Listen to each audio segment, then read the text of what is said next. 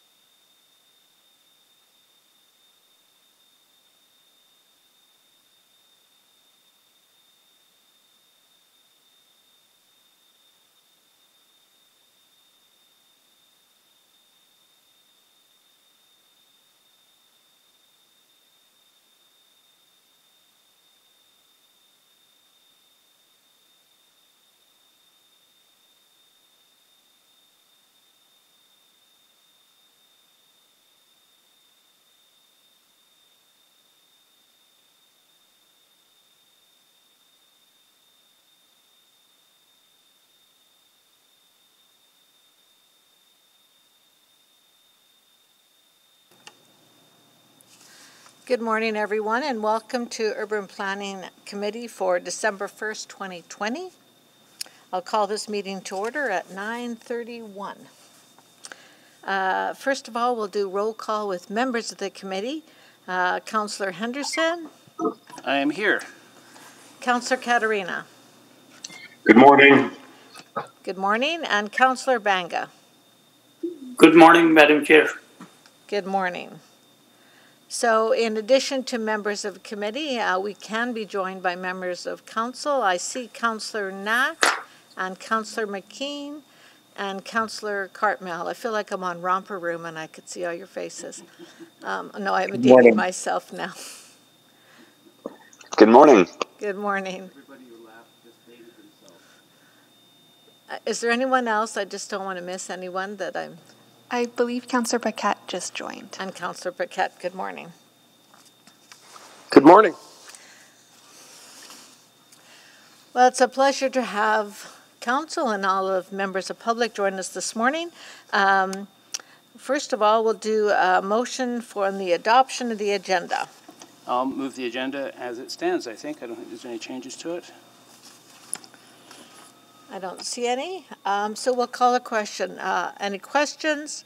If not, uh, please vote.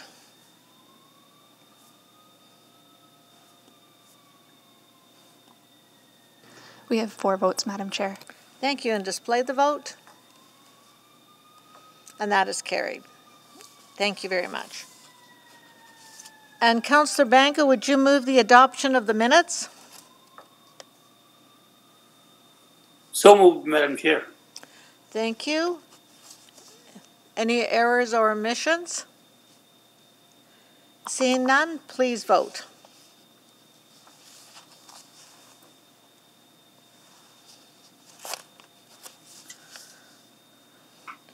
And display the vote.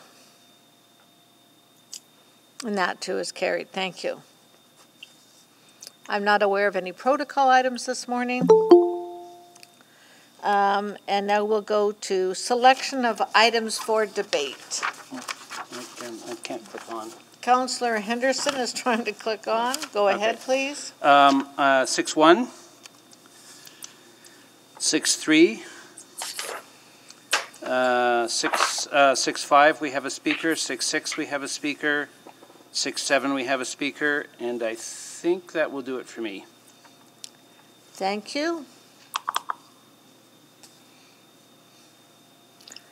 Madam Chair, uh, for me, it's, uh, six point one is already selected, six point two. 6.2? Yeah, six point four, uh, I don't know if that's been selected already. Not yet? Six point, six point four, then six point five and six point seven. And those two have been selected. Thank you.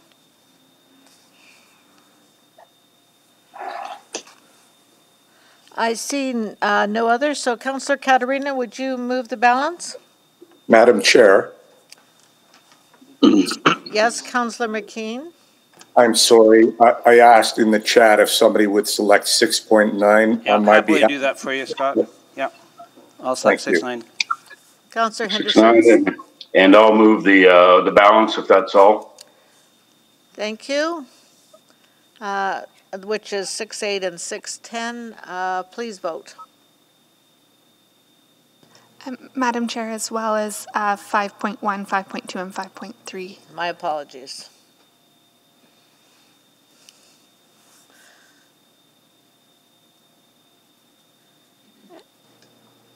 Uh, We're just missing your vote, Counselor Henderson.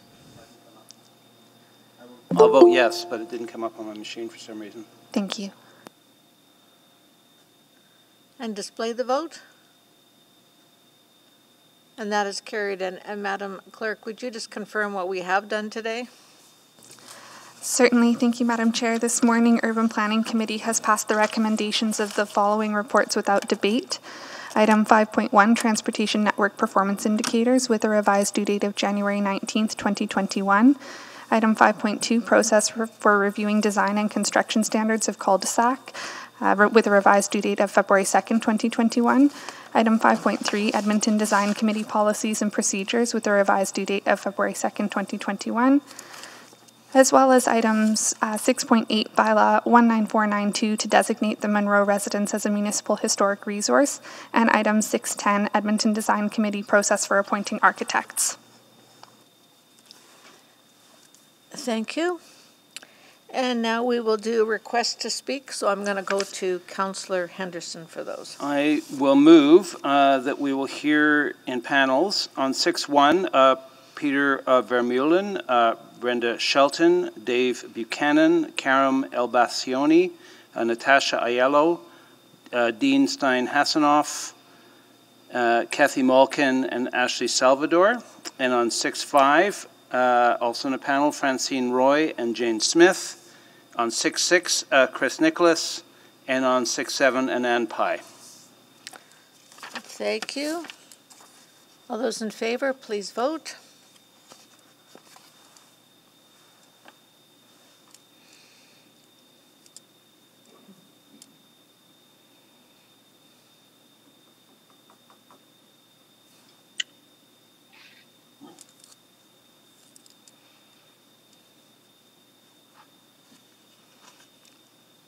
And display the vote. And that is carried. We've already approved in the agenda the time specific, which was 6-1 at first item of business and 6-7 at first item at 1:30 as part of the agenda. So there's no additional time specifics requested.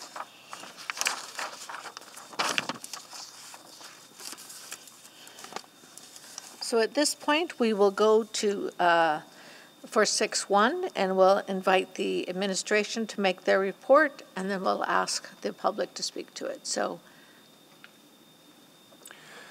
Good morning, uh, Madam Chairperson, committee members, members of council.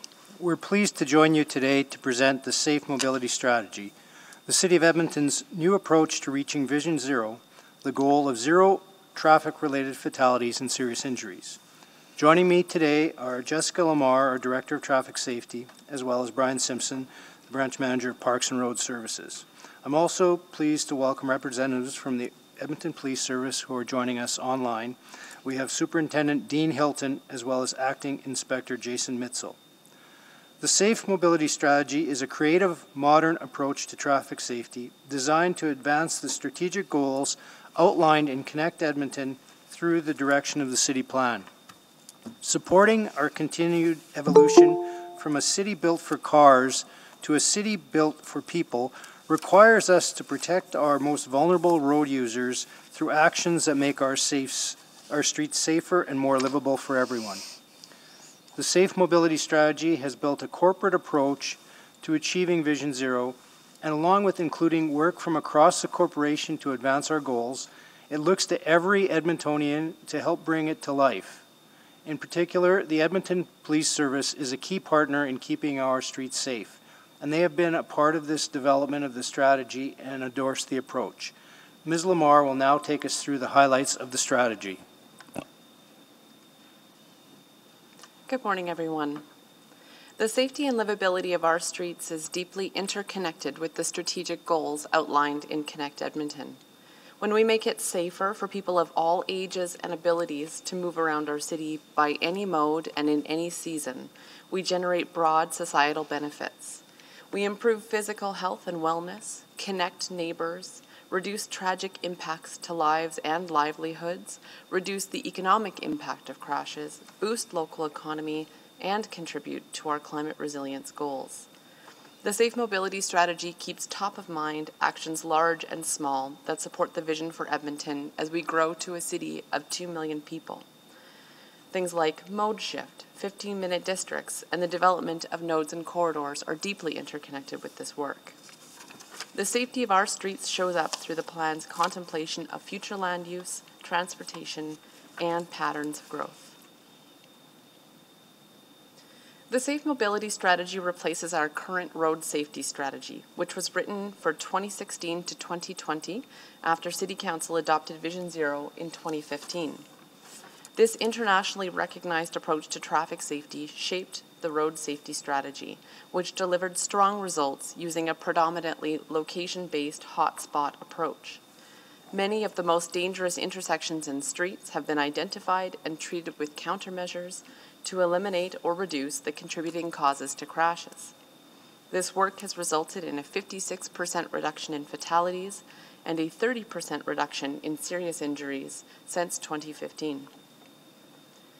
The purpose and principles of the Safe Mobility Strategy were created to connect this work with the larger city and community building goals in Connect Edmonton and highlight the need for changes both uh, in the traditional safety improvement context and a more modern inclusion of livability goals to continue our progress to zero.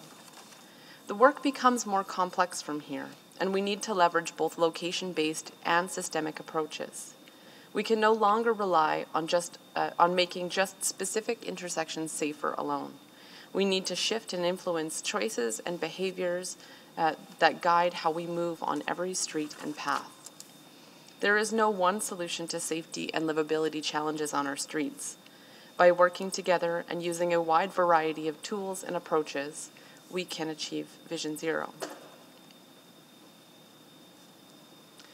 To ground the safe mobility strategy technically, we completed an extensive crash analysis to explore and understand the safe systems approach and its applications on our streets. This approach prioritizes protecting humans, and fully embracing it will help us tackle widespread issues that contribute to crashes, including street design and the deep rooted cultural norms around traffic and mobility.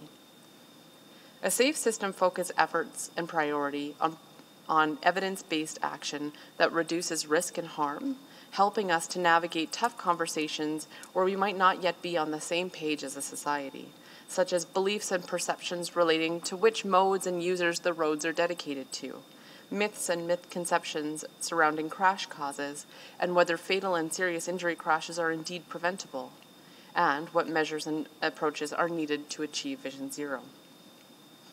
Humans make mistakes, and we are prone to overestimate our skills and abilities on the road. But these mistakes shouldn't cost us our lives and livelihoods. A safe system designs with mistakes in mind, recognizes the massive impact of vehicle speed and works to build understanding of the limitations humans have and how we can adjust our behaviors to protect those around us. We've already been using a safe systems approach in Edmonton, so we know it works. We've made a significant impact already, and the Safe Mobility Strategy expands and enhances that work to continue toward zero. Our crash analysis considered data from 2015 to 2019 and helps us understand where efforts need to be prioritized to reduce risk and harm on our roads. The progress we've made towards Vision Zero hasn't been realized equitably across all modes. Since 2015, serious and fatal crashes involving drivers and motorcyclists have reduced significantly, but this is not seen for those walking and cycling. The phrase vulnerable road user is often used to describe people who are walking, cycling, and rolling without the protective metal shell and safety features of a vehicle. The risk and harm possibilities present for people outside of vehicles is evident in our crash data. Just 1% of crashes between vehicles result in serious injury or fatality, while 25% of crashes involving someone walking results in tragedy. We all deserve to move safely, regardless of the mode we choose or are required to use to travel. Working to reduce this inequity while we continue towards Vision Zero is essential. Next, we turned our attention to why crashes are happening you'll notice that drivers appear in each of the top five causes. In fact, 80% of serious injury and fatality crashes are due to driver error. This information is not intended to place blame or shame. Instead, it helps us to build out both location based and systemic actions that will improve safety outcomes.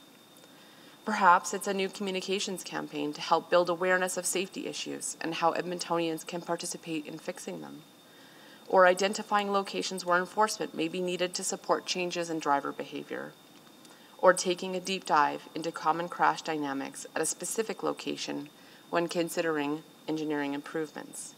These causes are used in a variety of ways across our system.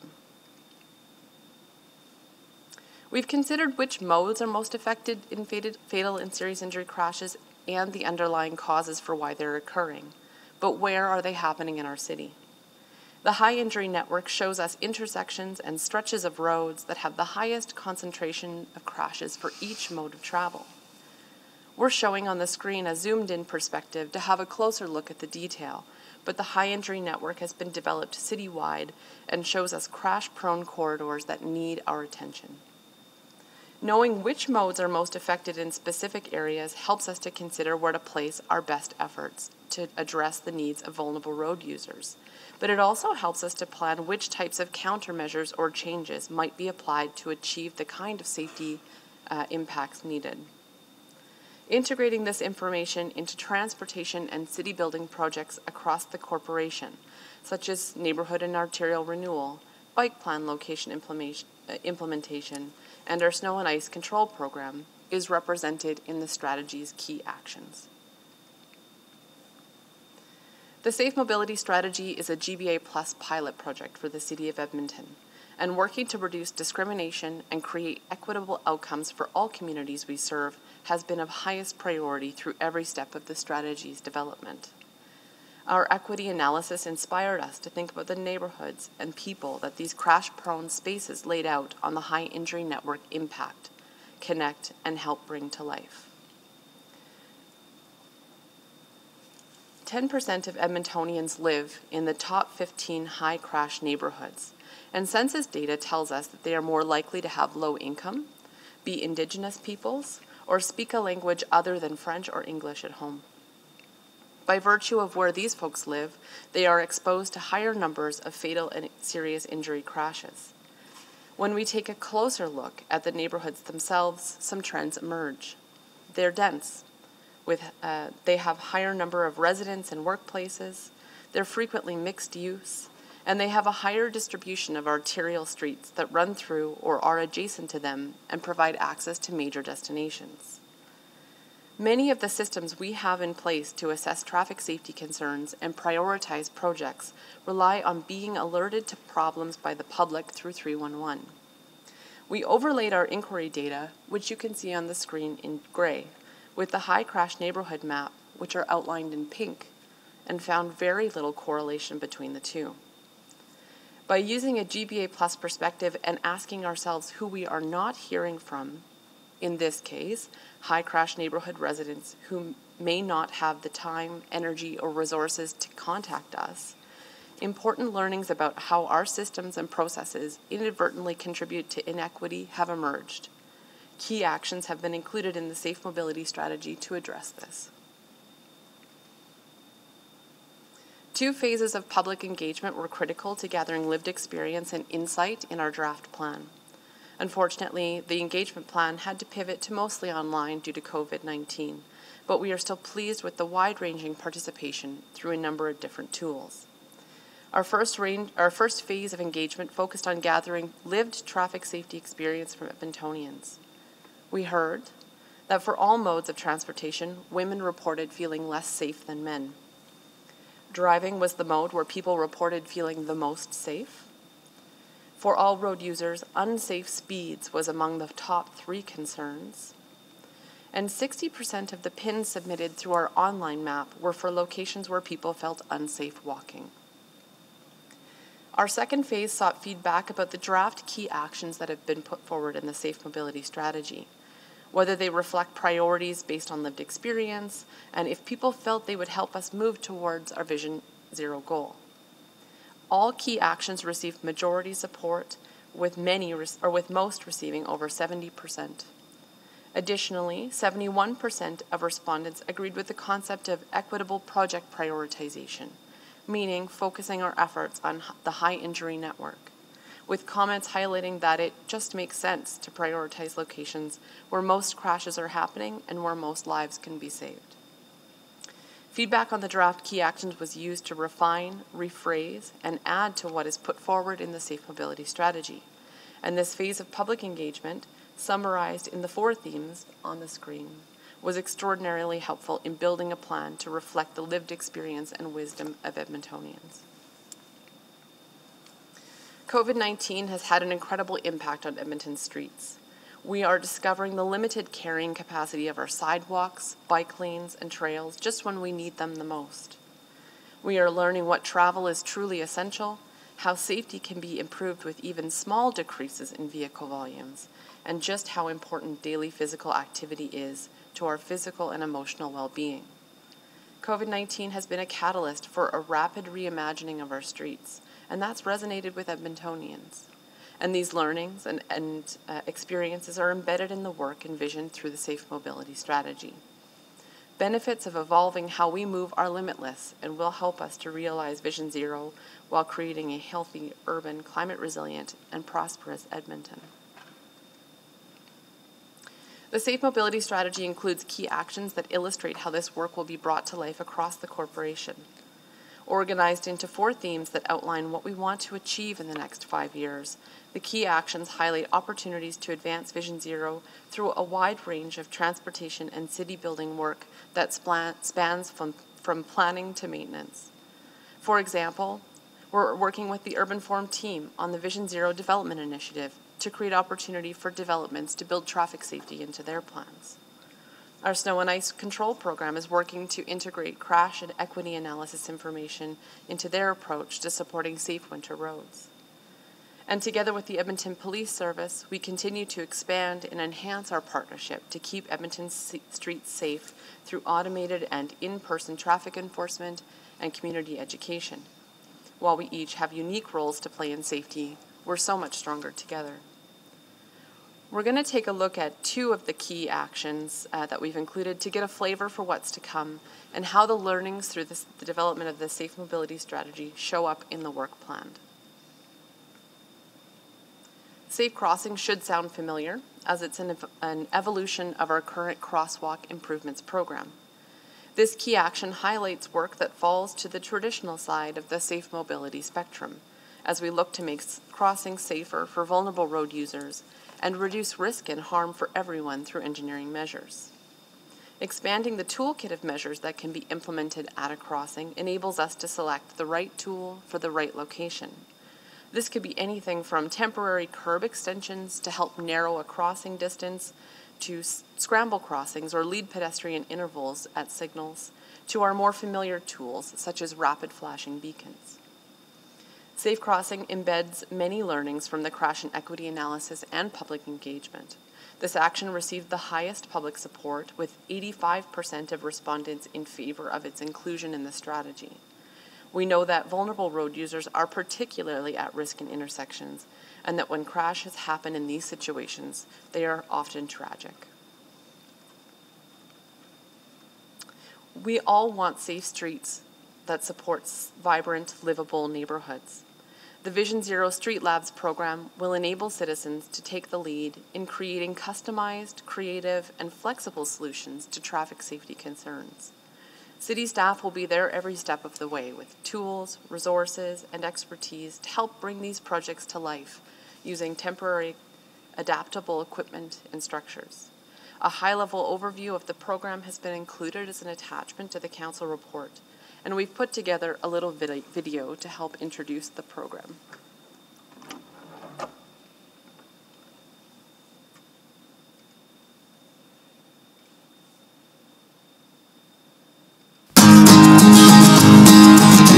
Vision Zero Street Labs are this really exciting new opportunity for Edmontonians to work with the city to improve their neighborhoods. It could be something that we've seen on the streets lots of times before, like curb extensions or flex posts. It could be the creative use of paint. You know, maybe we're bringing attention to a crosswalk. But it could be things that we've never seen on the street before for traffic safety, like using pop-up community gardens to slow vehicles down and, and make a space truly for everyone. Start talking to your neighbors, to your family and your friends about what might need to change in your neighborhood to make it feel safer and more livable. The city's going to be there with Edmontonians every step of the way, you know, helping to figure out the ins and outs of the project and the steps that we need to take. And so that together we can come up with something that helps really reflect this dynamic, changing city that's built for people.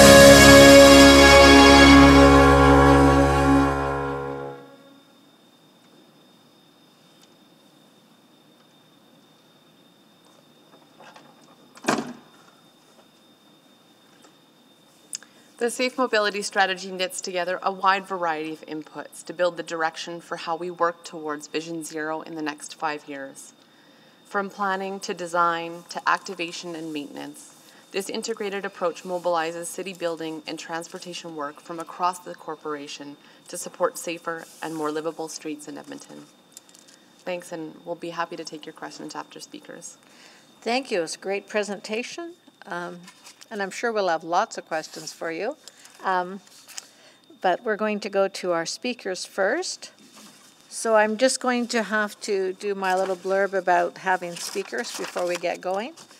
Um, so when we have uh, public speakers, uh, following the administration's presentation, we invite members of the public uh, to speak uh, virtually through Google Meet. Each of you will have five minutes to make comments. The clerk will run the official timer. However, those attendees participating virtually may also wish to use a timer at home. When the speaker is finished, please stay on the line as committee may wish to ask questions at the end of the panel of speakers. After comments from the public, the committee may ask questions of city administration. For those participating virtual, virtually, please refrain from using the chat function in Google Meet during the meeting, as it creates issues of decorum, provides unfair advantage, and interferes with the live stream. Additionally, remember to mute your microphone when you are not presenting or answering questions. If you are experiencing any difficulties, the Office of the City Clerk has resources available to facilitate communication with those participating virtually. Please reach out using the contact information that was provided in your registration or at city.clerk at edmonton.ca. Uh, there's no one here in person, but uh, we would remind you to wear your face coverings if you leave your designated seat with plastic screens. Thank you. All right. So we have uh, eight speakers. We'll have one full panel, and I will invite you in the order that I have you here. Uh, After everyone has been speaking for five minutes, then we will go to committee and then other councilors to ask questions.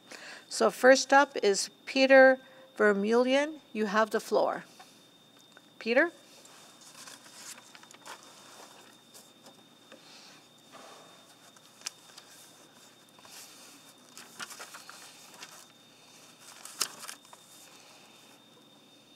Uh, I can see that Peter is unmuted and I believe is speaking, but his audio isn't isn't coming through. He may be, be muted on his end, or or another option would be to leave and rejoin. The the meet is is often an easy fix. Peter, we can't hear you.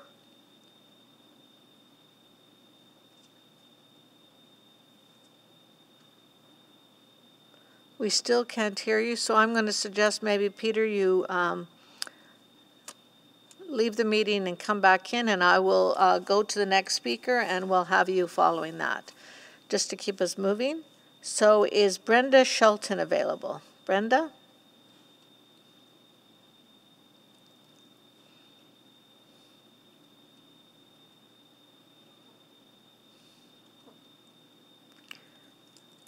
I can't hear you. You'll just need to, to unmute Brenda. There should be a microphone icon along the bottom of your screen that's red, and if you click that, that will unmute. There, can you hear me now? Yes, we can. Okay, perfect. Thank you very much. Hello, we live in Ramsay Heights community on Whitemud Road. This is the road that the houses fell into the riverbank years ago. And since that time, the street in our neighborhood has become a tourist attraction. Although we are not against people coming to view the gorgeous vistas and view and sunsets, we are negatively affected by the traffic in the area and the and the inconsiderate drivers who feel the need to race down our street. This street has seen a substantial increase in traffic of all hours of the day and night. The temporary institution of speed humps on Whitemud Road was helpful in the areas of the street that they were installed, but only in these three areas. There needs to be additional humps located in the middle of the straight portion of the street to prevent drivers from the extreme accelerating or rather racing up and down the street at midnight almost every weekend. Another issue related to this increased traffic is increased parking. The city has addressed this issue by introducing parking restrictions to prevent the large group congregations, especially in the middle of the night. We are allowed 30 minutes from 7 a.m. in the morning until 11 at night, and then absolutely no parking from 11 o'clock at night until 7 in the morning. This has helped curb the amount of traffic Unfortunately, there is currently no allowance for the people of the neighborhood to get a parking pass so that they may continue to park on the street. We say this as we have applied for one and have been denied. That's how come we know we can't do anything for the people in the neighborhood. As a family, we have made concessions for parking by moving one of our son's vehicles on what was previously a garden area we would appreciate being able to park our truck on the street in front of our home as we have been doing for the last 20 years. I sincerely hope the city will make some funding available for the institution of speed humps in all the appropriate locations, as well as visit the parking restrictions and how they affect the neighborhood both positively and negatively. I thank you for your time for listening to my concerns. That's everything. Thank you very much, Ms. Shelton. Um, You're welcome. If you just uh, mute yourself now, we'll go to the other speakers and ask you questions when everyone's finished. Um, and I'll go Thank back you. to see if Peter Vermeulen has been able to rejoin us and if we can hear you. I'm here, everybody. Can you hear me? Yes, we can now. Please go ahead. Would it be all right if I would share my screen as I have uh, my own PowerPoint presentation? I made to understand you have a PDF copy of it. There are a couple We'll- of videos. We'll it. share your presentation on our end, uh, Peter. Okay, it's missing the videos though. But all right, so thank you so much. Um, this presentation is related to the aforementioned location-based hotspot approach of Vision Zero policy. So the uh, the first slide there, if you go down, in 1999, houses ended up falling into the river in Ramsay Heights. Keep going down. The result of that was the lookout, also known as the edge of the earth. Go down more. And that's a general area. Keep going down. The yellow arrow or the uh, red star is where the videos in this presentation were taken, and it's unfortunate that we don't have an opportunity to see those videos because there is a lot of impact with that. The uh, three red arrows are the spots where the houses went down. Keep going down. Thank you. Why am I here today? These are me and my girls. I'm a normal Edmontonian. I drive a rusty eight year old minivan. My family's no different than the thousands of other Edmonton uh, families. Uh, what's different is that compared to everybody else, we live in a constant state of hypervigilance and fear. Keep going down. So, what is the problem? Keep going down. Social disorder and excessive speeding secondary to that social disorder. Keep going down.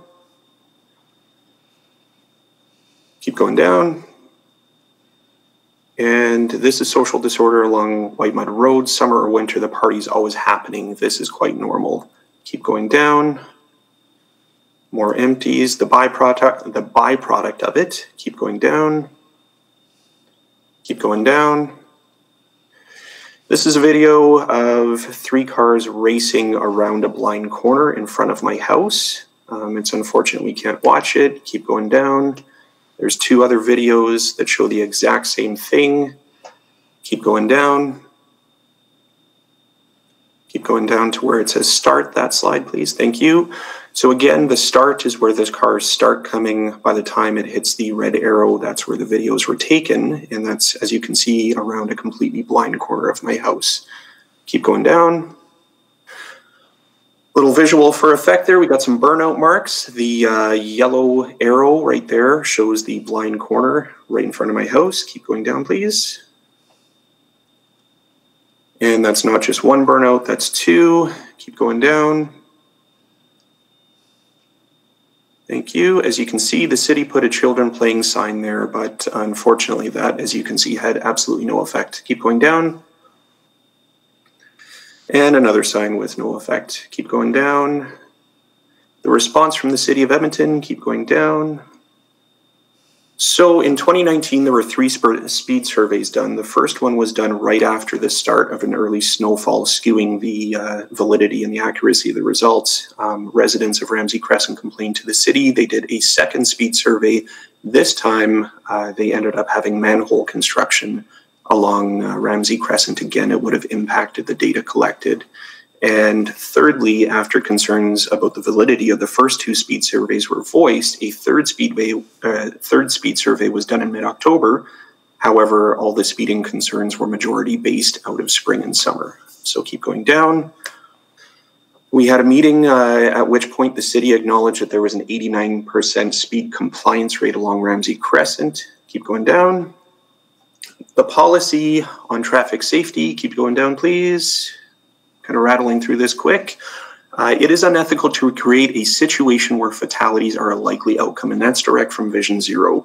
So, through the city's inaction, um, an unethical situation where fatalities are a likely outcome was created. And for more impact, I would refer you back to the videos, which we can't see. Keep going down. Down a couple of slides to the map there. Thank you. So the city of Edmonton ended up putting in three randomly placed speed humps, um, of which there was no effect. If you keep going down, and again, it's really unfortunate we don't have the videos because you can see exactly how fast people are going. I'm happy to share those with you after the fact for anybody who's interested. Keep going down. The first three videos, the speed bumps were um, present, although you would never know um, by virtue of how fast people were going. Keep going down and down again. Uh, this last video there at the bottom there, which we can't see. Uh, I know the question is going to come up, why don't you call the police? Prior to this video being taken, we actually did three different times from three different neighbors. We called in the same suspicious car, a well-known visitor to the edge of the earth, three calls to the police with a subject description, make and model and license plate, EPS ended up doing three different broadcasts and no cars were dispatched. Um, and this video is what happened after we actually made the call to police. So keep going down, almost done. So, to quote the city's findings, there was no difference with this temporary pilot speed hump project. There was no difference before and after the implementation of the temporary speed humps. Um, there wasn't any change because the interventions were ineffective. Uh, people drove around the speed bumps. And, and again, I don't know where this is coming from if the city is not aware of this or that people were driving around the speed humps. Um, but using that data to formulate policy and action or inaction is it, it is it is just wrong. I mean, there's there's absolutely the intervention the city did had no effect whatsoever. So keep going down. So, Mr. Vermillion, that's been your five minutes. I'm going to get you. I'm going to have to get you to finish. I'm sure there'll be questions for you. Absolutely. And the very last slide there, again, I wanted to quote the uh, Vision Zero mandate there. My question for the city is what permanent and effective traffic calming measures will the city implement on Ramsay Crescent? And again, it's unfortunate I can't share the videos. I, I believe they're quite impactful. Um, that's what I have to say. So thank you so much for tuning in, and I'm happy to take any questions. So we will take questions after all the speakers have spoken. Um, right now, I'm going to Mr. Buchanan uh, for People. Please go ahead. Good morning. Uh, I'm speaking today on behalf of Paths for People. We're an active transportation advocacy nonprofit devoted to making Edmonton a friendlier place to walk, roll, and cycle. Paths for People is glad to add our voice in support of the city's safe mobility strategy. The strategy will move the city towards achieving its goal of Vision Zero and will ensure that our streets become safer and more livable for all users. We love the safe mobility strategy. Uh, we believe that adopting it will be a huge step toward achieving Vision Zero and creating the kind of safe, connected, livable city we all want. We believe that everyone deserves to have a safe experience when they move through our city, regardless of the mode of transportation they use. And this strategy sets out a roadmap for achieving just that. There are several aspects of this strategy that we're particularly excited about. First, we fully support how this strategy is data driven and based on research and best practices. Second, we fully support how this strategy treats different modes of transportation equitably. It's neither prioritizing nor disadvantaging certain modes over others. Rather, it simply recognizes that currently some people moving around our city feel less safe, more vulnerable than others. And in order to level the playing field, we're going to have to even things up, providing better infrastructure, design, and education to protect, for instance, pedestrians, cyclists, and people using mobility aids. This isn't about punishing cars or car drivers or taking away from motorists. It's about ensuring that everyone can have the same safe experience getting around our city. Third, we strongly support the strategy's recognition that a crucial step in achieving Vision Zero is building new, better, smarter infrastructure. Sidewalks, signaled crosswalks, bike lanes, traffic calming measures. These things work if done smartly. We've seen that with the downtown bike network and the 102 Ave bike lane, for instance. Fourth, we believe the strategy will achieve mode shift, shift or, or help to do that, which in turn will increase carbon emissions, sorry, decrease carbon emissions. When people feel safe walking and cycling, they'll do it. Look at the success last summer of the COVID measures to create shared streets. With the temporary measures the city quickly installed, people felt safe and they took to the streets like crazy. If you build it, people will come and walk and ride and roll on it. And that takes pressure off car routes and that lowers the overall carbon output. Finally, we appreciate the strategy's dual emphasis on both specific, concrete, location based actions and on more abstract system wide actions, cultural shifts in how we think about mobility. In recent years, Edmonton has seen some success with the former, but in order to truly achieve Vision Zero, we need to now also work on the latter, a task that's much more challenging. We're talking about changing the behavior of humans. But it can be done. And we particularly like how the strategy emphasizes the need for collaboration between the city, police, communities, schools, and other stakeholders. It's the only way systematic change will happen through a broad coalition of partners. In fact, we want to be one of those partners. For People is ready and willing to contribute. We've had many successes through programming and events that we've facilitated with partners like Open Streets in 2019 on Jasper Avenue that showcase our um, how our our streets can work differently and how they can be safer and more livable. And we'd love to work with the city and community groups, for instance, on the Vision Zero Street Labs, where we can put our passion and expertise to work. The benefits of the safe mobility strategy could be enormous for physical health, but also mental health, community building, business, and the environment. Let's make it happen. Thank you. Thank you. Next, we have Karim uh, El-Basyouny. Thank you. Good morning, councillors, members of uh, governance, fellow speakers, and all Edmontonians who are joining us uh, this morning. My name is Karim Basyouny, and I'm an associate professor with the University of Alberta, as well as the City of Edmonton's Urban Traffic Safety Research Chair. I'm excited and grateful for the opportunity to be here today to express my support for the Safe Mobility Strategy. This strategy is in line with global trends in transportation management which are off, which are acknowledging the need to expand our current systems to accommodate the safety of all road users. This strategy makes a bold move to highlight the impact of inequity and diversity in our society, as well as uh, in the ways we travel. I'm proud to see Edmonton taking the necessary steps to move in this direction. In 2015, City Council made the courageous move to adopt Vision Zero, which was a milestone decision to acknowledge and commit to the need for working together uh, to eliminate fatalities and serious injuries in Edmonton. To date, there have been significant improvements in following the first iteration of the road safety strategy. The new safe mobility strategy builds upon Uh, the successes that we have seen in the first strategy by expanding the focus to include new and innovative programs that works towards increasing safety and livability for all Edmontonians. I'm also pleased to see that the city is continuing its relationship with the research community as an example of the ways to leverage partnerships and to help advance the work on increasing safety. This year, I had the opportunity to collaborate with the city to use advanced monitoring, technique, monitoring techniques to evaluate the impacts of shared streets that were imp- implemented in response to COVID 19. This experience taught us that we could quickly implement success measures and highlighted the significance of how the research community and city administration can advance the work of increasing safety in Edmonton. Using new monitoring, techniques uh, allowed us to quickly measure the safety and livability impacts of the shared street, streets, and I'm excited to see that the use of these tools is a component of the safe mobility strategy. Over the years, I've had firsthand experience measuring and evaluating the value of the work that the city has done I look forward to continuing these partnerships as the strategy and the implementation plans unfold in the coming years. I fully support this strategy, which emphasizes the strength of the city's commitment towards improving and encouraging effective ways to improve safety and livability. Much has, has been achieved uh, to date, and with this strategy, uh, it is my hope that we can uh, keep building on what has already been accomplished. A lot of hard work has gone into crafting this document. I would like to thank the city for their dedication in producing another excellent strategy document. Thank you. Thank you very much for your presentation. And now we'll go to Natasha Ayello.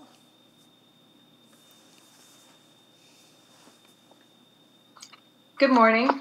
My name is Natasha Ayello, and I'm here to express my support for the Safe Mobility Strategy and Vision Zero. I live in a newer neighborhood in Edmonton, uh, Chappelle Gardens in southwest Edmonton. In my neighborhood, there's a very dangerous pedestrian crossing which occurs in a curve in the road, which makes visibility very difficult for southbound traffic.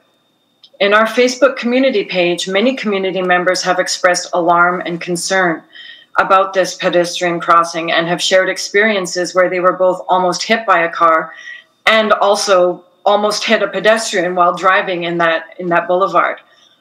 I myself have experienced both ends, almost getting hit while crossing the street with my daughter, and also having to slam my brakes when seeing pedestrians crossing at the very last minute.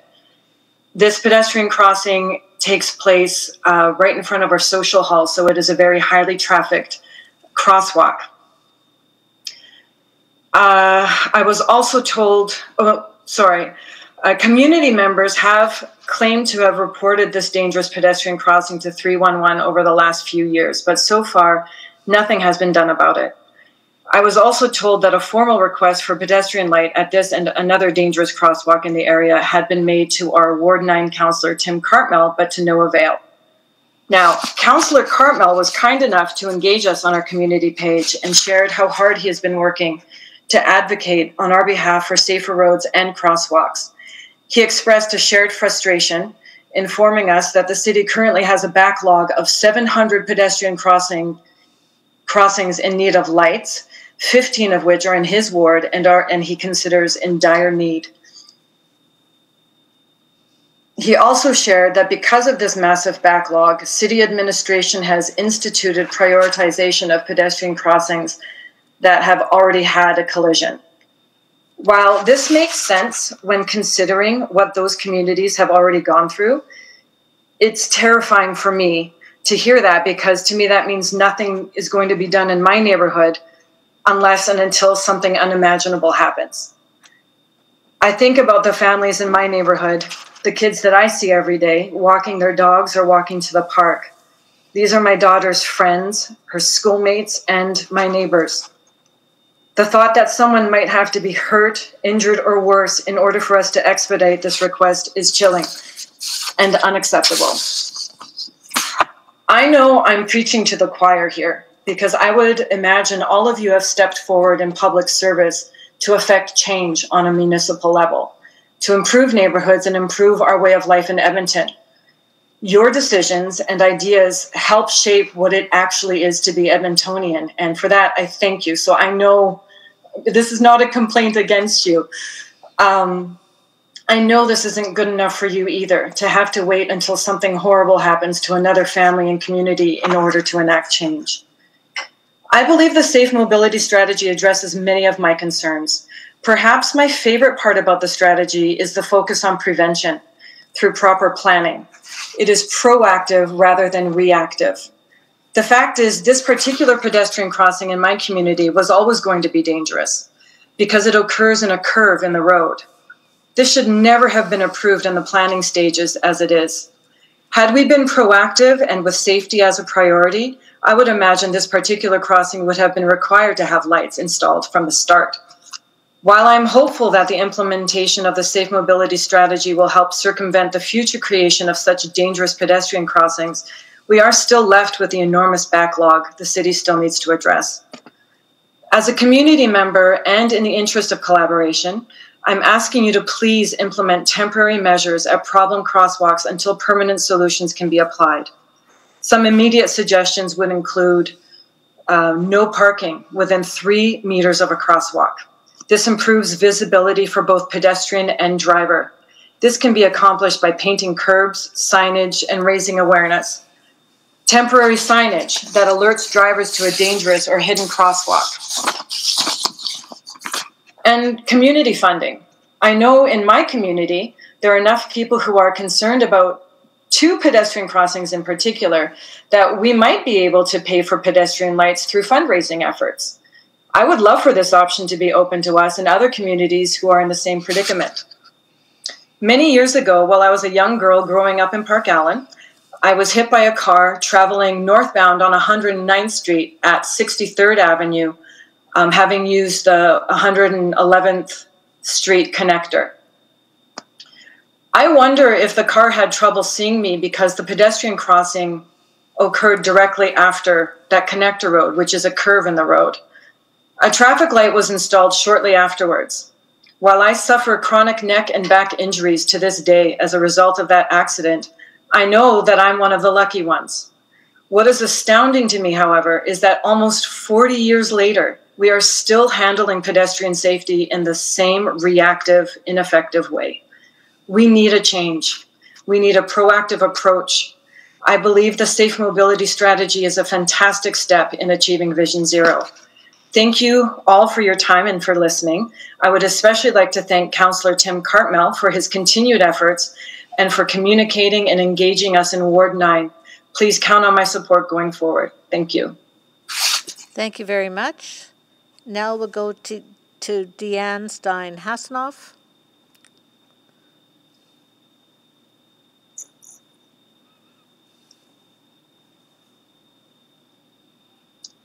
Good morning, counselors. I'm here to speak to you today in support of the Safe Mobility Strategy and in particular the traffic safety community activation in resolving traffic problems in individual neighborhoods. I live in Brander Gardens, a neighborhood that experiences multiple issues Over the years, individual residents as well as parents of Brander Gardens Elementary raised concerns about traffic in our area with no change implemented. In the past, residents have been told our neighborhood has wide streets and can accommodate much more traffic than we currently do, the subtext being we do not have a problem. In my former career working in brain injury rehab, we often talked about the difference between how a person performed on tests on paper and how they performed in their environment, their functional performance. These two things did not always match. Next slide, please. On paper, Brander Gardens can accommodate many more cars.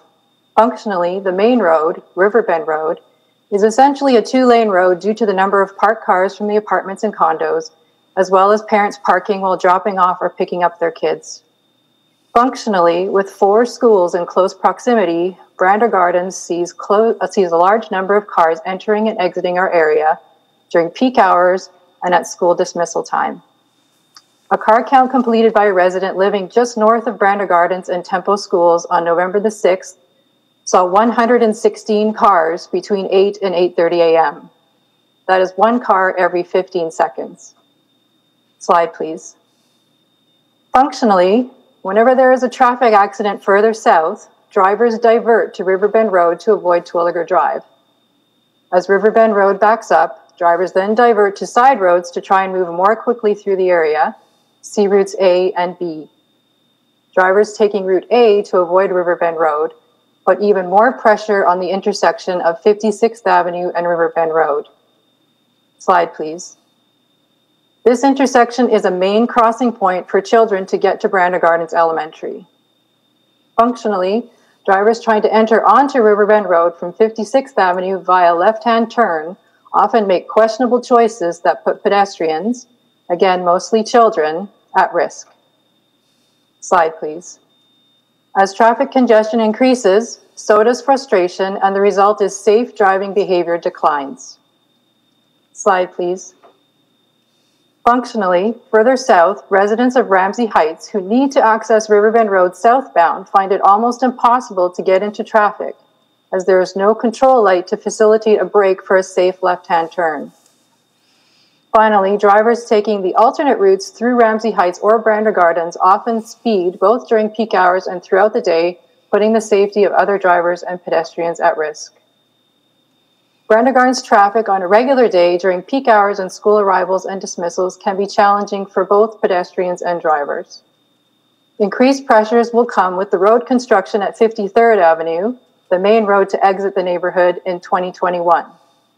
Then there will be the Terwillegar Drive reconstruction, which will very likely result in more vehicles using Riverbend Road to avoid construction traffic. And we foresee the functionality of our roads, or lack thereof, will again be highlighted.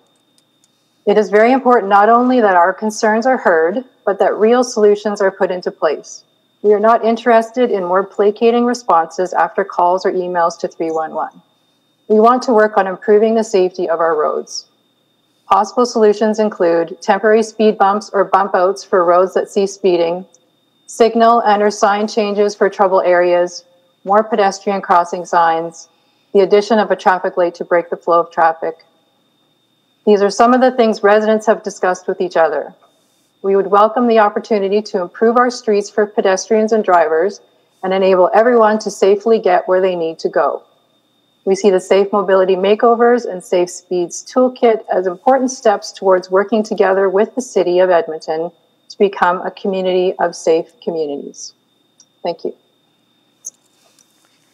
Thank you very much. Uh, now we'll go to Kathy Mulkin. Kathy.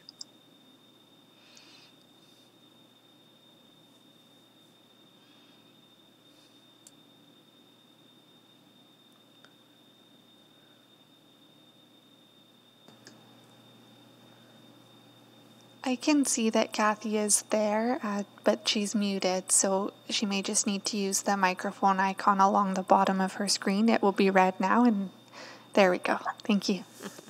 Okay, thank you very much for helping me. Um, hi, everybody. Uh, good morning, all. Um, and I'm so excited about this um, safe mobility strategy, Vision Zero, and its customizable um, preventative nature. Um, so I live on the far south end of Whitemud Road in Riverbend, just close by where Peter Vermeulen lives and just right down the street from where Brenda Shelton lives. And uh, I've lived here for nearly 20 years. It's directly across the street from where the houses slid down into the river, as you saw on Peter's map. It's a great area. It's completely unique in the city, and we welcome lots of visitors and have over the years. Um, it's also, unfortunately, though, been a target for excessive traffic and visitors engaged in criminal activity, including drugs, drug dealing, uh, prostitution, fights, all day and late night, overnight idling of, uh, of people in their mobile offices as cars approach them, do drug deals, leave, as uh, cars idle overnight, with uh, women welcoming visitors to their vehicles uh, for a while and driving away. So this has been a problem for 20 years, and we've had no resolution, and we've had escalating problems. Um, escalating and habitual loitering and crime that has then led to speeding as people drive into the neighborhood off Riverbend Road to their mobile offices on Whitemud Road and speeding out of the neighborhood uh, along 43rd Avenue and Ramsay Crescent as they have, have, finished their business, as they finished their time there. Um, so this has been 20 years of um, calling police, calling by law enforcement, calling parking, calling 311 with virtually no um, resolution uh, what's, whatsoever for many, many years when the uh, properties were in litigation with the city and the province, um, the residents, we took it upon ourselves to clean the street, clean the graffiti, pick up the garbage, call the police, take care of the street, put up concrete um, borders so that drivers couldn't park out on the bank, and so on. A few years ago, the city then took um, took over control of that area when litigation was done and installed a low um, wooden fence as well as park signs. Uh, the residents at that point um, unanimously agreed to refuse any other um, installations of picnic tables or benches or anything else uh, that would increase traffic to the neighborhood, graffiti, vandalism, or any other effects. Um, so frankly, I've gotten so exhausted over the years of calling police, calling everybody, and um, not much happening. I felt like a car spluttering, nearly out of gas. But the reason I am talking here today is because um, uh, two, um, two, two and a half weeks ago, I was out shoveling snow and I was accosted at the end of my driveway, farthest from my front door, by a man with a scarf over his face who came, snuck, snuck up on me in the dark, and uh, came from one of the vehicles two houses up the street idling there. I'd seen that vehicle when they were idling with three men in it, and there had been people on the street, but once everybody else on the street had left and my back was turned, um, this man in the dark snuck up on me. And um, as I tried to sidle into up to safety at the far end of my driveway and up my steps. I engaged him and suggested that uh, the street signs, the parking signs, they ought to pay attention to them because police might be coming. Um, so anyways, um, that is an escalation of threat that has never happened before, where we've been accosted on the street by the strangers who've come to visit there. And um, I called the police. They took it very seriously. They sent a cruiser out who went around the streets looking for that, um, that vehicle, those people, and the helicopter flew over. So what we're talking about here is an escalation of crime, an escalation of excessive traffic, an escalation of uh, people coming into the west part of Ramsay Heights, uh, along where Peter and along where Ms. Stein have indicated the traffic and the problems have been increasing. Um, so I'm going to have to get you wrap up right away, please. Okay, so we have, um, in the document that I sent, we have some proposed solutions. I've included proposed solutions that are traffic related that could um, deter people from coming into Ramsay Heights and speeding along the um, Ramsay Crescent area, along the Riverbend Road area, along the Whitemud Road area. And this needs to be uh, accompanied with psychologically sound behavior exten- extinction ticketing um, enforcement and proper signage and other um, areas and other possible strategies uh, that that seem to be outlined in this uh, Vision Zero. Okay. Um, Thank you, and I'm sure we'll have some questions of some of your other ideas. I really appreciate that, and I'm really sorry for your experience. It certainly would have been difficult. Yeah, so thank you, and thank you to Councillor Cartmell for beginning to help us have some solutions for these problems. All right, thank you. And I'm going to turn our attention over to our last speaker on this item from the public, which is Ashley Salvador. Ashley, please go ahead.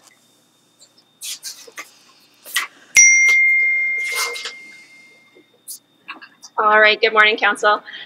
I'd like to express my full support for the Safe Mobility Strategy. The conclusions of this body of work are clear. We're saving lives, reducing injury, and continuing to move towards Vision Zero. Things are getting better, um, but as we've heard today, there's, there's still work to do. I'm really pleased to see a combined approach that addresses both system-wide and location-based improvements. And I'm particularly hopeful about Vision Zero Street Labs. Creating opportunities for community members to play an active role in remaking their neighborhoods to be safer and more livable is a critical component of this holistic approach. And as we've all seen, there's no shortage of passionate Edmontonians who understand which crossings in their community are problematic, where drivers speed, and which sidewalks are inaccessible. Being able to tap into their local knowledge and expertise and collaborate with them should really enable our city to address safety and livability in a pragmatic, flexible manner without making communities wait until neighborhood renewal comes through. There are a host of inexpensive, semi permanent solutions that can be implemented quickly with tangible benefits. As Vision Zero Street Labs rolls out, it will be imperative to have a clear channel for neighborhood teams to take their plans to reality with, this, uh, with the help of city resources. And at the same time, I think it's important to uh, embed these location-based activations within a system-wide approach to ensure an equitable distribution of inter uh, interventions and resources. As outlined um, in, in the report and the strategy, the relationship between high crash neighborhoods and 311 related inquiries is weak. And that means that although certain neighborhoods and demographics are exposed to higher risks, they may not be the ones forming teams to participate in street labs. So the high crash and high injury network provides us with some really great spatial data and knowledge, and that'll help us prioritize certain areas. Finally, I just want to reiterate uh, the clear connection the safe mobility strategy has to the city plan. A healthy, urban, prosperous, and climate resilient city depends on creating communities where all residents can safely meet their needs, whether that's biking to work, walking to school, rolling to a bus stop, or driving to the grocery store. Concepts like 15 minute districts are premised on the idea of being able to walk or bike to the essentials of life. And safe mobility, alongside land use, is the foundation for realizing this vision. Uh, going forward, just a quick thing I'd like to encourage Council to consider. That's the connection between the city plan, safe mobility, and our zoning bylaw renewal that's currently underway to help ensure that our zoning bylaw is aligned with the safe mobility strategy so that elements like front setbacks, street furniture, the location of vehicular access, and parking are conducive to safer, more livable neighborhoods. And development does have a role to play in the creation of less auto centric uh, cities. Thank you very much. Thank you very much, Ashley. Um, so now we're going to go to questions of our speakers, um, and I'll start with Councillor Henderson. Uh, well, maybe just, um, and I'm guessing uh, uh, Councillor Cartmell will have some questions about uh, the issues in um, uh, in Ramsay. Uh, but I just as an observation, um, it, it sounds very familiar to me um, because we had the same issues with End of the World in Belgravia, uh, almost identical situation, although probably that space was a bit more um, harder to get into and out of. Uh, and so the solutions that we came up with there was actually to make the space nicer um, and more accessible so that the general public could use it and therefore push some of the, the negative use away. Um, so I don't know. Uh, I don't know what the solutions will be, but it was multifaceted in that case, and we had to bring an awful lot of different people to the table to brainstorm what the answers would be. So I just share that story because it sounds so familiar um, from the experiences we went through in Belgravia. Um, and it might be possible to take some of the learning from that and apply it to your situation, which sounds a little bit different. But ironically, when you decided, it might, for instance, be when you decided not to improve the space, that it actually may have been counter counterproductive because it actually made it less pleasant for everybody else to use. So I just share that, um, uh, but I'll leave the questions around that for, for Councillor Cartmell, but I just wanted to, uh, and I'm more than happy to speak with him about the experience and how we work through the Belgravia situation as well. My main questions, though, um, uh, were um, for Dr. El-Basyouny. Um, there were a number of things that jumped out at me from the reports, and I wouldn't mind your thinking on them. Um, the, one of them was that so much of our data uh, comes from the police who are measuring it based on the level of property damage. And it doesn't strike, you know, so, the, so the, the cutoff is $2,000 of property damage. It's not actually, doesn't deal with a cutoff that deals with severity of injury or, and I'm just wondering your thinking on how, and I'll ask the same question of administration, but I'm, your thinking on how we can make sure whether or not that's skewing the data and whether or not there's a way, any thoughts you have on how to chew up the data to make sure that we're actually measuring the right things here. If our objectives are injury and, and, and, and fatality. Well, that's an, an excellent question, uh, Councillor, and I agree. Um, and I would, I would actually say that there is no need for us to actually wait for the crash data uh, for us to start taking uh, proactive or, or sort of uh, uh, actions. I would I would argue that we have an ethical obligation to understand and, and demonstrate the levels of unsafety, perhaps using other surrogate measures. And so we have speeding is a, is a great way for us to, um, or, or one of the ways we can use to uh, talk about how unsafe a certain location is. But there are other measures. There are basically the interactions between the different road users. And the city has been really progressive in using um, new innovative monitoring techniques uh, to basically demonstrate both that there is a concern and to actually showcase that what they put into place has been actually effective. And so I, I would say we should really st- strive to move away from using collision data for purposes of of making safety decisions. It, it, it's interesting too. I know one of the things that the Swedes started looking at, um, and this came up through some of the Winter City work that we've done, um, was was emergency room data and hospital data um, to capture some of the kind of slips and falls and other kind of things that are just as much transportation injuries. Um, but have we done any of that kind of work? And I don't know how doable that is in our context. I am not aware, and so I'll leave that to administration to. Okay, I'll ask them. I just thought I'd ask you the question when I had the chance. Okay. The one other thing that jumped out at me from the data um, was that, in actual fact, when you look at uh, um, at serious injury and at um, um and and at fatality, that those numbers go down in winter. Um, they, they, the, the number of collisions may go up, the number of crashes may go up, but then actually the severity goes down. And I'm wondering, I mean, I can begin to guess what that's about, but I'm wondering if you have any thoughts on that. I thought it was a really interesting, interesting discovery. And, and you know, I, I, it's a very common uh, occurrence that we see in, in most winter cities.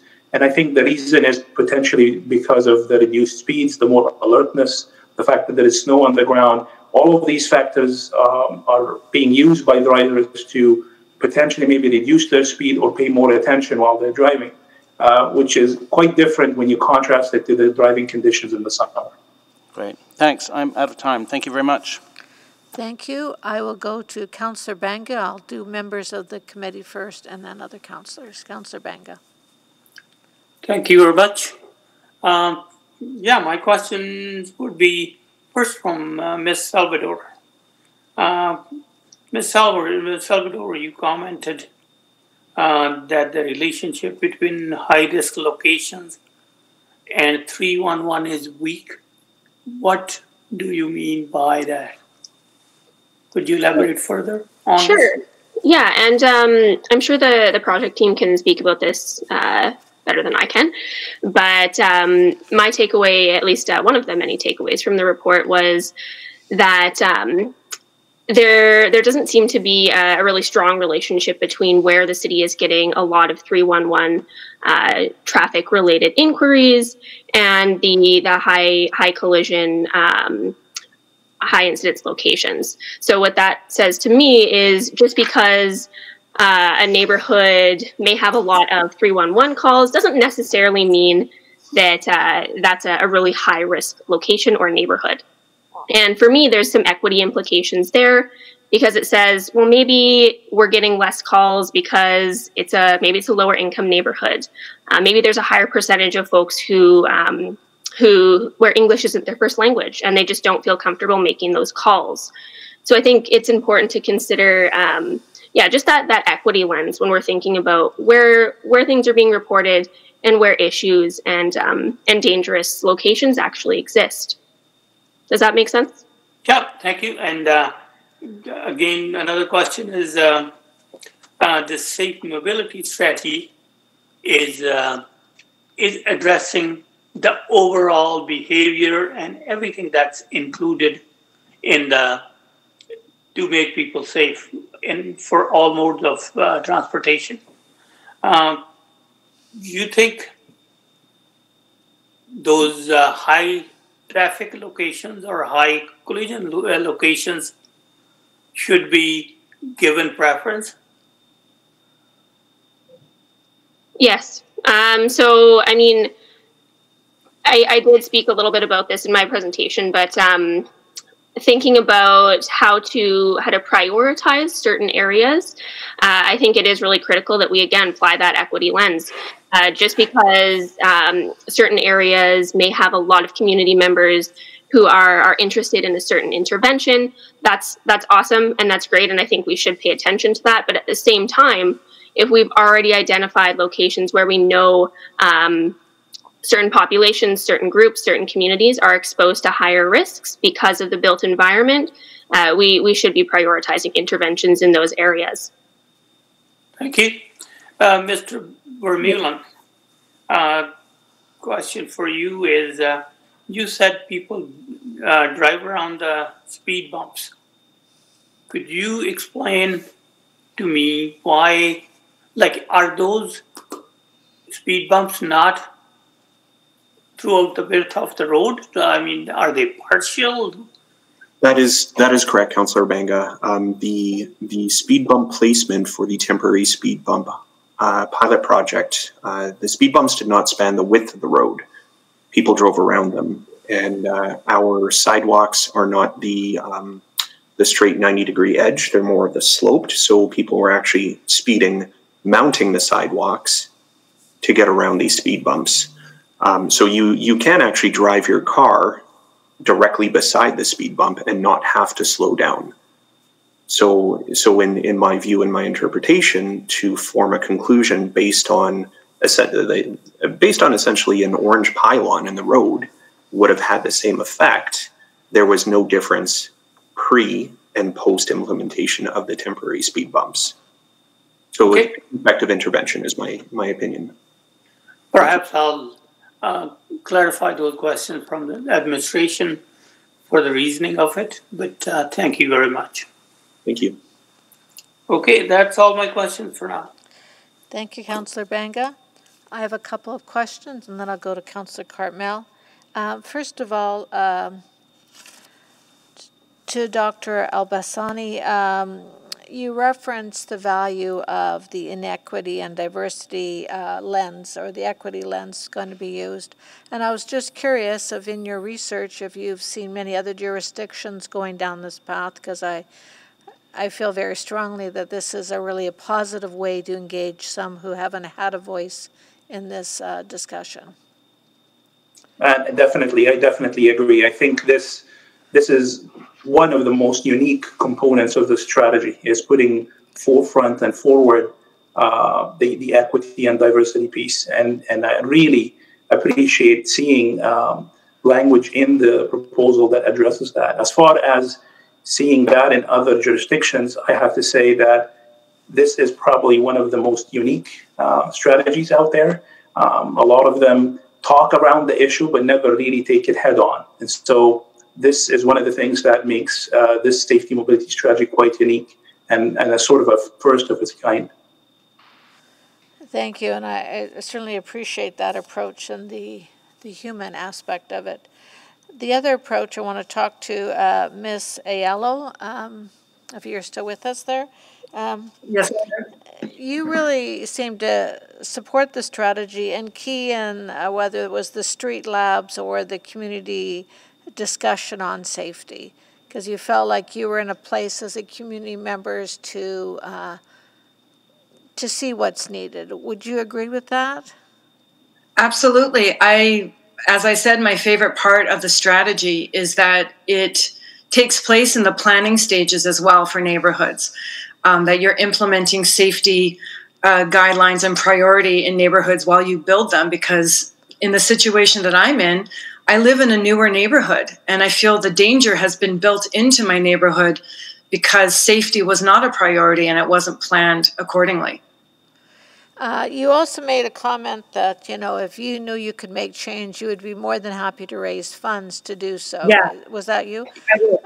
That was me um, because I do, I love the safe mobility strategy, but I also feel like my personal uh, my personal concern with the crosswalk near my house that's highly trafficked is um, is probably not going to get addressed very quickly because we're gonna we're at the point now where we have to wait to become a priority. And i'm not willing to wait for a child or somebody to get hurt or worse in order for that to happen. So i'm trying to think of solutions that we can do now that we can collaborate with you to try and to try and prevent that situation from happening. And I would absolutely be willing to get involved in my community and fundraise if, if that's what is necessary. I would absolutely love that opportunity. Well, I think those who live in a neighborhood often see how traffic uh, uses their neighborhood and are at the front lines to make recommendations. So I'm very excited about that aspect as well. And many neighborhoods, I think, would be happy to uh, engage in that. I know we, we do raise funds for many things, including playgrounds. Why not traffic safety? It's a whole big conversation. Exactly. But it might allow us to address more areas quicker because not every neighborhood has that ability, but some do. That's right. Thank you. Thank you very much. Uh, those are all my questions of the speakers. I go to Councillor Cartmell. Thank you, Madam Chair. Thanks uh, to all of you for uh, for attending today. I know it's not easy to fit into your daily schedule. Um, in the interest of of uh, respecting the time of committee, I'll only ask questions of some of you, and I'll start with you, Peter. Uh, you know, both you and Ms. Malkin and um, Ms. Shelton described some real social disorder in that neighborhood, and uh, just maybe following up on Councillor Henderson's comments, this is this is different in a couple respects. This activity is literally across the street from the front doors of people that live there. And secondly, it's in an area that's not stable. Uh, the bank is slowly eroding away. So building infrastructure is simply not in the cards. Uh, is that your understanding? That's mine. That that is my understanding as well. Um, bear in mind with my presentation, the social disorder and the speeding, in my opinion, are have a direct correlation to one another. So if one gets taken care of, the other by by virtue, um, by default, uh, should subside. Um, in terms of um, adding in traffic calming measures along Ramsay Crescent, if that stems the attractiveness of the area where the houses fell in, less traffic, less speeding. right? Right. So it's, I mean, the, the, the traffic calming element doesn't necessarily solve all the social uh, ills, but maybe it makes some of them go away. Correct. And so we've heard some discussion around this street labs concept. Um, we've been trying to do that in in this neighborhood for the better part of two years, perhaps longer, where we've had the conversation, we've gathered the input from the neighbors, we've implemented some solutions. Uh, we put in speed bumps, you know, down the middle of the road, but not the edges of the road. What's your confidence in this this concept of a street labs approach to some of these solutions? You know, I thank you for the question. I think that's that's something that I think would affect more the folks living on on Whitemud Road than it would be myself around the corner on Ramsay Crescent. At at the end of the day, I see people speeding excessively in front of my house. That's my major concern. Um, no different than than um, Kathy would be concerned with what's in front of her house. I'm concerned with what's in front of my house, and uh, it's this speeding is just terrifying. I, I, I wish I had the opportunity to present those videos there because they're actually quite shocking. Yeah, I've um, seen the videos. I hear you. Yeah. Right. And, and again, specifically the videos showing the excessive speeding during the temporary speed bump project. Um, you, there's no difference. There's absolutely no difference before and after. Would there be so, Peter? Would there? Do you think there would have been at least some difference had those bumps gone from curb to curb? Or, oh, absolutely, absolutely, yeah. right and and and that I guess is the frustration is a the placement of those speed bumps in the temporary project. Um, a the the placement of the speed bumps, and b the fact that you could drive around them. So why even bother doing it in the first place if they're going to be ineffective? And yeah. to take that data to form a decision that you know, well, there's no change in speeding. You're right. There's no change in speeding because the intervention was completely ineffective.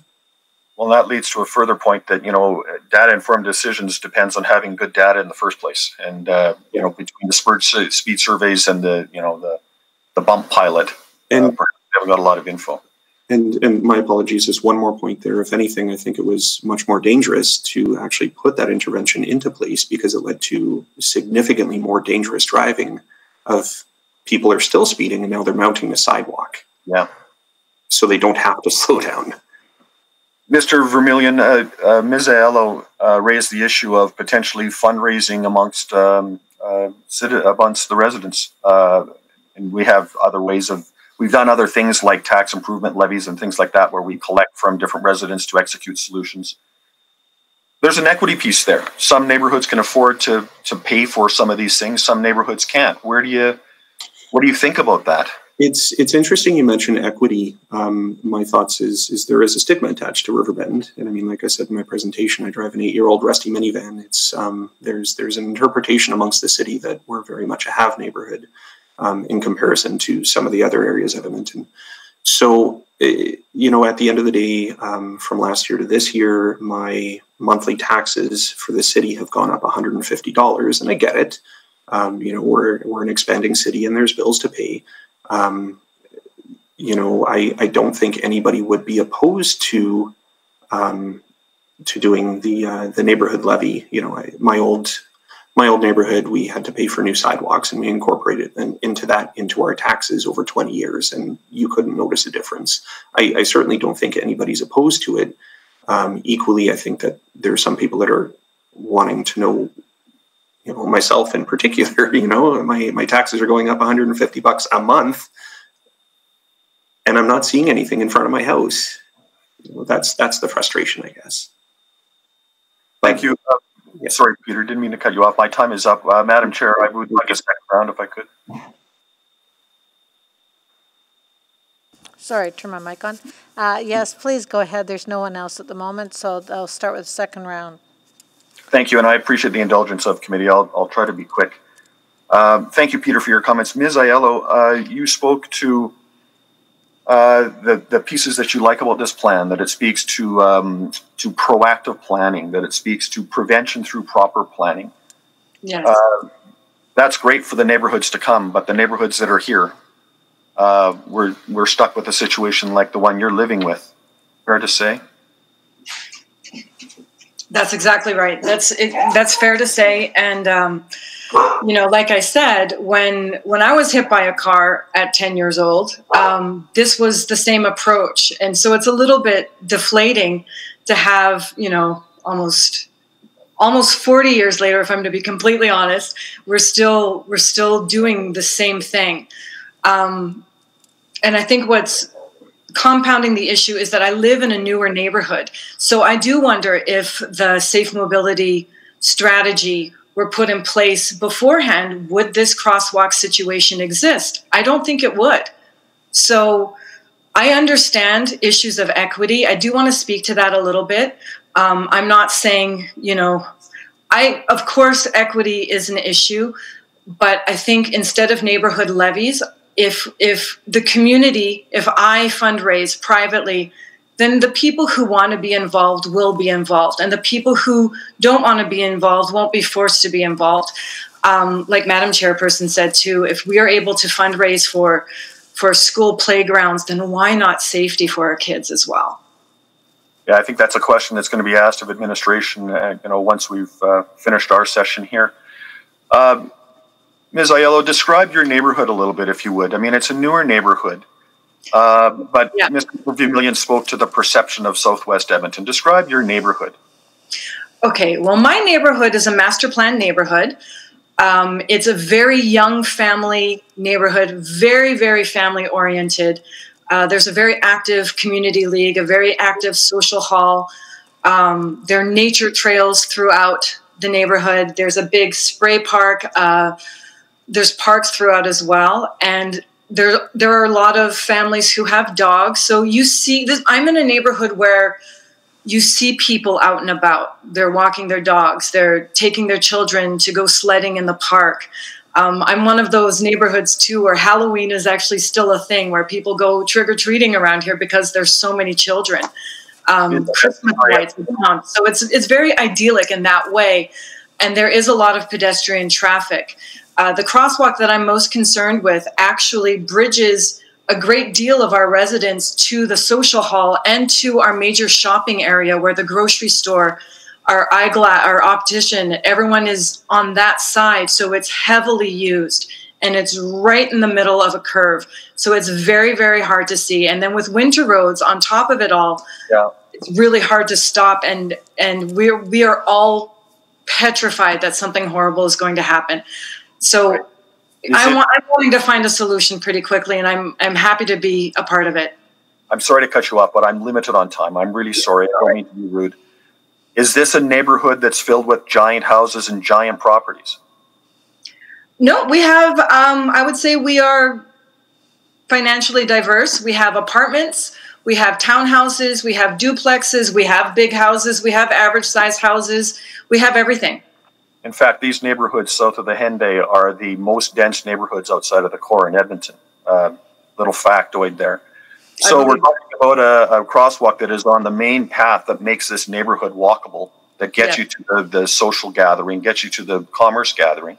Yeah. It should be a priority to get a crossing in there. But you've seen in the presentation today that there's uh, a couple of maps that have been thrown up you know, maps that show that priorities ought be where all the accidents are happening, or the priorities ought be in particular neighborhoods. Mm-hmm. Do you have confidence that the crossing that, that is so key to your neighborhood is going to be a priority? No, um, I have zero confidence in that. Knowing that there's a 700 crossing backlog currently, and then not seeing my own neighborhood in that map, cause you know that makes me believe we're probably in the in the high 600s. So that's why I'm appealing to you. We, we need to do something sooner than that. Which leads to that, and don't take this the wrong way, but that somewhat desperate plea to say we'll we'll pay for it if we'll just the city would just install it. Yes. Yeah. Thank you very much, all of you, for participating today. I really appreciate your time. Those are my questions, Madam Chair. Thank you very much, and uh, I'll echo those comments. Thank you to all of our speakers today. We really appreciate it um, that you've taken the time, that you've shared your experiences and your wisdom with us. Um, now we're going to turn our attention over to administration. Um, I'm sure there'll be a few questions, and I'm going to start with Councillor Henderson, who had selected this item. Councillor Henderson. Uh, yeah, maybe just to start. I mean, I'm, I'm really, I'm interested. Uh, you know that we have two issues here. One is how we don't make these mistakes going forward in the design of our next set of communities. And two is how we retrofit. Because I, you know, what I'm really struck by with the speakers we have today is they tend to be from a certain era of neighborhood that have, I'm guessing, big, wide, curving roads um, that felt like they were the right thing to do in terms of safety at the time, but are now incenting traffic and incenting speeding. Um, so, I mean, uh, you, you know, what are what are our solutions to that? Obviously, as we, you know, as we're as we're rebuilding neighborhoods, we're trying to fix some of those problems. But there's a lot of neighborhoods that have already been rebuilt, and we didn't do that work, or um, or may still be significantly down the list for rebuilds. Councillor, uh, we hear this concern frequently. So one piece I think we should highlight is that lots of good work has happened over the last few years on city policy and design guidelines to help integrate Vision Zero, whether that be through complete streets, whether that be through neighborhood renewal. But to your point on communities that are already built, um, this, you know, one of the areas of focus that we have in the strategy is a key action around working with developers. And that's not just on new neighborhoods, that's on infill as well, to identify opportunities to include traffic safety improvements along with the plan. So I think it's a multifaceted approach, um, but lots of good work has happened. We just may not have always seen it because Yeah. some of these neighborhoods we're talking about are of the recent past. Yeah, no, and, and, and it's striking to me because for the most part, the neighborhoods I represent, I have a few of them that are like that, and unfortunately, we've already rebuilt them. Um, but that I'm dealing with a lot of neighborhoods that are older than that, that have, that we're able to go in and do some of these, these, these things, and hopefully we'll be making improvements. Um, I'm, I'm really interested in one of the reports as reference to the work that the Dutch have done um, in terms of recategorizing the functionality. Um, and I mean, they do more than that. And I'm, and I'm, I'm, I, w- I was struck by that. And I'm wondering if, in terms of the way we will now start looking at the design of our, the redesign of our existing roads and the design of our new roads, if we are going to go to that level of, of change of thinking, because I think it is a radical change of thinking about what roads are about and, and how we should adjudicate their, their functionality. On the redesign aspect, it's another feature of this strategy from a key action perspective is taking what we've learned from that crash and equity analysis, taking the high injury network in particular, and helping to consider that in, in the work of arterial and neighborhood renewal in particular. Uh, we know that 69% of our serious injury and fatality crashes happen on arterial roads. So that's a key feature of this plan is to consider how we influence that work. It, it, but it was, you know, it's, it, what struck me, and maybe I'm misunderstanding and I'm putting more, more weight on it, but the fact that they've gone down to basically two functions, one is traffic flow and the other ex- is exchange, and separated those two and understood that that, you know, has simplified the challenge. Um, I think that specifically. I, you know, I think that's a massive change in terms of the kind of expectations we have of our engineers in terms of doing design. Um, it really rethinks, I think, you know, what, what the challenge is. And I, and I'm, and I'm just wondering if, if we're going to be that bold in terms of changing our thinking in terms of what we expect our roads to do for us and how we approach it. Because I think that's the level of, I think that's the level of shift that I'm not convinced we've entirely made yet. Um, but I think that's the level of shift, both in terms of how we retrofit and in terms of, of how we build new that we're going to have to do here. So, Councillor, I'll, I'll take a stab at this and then perhaps Ms. McCabe, if she's on the line, can jump in. But I think what you're talking about is, is, is a, a change in philosophy and culture of design, but also that translates into a change in, in the culture in terms of expectations of the public, what our roadway network is, is um, intended to do. And certainly, we've been moving in that direction, as you can see, the difference between the previous uh, traffic safety strategy versus this one. It is a continuum we're moving down, and, and that could possibly be the next evolution of where we go. Well, I, I asked the question because I think it's I think it forces us to ask a different set of questions when we're designing and ask it, you know, just put a different mindset in there. And if we're not going to have neighborhoods coming to us that we're building now, 10 or 15 years from now, going, you got it wrong, like we've just heard, it seems to me is that, you know, somehow or other, that's the kind of radical mind shift about what we're trying to do when we engineer a road. And it's not about disadvantaging a user. I don't think the Dutch are doing that at all. It's just about giving ourselves a different set of challenges and a different lens in terms of how we think about what we try to achieve with these designs. Correct, and I think what you're speaking to is, is the overall goal is is the livability of the neighborhood uh, and and not necessarily just moving through it. It's how is it, what are the things that we do that will make it the best in terms of the residents and their livability. Okay. I'm out of time. I have to come out for a second round. Thank you, Councillor Banga. Thank you, Madam Chair. Uh, let's start with uh, the general questions. Um, the report indicates that the previous strategy uh, did deliver strong results and reduce the number of uh, collisions and injuries and everything else uh, that comes along with it. If the previous strategy has proven successful, what inspired administration to develop a new strategy rather than renew just, the existing one? Yeah, Councillor Banga, appreciate the question, and the stats do demonstrate value, but if, as was mentioned in the presentation, uh, we're seeing the movability pedestrians being an area where we do still see issue and concern relative to movement in our, our uh, walkable lanes. So uh, it is an area that we see a need to address, and this is part of what this plan will do.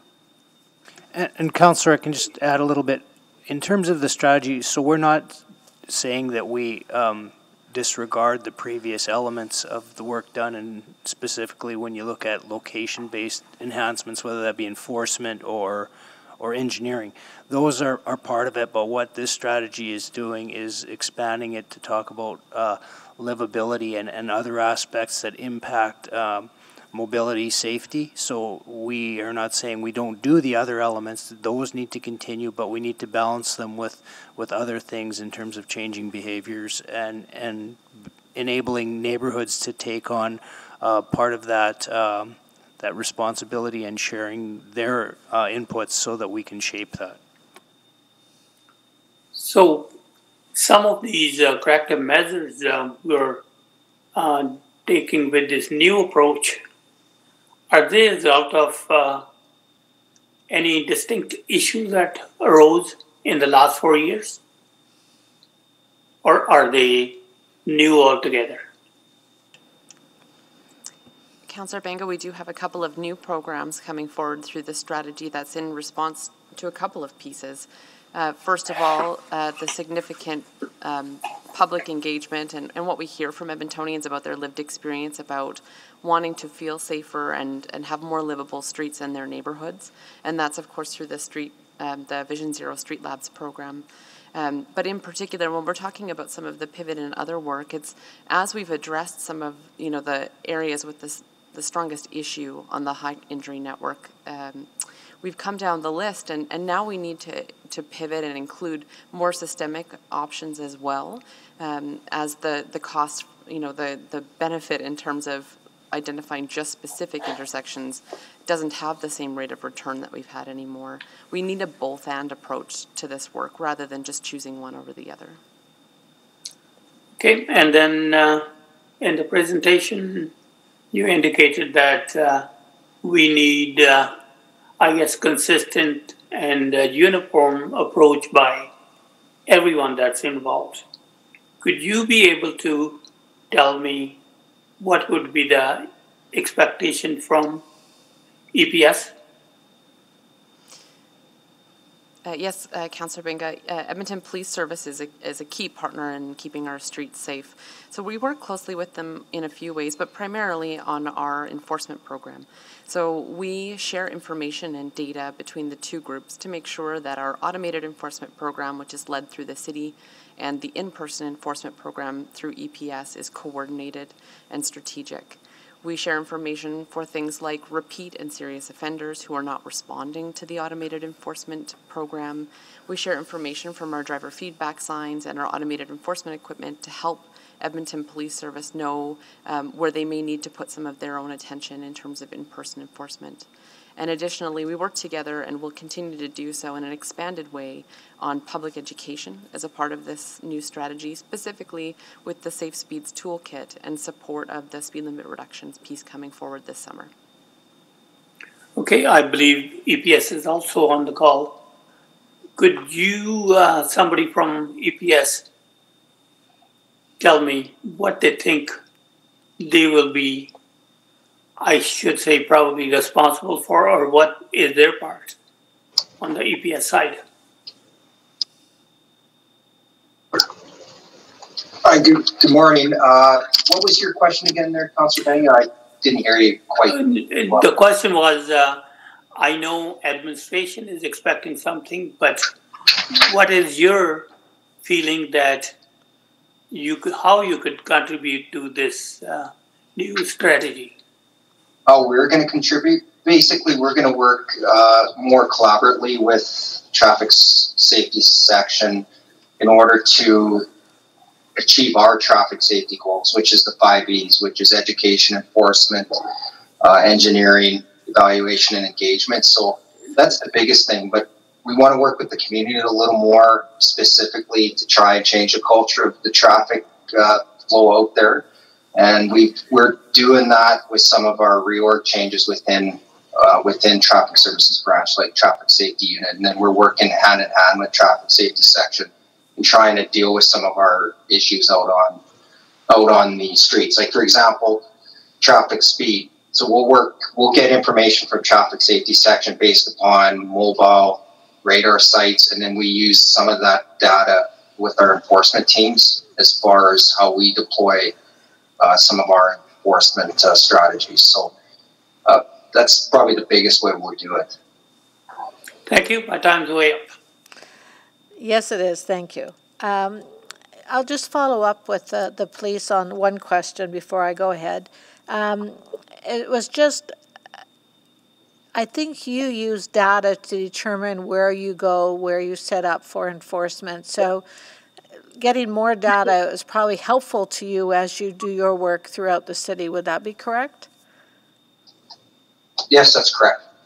So as we gather this kind of intelligence, it allows you to deploy most effectively uh, to help on that and then educate people around it as you go. Is that correct? Yes, education is a big component uh, of our strategy.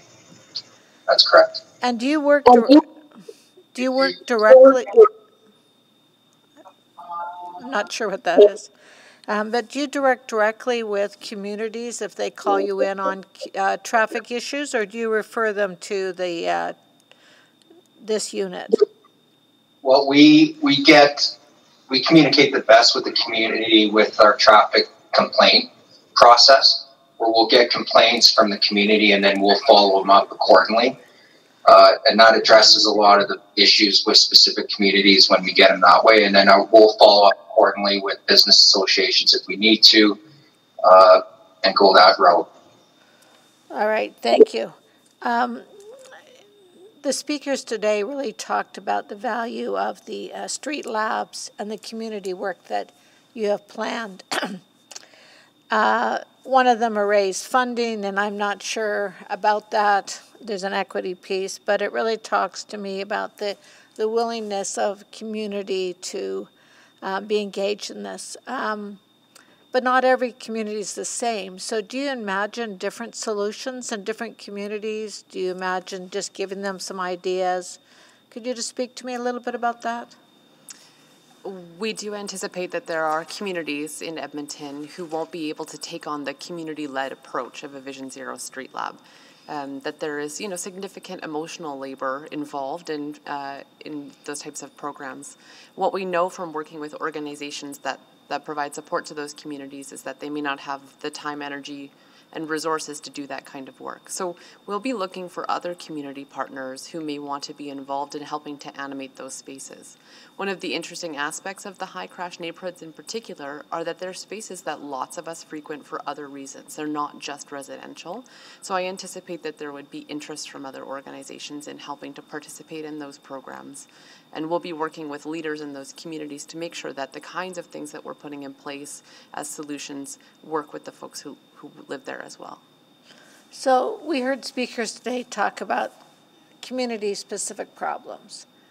And I have emails from other communities with community-specific problems. So your hope is then to give them a toolbox to allow them to identify through a process and provide some resources of what could possibly be. I, I love the community garden box, flower boxes to reduce that. Um, so, but they're not just left, here's what you can do. You kind of walk them through the process, correct? That's right. We'll be there every step of the way um, to make sure that people have the right resources and tools, the expertise that's Im- important in putting traffic safety measures on the streets to bring a project to life, as well as navigating internally any of the systems and processes we need to to help projects happen. Because I still wear the wounds of traffic safety common from the old program. Um, but it really seemed to uh, set neighbor against neighbor. It, was, and they had a vote, and there was very, it was very strict. Um, though we did get some great results, the process was cumbersome on neighborhoods. Um, do you envision a more user-friendly approach? Uh, we really want to build community, not, you know, be disruptive. Are you envisioning something a little bit different? Because I think this replaces that old program. Neighborhood traffic safety issues, I think, as we've heard today, are pretty complex um, conversations. And so part of the resource uh, toolkit that we'll be providing is how to help uh, community conversations happen, how to gather insights from neighbors, how do we support that with information from the city um, so that folks can navigate those kinds of conversations together. We don't anticipate it being a, a, a long, cumbersome process because that'll get in the way of, of progress. And the purpose of the Street Labs program with using temporary adaptable measures is that we can explore and adjust and evolve as we need to over time. And that allows us a bit more flexibility in the, in the process versus those long-term permanent measures um, where you can't make changes as easily as you go. Well, this is a great conversation, but my portion is up, my time is up. I am going to, uh, Councillor Caterina is on the committee. Councillor Caterina. Uh, thank you, Madam Chair, and uh, uh, I agree. This is an interesting conversation. Uh, am I right? I get the impression that we're looking at uh, sort of forward thinking and what we're going to do in the future. And what we've heard from uh, many of the speakers today is what already exists, uh, what's already happening. So, uh, just a clarity on that, uh, Ms. Lamarre, how do you see this? your presentation is a new plan again, another reiteration more information, more community consultation, and on and on and on. Yet, the circumstances that these people and others in the city, including my ward, where this this is common uh, to hear social disorder uh, from somewhere on the other side of the river is a surprise to me because this is something that we've been dealing with for 40 years. So, Ms. Lamarre, is this forward thinking and more information and data or are we actually going to be looking at some measures that we already have in our toolbox to address these issues? Thanks for the question, Councillor Caterina. And the work is happening as we speak. We know locations that need safe crossing improvements. Um, that needs to expand with an additional number of tools that we can be using to input measures, but we're not pausing any of that work. That continues. The Safe Streets. Okay, Mr. Mark, can I cut you off just for a second here? Sure. Just to concentrate on that. So you know the locations, uh, you know what's needed. Uh, are you bringing forward a package for uh, this supplemental budget to address those issues? Are you that confident that you have the right information and you're willing to come to council and say, give me money to address the issues that exist now? We'll continue on the plan, but come for funding. If this is that important, which it is, have you got a package ready to come? Mr. Simpson, maybe to you. Right now, we're existing. Councillor Caterina, right now we're working within the existing budget process that we have uh, through the TASER funding. Okay. So you don't have you don't have a budget request in order to speed up the work or add more areas to uh, to this. See that I think is a mistake because if if everybody's making this out to be as serious as it is, which it is serious, then I would expect the department responsible to come forward with a budget request along with everybody else. So, Councillor, maybe I can add a little bit to that. So, Yeah, Mr. Cebryk. In the past, we've come with uh, the categorized list of, uh, in particular, crosswalk locations and some other enhancements. So we do have that list and and direction, and we've gone on a year-by-year basis, given the state of the funding that's been available. So the plan that we have is still intact, and the funding is still uh, appropriated to the end of this year. So what we've got is uh, a fixed amount of dollars that we would be coming forward with once this plan uh, receives uh, either endorsement or correction from council. Then we would be coming forward with uh, the appropriate funding packages in the form of capital or operating, and that would would be the next phase. So depending on the direction that we get today, if this report is received for information, we will have the direction to continue on. We would come back with whether that be um, profiles for uh, crosswalk enhancements or profiles for uh, temporary uh, measures to support the Vision Zero Street Labs. That would be the next piece of work that would happen. But we do have the prioritization of a number of locations, so that the prioritization work is done. And now it's a matter of uh, seeing how far uh, we can go and what the trade offs are given the finite amount of dollars that are currently available in the reserve. Well, uh, that's why I'm asking you to have a package ready. You're using the reserve money, that's fine. But if you need additional funding in order to get some of these priorities done and add others to it, uh, I'd like to see a package from you, uh, this supplemental budget in a week from now, that you require this because it's so important. So, Councillor, um, I, I, totally hear what you're saying. I think, though, what we were looking for today is uh, are we going in the right direction, balancing all the different aspects? Again, we've we've identified, I believe it was Mr. Mr. Cebryk, you're asking us if you're going in the right direction. You're the experts in this, and you're presenting to us that you are going in the right direction, that you've figured this out, and you know the issues, you know the problems. Lack of funding is what's stopping you from implementing it. So come with a package and make your argument.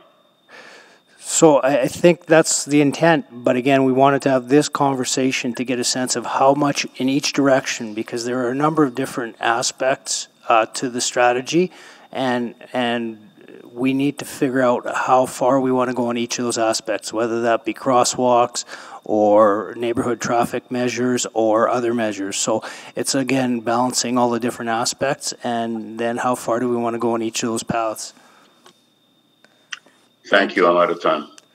Uh, we'll go to Councillor Cartmell. Thank you, Madam Chair. So, I guess in a related way, I've got the poster up for the street labs. And uh, there's four steps there build a team, engage and learn, create a plan, action. I guess my question is as you've heard today, there's at least three neighborhoods that are those existing neighborhoods where infill and renewal is not coming anytime soon, but they are existing neighborhoods. How fast can you execute solutions using this street labs approach? Councillor Cartmell, as a result of um, Councillor Knack's motion in August, we had advanced the work to start building out the framework for this program so we could hit the ground running in 2021. So I do expect programs, uh, projects from that program to be in place for this summer. So by projects in place, does that mean we'll start having a conversation or does that mean we'll be nailing uh, temporary bumps down onto the road? I would be looking at projects actually coming to streets in the summertime. We'll start work on uh, getting the program up and running for um, applications and, and for starting that process right away in the first quarter.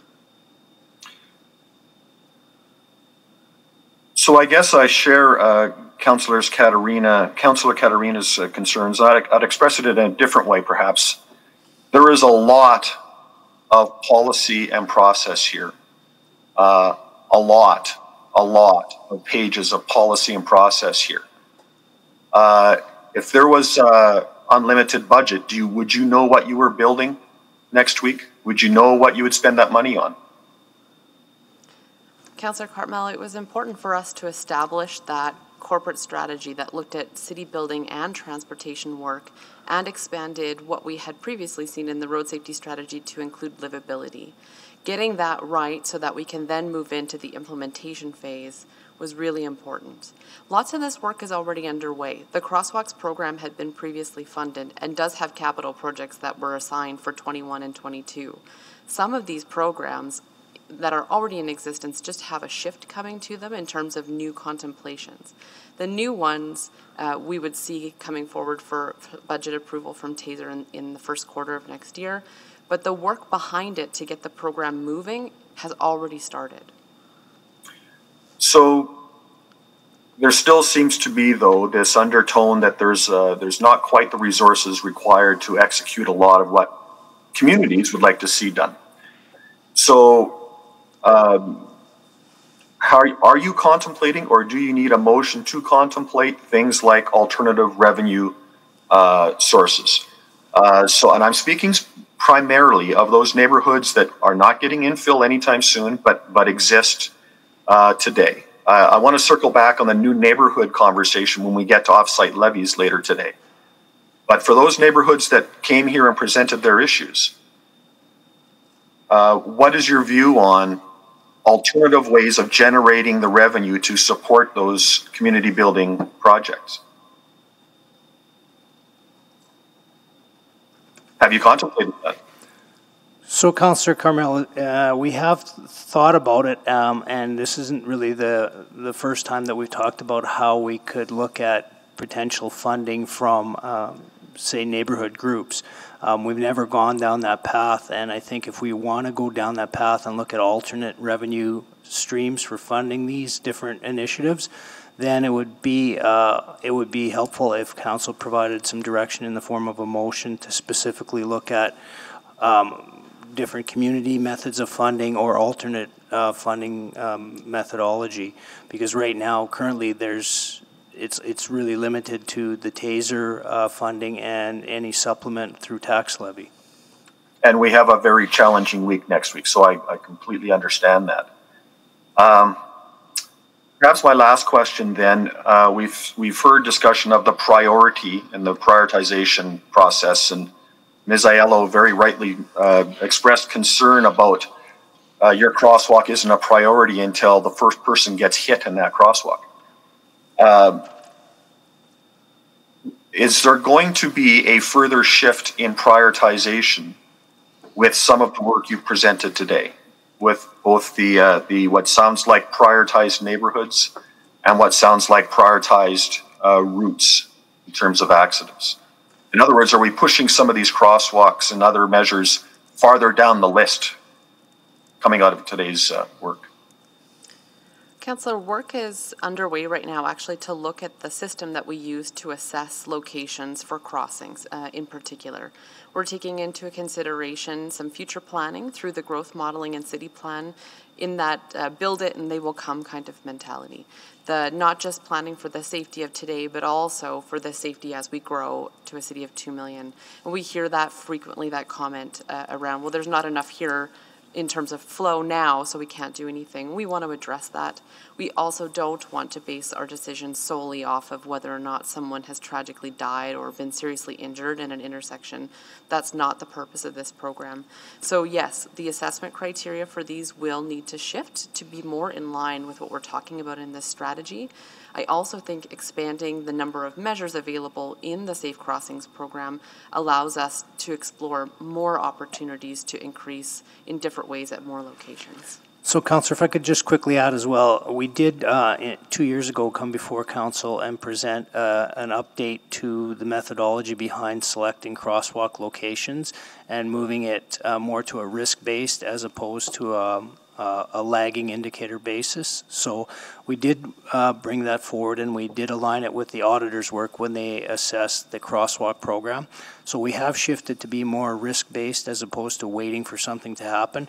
But certainly what Ms. Lamarre has described is, is even the next evolution of looking more about risk and opportunity to try and uh, um, make those enhancements before something happens. Thank you. Thank you very much. Thank you, Councillor Knack. Thank you very much, Madam Chair, and, and thank you for all of this work. Uh, first question just related to crosswalks. When we had that report back, I think it was in May 2018, we had 659 locations of crosswalks that needed either to have an installation that didn't have one already or an upgraded uh, crosswalk. So what are we at now? What's the what's our number at on that list? Councillor Knack, I'm just checking on that for you, and I can give you that information in a moment. Perfect, excellent. Just wanted to get an idea of the scope of what we're what we're still looking at, and uh, and then maybe a follow up question is is if it'd be possible to get that updated list. We we got it two years ago, and just it would be nice to know where we're at now, because that informs some of the other pieces here. So uh, I will come to the introducing Vision Zero Street Labs, which I'm excited about right away, but. Uh, just reporting traffic safety concerns. So I know you did the online mapping tool, uh, which I thought was great. I thought it was a great resource, uh, but that was there for a limited time.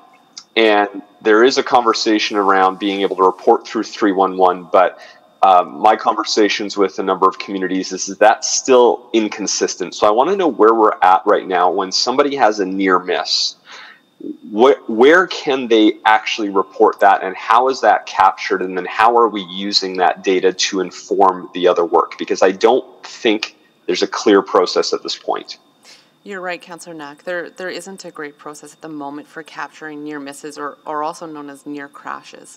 Um, and that's a gap that we've identified and need to keep working on. The lived experience map was a public engagement tool, and it gave us some interesting insight and some experience with gathering that that aspect of information.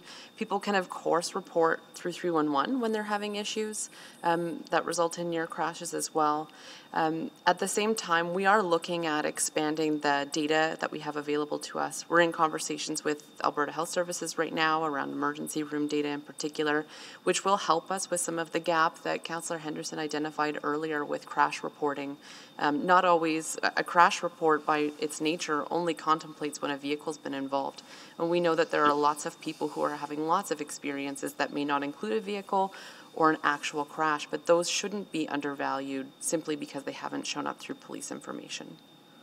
So, uh, just walk me through because you did mention it. So, I want to make sure I'm clear because I, I, I don't know if I was certain on where we're at. So, if I experience a near miss because I'm trying to cross across the street at a crosswalk or a, maybe a crosswalk that doesn't yet exist, a corner to corner, does 311 have a clear scripting process and uh, data capturing process that then gets to you and your team to inform the, that prioritization list? Is there something clearly in place right now for communities to use on that? When someone calls into 311 uh, and they tell them that they have a concern around traffic safety, that that experience gets captured and does get funneled over to us. So th- that particular piece, they don't need to say it was a near crash in order to, you know, cue a certain kind of script, just that they have a concern, and then they would explain that what that is, and that information's passed to my team. Okay, so we have that to help inform some of the work that we might be doing in the street labs piece now. Okay. Absolutely.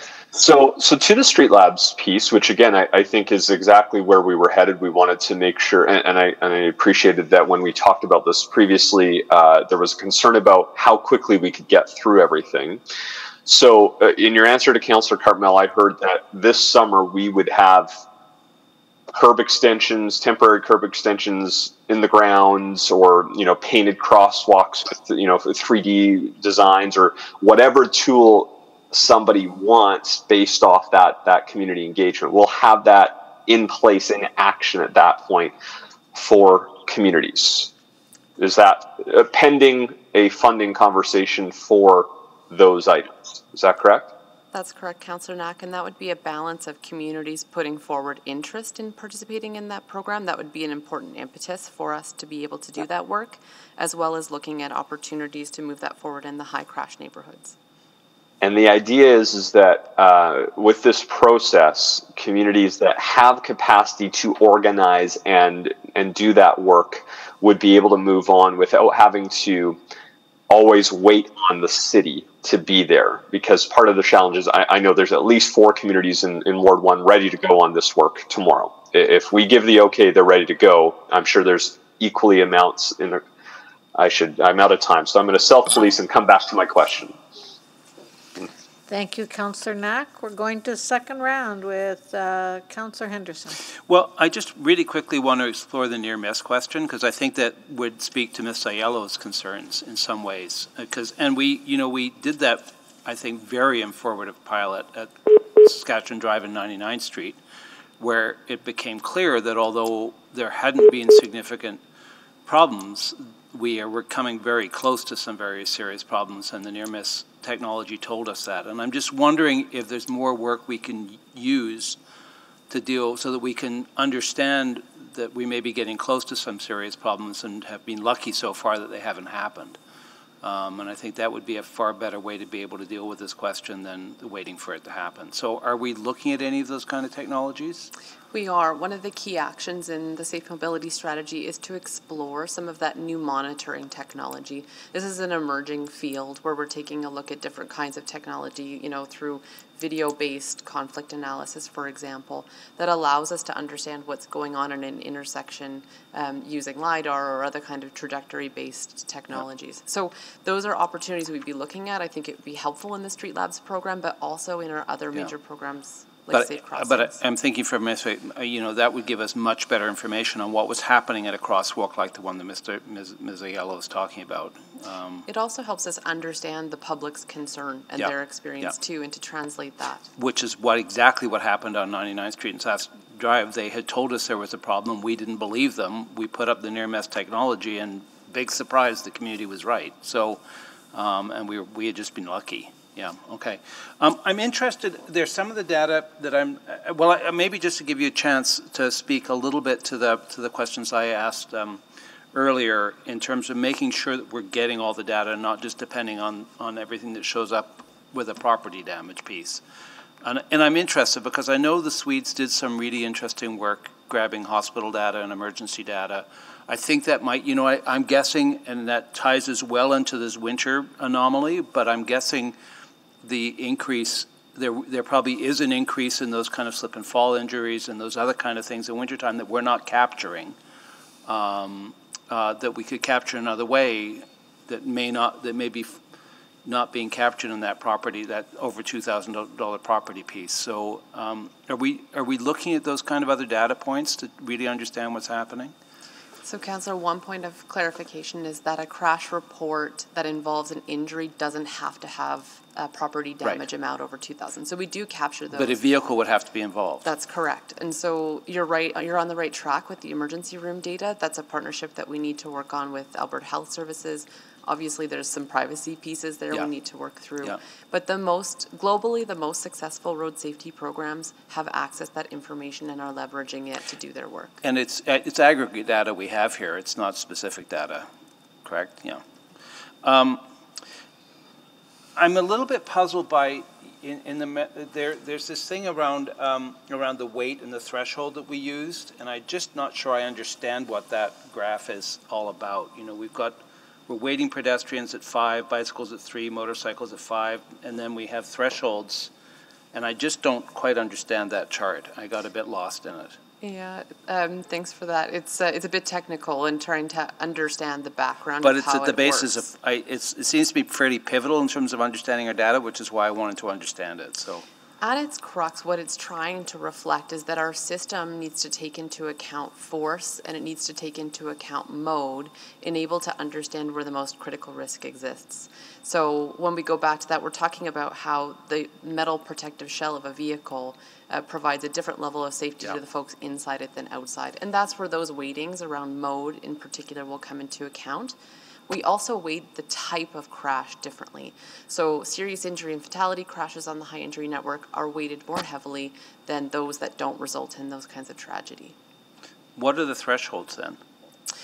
It essentially is the mathematical formula, how that all gets plugged in with the crash data right. to come I- out I with the probably should go offline to understand this better. I, that's, that's, I, I don't want to, uh, um, uh, sorry, I'm just looking for my other, um, yeah, and then I, and I'm just wondering what, in terms of that winter piece and those, those kind of anomalies, what learning there is out of that, um, that would be useful to us, because it's really back, you know, in terms of trying to achieve safety, um, it feels like the pedestrian and now there may be less pedestrians out there, there may be less bikes out there, that may be part of this number, but I'm wondering what learning there is from from that anomaly between winter and summer that can help us understand what we can do here. Dr. El-Basyouny hit the nail on the head that in the wintertime we do see less uh, less crashes overall. We see a higher proportion of property damage crashes happening, fender benders in particular um, but less of the serious injury and fatality crashes. Those tend to come up in the warmer months uh, where conditions are different. You're seeing more folks moving around in an active capacity, but you also see speeds increase. And so all of those are at play in that. In particular, uh, pedestrian, cyclist, and motorcycle crashes, you're going to see more of those happening in those warmer months. Um, while primarily you're seeing more of the vehicle crashes in the wintertime on the property damage side. Great. I'm out of time again. Thanks. Thank you. Councillor Banga. Thank you. Uh, a few more questions. Uh, again, uh, what uh, we heard from the speakers today, I am hearing from uh, um, Ward 12 residents uh, all the time. So some of those concerns regarding those flashing traffic lights and and crosswalk lights. There's a list, and some of those areas are way down the list. With this new strategy, is it or is it going to be some kind of reclassification of uh, that list, or uh, that list stays? Councillor Banga, we wouldn't be um, we wouldn't be removing uh, areas that have already been identified for upgrade from a list, we would probably uh, just be adding and also diversifying the kinds of information and, and criteria we're looking at in terms of prioritizing where we go next. Okay, and uh, my next question is about, uh, uh again, traffic safety is uh, usually approached or tend to be reactive. Uh, when uh, uh, we, uh, I guess, established new neighborhoods, uh, developing new uh, NSPs, is traffic safety department consulted during those planning phases for new neighborhoods? Councillor Banga, the development of the safe mobility strategy has given us an excellent opportunity to grow and expand the connections that my team has with the other teams that impact city building and transportation work across the city. So I am very happy to say that we are working closely with those folks and that we have included a key action on the development initiative in particular uh, to help do some of that, that work. And, and I see Ms. McCabe on the line as well. Yeah, Councillor Bang, I'd just like to add that uh, a lot of this happens at the subdivision phase, and what's considered at the subdivision phase is the design and construction standards. And operations and urban form were both heavily involved in the last design of the design and construction standards, which was done last year. And that last update of the design and construction standards took a complete streets approach. So it was uh, a traffic safety approach that was applied to the update of those roadway designs. Okay, and uh, again, this question might be a little bit similar to what Councillor Kathleen asked. At this point in time, we are just um, not looking for any new funding. It's just we're depending upon traffic safety automated enforcement reserve. Is that correct? Councillor Banga, the work that's led by my team in traffic safety is funded through the Traffic Safety Automated Enforcement Reserve. There is funding already in place, and that allows some of the critical programs that were in existence before to continue. We will be bringing forward in the first quarter of next year some realigned capital profiles to help fund the new work that's coming forward in the strategy. Okay, and uh, again, my next question is about uh, this. Uh, strategy again is uh, very, I guess, uh, uh, long-term vision. Is there any effect on on something that uh, people are asking, let's say today, how we are going to help those folks rather than uh, I guess, uh, trying to think about when we're a city of 2 million people. Councillor Bank, I think it's a both and. The work is already underway and it has been through the road safety strategy. That hasn't stopped as a result of the development of this strategy. The safe mobility strategy uh, looks to evolve some of that work moving forward and look at it in different ways, but it doesn't ignore that the work is already happening and will continue to do so. Okay, I guess my time is almost up. Thank you. Thank you. Councillor Knack. Thank you, Madam Chair. Um, so I just want to maybe maybe I'll first double check. Did we get an answer to the uh, crosswalks question? Do we have that? Yes, Councillor Knack. So we have around 400 on the list right now. Um, some of them have been addressed. Some of them are being addressed as a part of the developer-funded program and other work that's happening through other programs in the city. Well, that's actually pretty good progress from the 659. So uh, encouraged to hear that.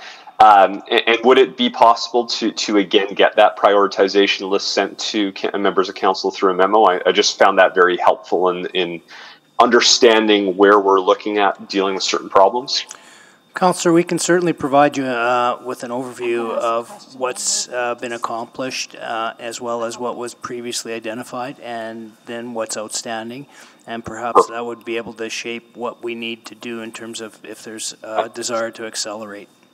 Absolutely. That's why I asked for it, because I think that will inform that, that budget conversation. So uh, that, that leads me to my final set of questions around this, this uh, Street Labs uh, approach, which, so let's, and again, I recognize there's a dollar conversation that we have to have that you've suggested is coming in Q1, uh, and that you, you've also suggested it could be possible to have this in place this summer. Here's the question, though. Uh, I mentioned there's at least four communities in Ward One. I got a you know text from Councillor Cartmell saying the same thing. I'm expecting every community across the city or every ward across the city has four or six communities that are in similar positions. That if we said go tomorrow, they're going. So, assuming we have the budget to acquire the necessary traffic calming measures, those curb extensions, speed bumps, you name it, whatever the tools are. What if 60 communities on January 1st say we're going, do we do we have the capacity to get all of those addressed, assuming the budget is in place to buy that equipment? Councillor, right now I would say no. Uh, we would need to map out what uh, what the plan would look like in terms of how fast we want to get all of those addressed and some prioritization. And just uh, just another piece to consider is that we are um, in in this pandemic working with a, a, bit more of a confined resource and ability to deliver. We are moving forward, but I think that's a consideration we have to think about how fast we'll be able to move forward uh, in the next three to six months which is why I so and that's the part that gives me pause then because I, I I, I, worry that, like with the crosswalk situation, which again you've done great work in reducing it from where you're where we were at to where we are now. Um, I'm worried we're going to create another six-year-long list or ten-year-long list to get through everything, and so my hope and, and the way I interpreted the, the attachment seven was that generally we're trying to actually stay out of it because we don't have the staffing resources to go into every single community and lead a conversation and do that work. We've got communities that are willing to do it. So so how how do we scale up to that? You know is there something that can be done in preparation of a, of a street labs project that allows us to to support that many communities if we're if they're ready to go what what is the what is the mechanism we need to give you as a council or what is what do you need on your end to to achieve that if if we were to see that materialize Councillor Knack, I think a, a, first year of experience with the program is critical for us to know the answers to all those questions. We need to give this a go and see how it goes with communities. We need to understand what the resource implications are for the city over time with supporting those projects and the varied potential financial commitment to each progr program depending on the location. Can I offer? I, I, I want to offer a respectful challenge in the sense that we, we know that, don't we? Like, I mean, you know, we rebuilt, uh, as an example, a very specific example, we rebuilt 182nd Street in Belmead three years ago and incorporated curb extensions in that rebuild because we know the tangible benefit that has in narrowing down the road and thereby reducing the speed of traffic. So, so I'm wondering, do we do we actually need to capture more? What what more would we capture? knowing the set of tools that we would be using anyways, knowing that the city of Calgary's been using the temporary curb extensions now for a couple of years and clearly advertises it on their site. So I, I just want to know how we can help you make sure that if we have 40 or 50 or 60 communities that want to see action, that we could deliver that for them and support you and the needs that you have to do that. Councillor, I think you're right that there are some measures that we know how to put in and can do that quickly. The difference, I think, in this particular program is, is that we were encouraged to look at a community-led program and that having those conversations in neighborhoods can be complex and that there are many different ideas and perspectives and experiences out there. And that's perhaps an X factor in this process that we have to explore through rolling it out one year to best understand um, what folks are looking for, what they need, and, and how we roll the program out. Okay, I'm out of time. I might speak to it when we get to that point. Thank you. Thank you. Uh, just a couple of questions, and then I was happy to move it, though I do see Councillor Banga has popped on again. Um, my my question was: We talked about uh, a funding, and right now, if uh, a community wanted to do a levy to put lights in their alley, they can do that, correct? Councillor, I would, I would need to uh, to seek some input from uh, from law in particular to see what the options would be on that. So I couldn't give you a definite answer. We can get back to you. Well, certainly. I, I think I've had a community explore that, and they looked that they could use it in a safety aspect. That's Um, correct, Councillor Esslinger. It's Adam here. Um, communities can do that. So that mechanism is in place. What's not in place is for them to use it for traffic safety items. Um, and we heard today about, you know, could communities fundraise for traffic safety? Uh, and I, I'm not sure it's a way we should go. Um, and I, I guess I just want some advice because is that something you would like to explore now, or should we wait until we've got street labs working and seeing if there is a need? Because I don't want the cart before the horse or more work that's not necessary. So, uh, Councillor, I think there, there's definitely sensing an indication that there's a desire to move faster uh, on on many aspects of the safety uh, and mobility system. So, I think one of the things we'll need to address is how we fund this if we do want to move faster. So, certainly, I think looking at what funding options would be um, available would be something that we should start on fairly quickly, so that if we do decide uh, to move faster, that we've kind of identified and, and flushed out how, what and how we could do that. Okay, so I, I'm happy to do, to make a motion, I'll, I'll, just to explore it. I'm not sure what we should apply it for. I, I think we want, community wants more, and we're going to be faced with those challenges. So um, I think we have a draft something out there. If you could put that up and I'll move that.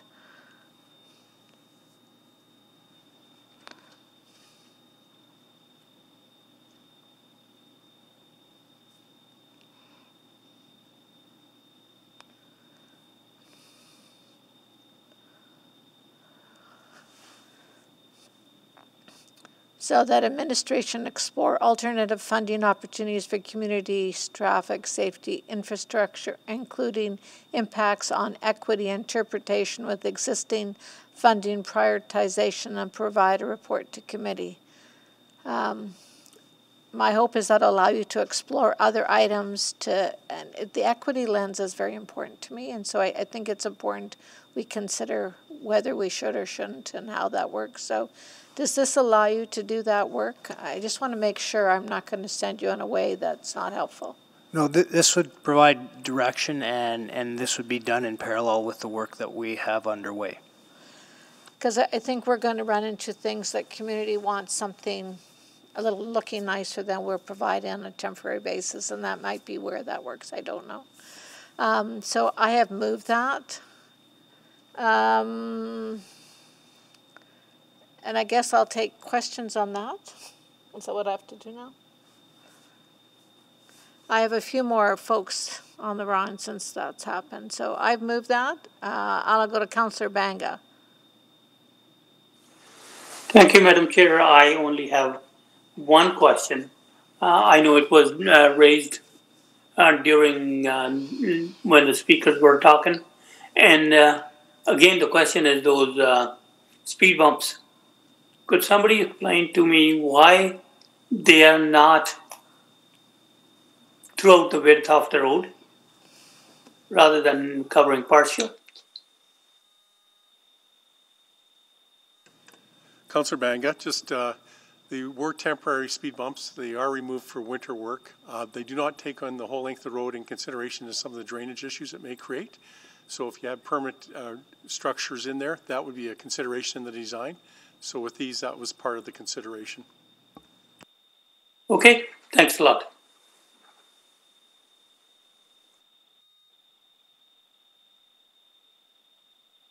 Councillor Banga, that's all? That is all. Thank you. Uh, Councillor Cartmell? Uh, just speaking to your motion, Madam Chair. Okay, why don't we, we have uh, two minutes left till we're completed. Um, I'm just going to see if I have a consensus to finish this item. I'll move to, to, to extend orders to finish this item. Okay, uh, we have a movement to finish this item. I'm just looking to committee for consensus on doing that. Yes, I see nodding heads, so we're going to consider that passed to finish this item. Uh, we'll go back to Cartmell, Councillor Cartmell to speak to it. Go ahead. Thank you, Madam Chair. I'll be uh, I'll be brief. I really like uh, this motion. Uh, really understand the, that there may be some concerns about uh, about equity, about uh, you know the idea that some communities may have the capacity to raise funds and deliver some of these solutions, and that other communities may not. And I think we need to balance that with uh, you know the perspective that those communities that might be able to take on some of these things on their own uh, reduces the burden on the city to deliver the, the whole list of priorities that we're talking about. So I think, uh, you know, an examination and a balancing of, of both of those perspectives would be valuable. Uh, I think it's not lost on anyone that we are going to be extremely challenged as a city, as a council, and as an administration to find our way through our budget pressures over the next couple of years. So uh, we've talked uh, previously about uh, the opportunity for partnerships, for unique funding uh, uh, ideas, for uh, the community coming together and solving community problems collectively. So there may be some life in that perspective for these kinds of solutions. But I think more than anything, we have heard today, we have heard today that we need particular solutions in particular places for particular communities. And those places run across the city. They run right from the from the very extremes of the suburbs to the core. They uh, are very local. When we talk about a city plan that talks about 15 minute communities, that talks about walkable communities, that talks about community for community, these things are critical. Uh, when we have situations where we've got people, and, and that this is something we didn't get a chance to talk to a little bit earlier, that where we've got neighborhoods south of the Henday that don't have schools in their neighborhood yet, and those people are funneling their way into established neighborhoods to deliver their kids to school and get out of them. That, that creates congestion, which creates impatience, which creates shortcutting, which creates speeding. And all the signs in the world, as Mr. Vermillion showed, will not stop that frustration from having people act badly. But things like speed bumps and curb bulb outs and other active, permanent, uh, deliberate measures that make people behave better in their car are critical. And if communities can deliver those things for themselves, I think we need to find the find the way to provide them that opportunity. So this motion at least explores that. It examines those uh, those matters, and it's very timely because come spring we're going to be dealing with a lot of pressure coming out of our budget discussions next week. So thank you for the motion. Obviously, I wholeheartedly support it. I really wish I could vote for it. Thank you. Thank you. Um, but you can't. And I'm going to committee members who can first, and then I'll go to Councillor next. So Councillor Caterina first. Thank you very much. And uh, just uh, this motion here, and I guess uh, to the uh, receipt for information uh, that will follow, this is part of in that. My, my concern is that uh, even though I agree with this, my concern is that we start to pit half communities with not, not half communities. And that I can see as coming up as an issue.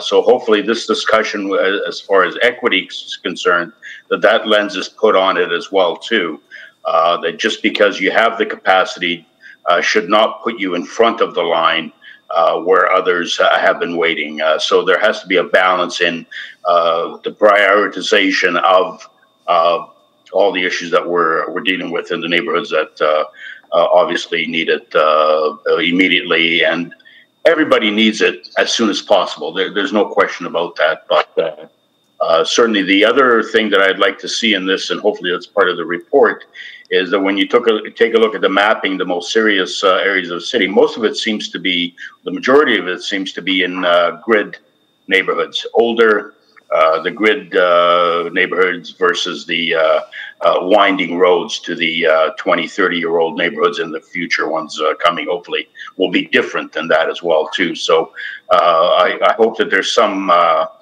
information there, coordination of, of, of uh, why the grid system seems to be presenting uh, uh, more uh, challenges uh, uh, right now with the information that we have. So, with that, hopefully there is a good balance, and Uh, I hope that uh, what I said before, the communities aren't pitted against each other because of uh, economics or capacity.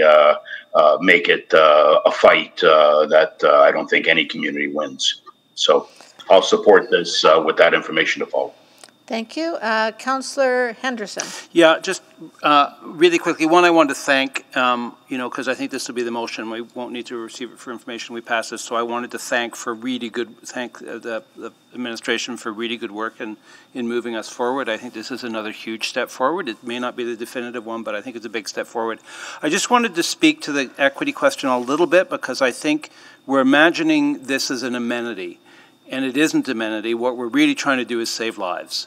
So I'm not sure, as long as we don't let some a neighborhood that comes forward that can that can use resources to help save lives, as long as we don't let them push somebody else off the table, as long as the resources that we're putting there are still going to those neighborhoods that are high priority that can't afford it, I don't think the equity question is quite as prevalent as it would be as if you were using this as a way of replacing work. So I think, I think we can do this if we're really, really vigilant to make sure that this doesn't become a way of replacing the work in those more challenged communities that has to be done as long as those programs stay in place. If other communities have the wherewithal to save lives in their community faster, I don't see the downside to that. I don't see this as a case of somebody saving themselves at somebody else's expense. But we would have to keep both programs going. This has to be a way of speeding up the work uh, and adding work that we would not otherwise be able to do rather than replacing work. And as long as we're careful not to replace work um, with money that comes to the community, I think the equity question is separate. We have to keep our focus on making sure that all unsafe conditions in all neighborhoods are dealt with, whether or not they can afford to do it or not. But if we can take some neighborhoods and help them speed up as an add-on to the existing program, I think that benefits everybody because ultimately, hopefully, that is lives saved. Thank you. Councillor Banga. Thank you. Just quickly speaking to it. Uh, yeah, the, every neighborhood uh, is of concern to us as far as the traffic uh, safety is concerned. Um, we do not, however, uh, want to pit neighborhood against neighborhood. Uh, and this motion, I know it's at this point in time, it's only exploration of alternate uh, alternate funding, and uh, we will get the information, and uh, and then uh, we need to decide what is there, how it's going to be implemented, and if it can be implemented without any of these uh, repercussions. So uh, I will I am uh, in full support of this uh, motion and uh, waiting for uh, March 2nd or a 13 week default for this to come back. Thank you. Thank you very much. Mayor Iveson?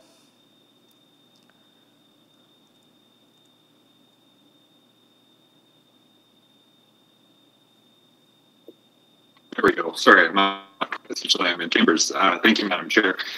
I listened to uh, the presentations from most of the members of the public. I had a regional meeting, so I missed uh, the first few. But uh, first, I want to start with uh, thanks to all of the community leaders uh, who continue to bring these issues to the attention of elected officials and, of course, our, our experts at the city and our uh, partners at the university who help us ensure that we're taking an evidence-based approach uh, to this important work. But I think uh, all of us will remember from all of the door knocking we've done over the years that um, traffic safety issues are near and dear uh, to to our citizens in every part of the city.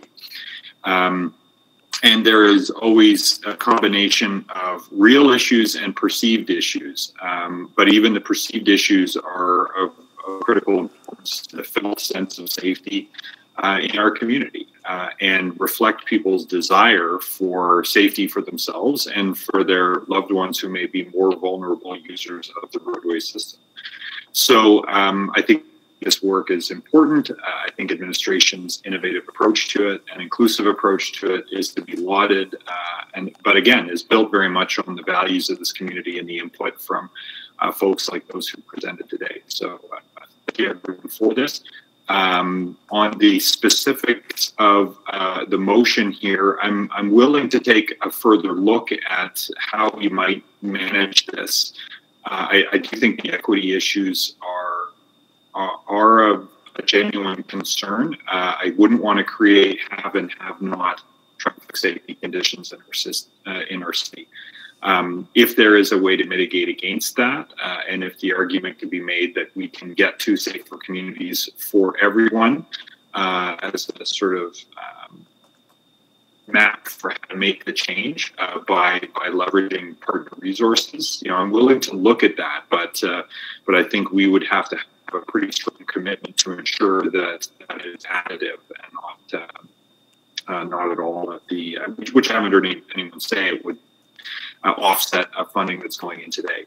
Now, here's the other thing that we're going to have to deal with, and the budget questions are, are real going forward because uh, we are uh, victims of some of our traffic safety success to the extent that folks slowing down and getting the message uh, and the physical modifications to the roadway system also reinforcing that cue and the culture changing around this slowly but surely. Uh, those fine revenues that fund some of this work are, uh, um, are declining. Uh, so um, I think we've got to keep an eye on that, and there may come a time where uh, it will require a further top up. Um, but I think whether that comes from partner resources, whether it comes from from the tax levy, I think is a, a, fair budget debate in any year, even one that's this difficult. Uh, but we do still have the benefit of the automated enforcement revenues, um, which again don't go to the city's bottom line. Those uh, those those automated enforcement revenues uh, go to fund work like this. And I think we'll get great leverage by partnering with the community with the uh, with the lab project. And so I just want to again applaud the innovative approach. I think that we'll get better value for dollars. Willing to look at the the, the partner uh, funding um, uh, an alternate funding scenario, but just want to put a really big marker down that that can't for a minute erode our baseline commitment to this work, which uh, I think we've heard, um, you know, needs to be amplified, if anything. Uh, especially, and we had a good conversation yesterday about what it would take to really achieve our healthy city goals and our safe city goals.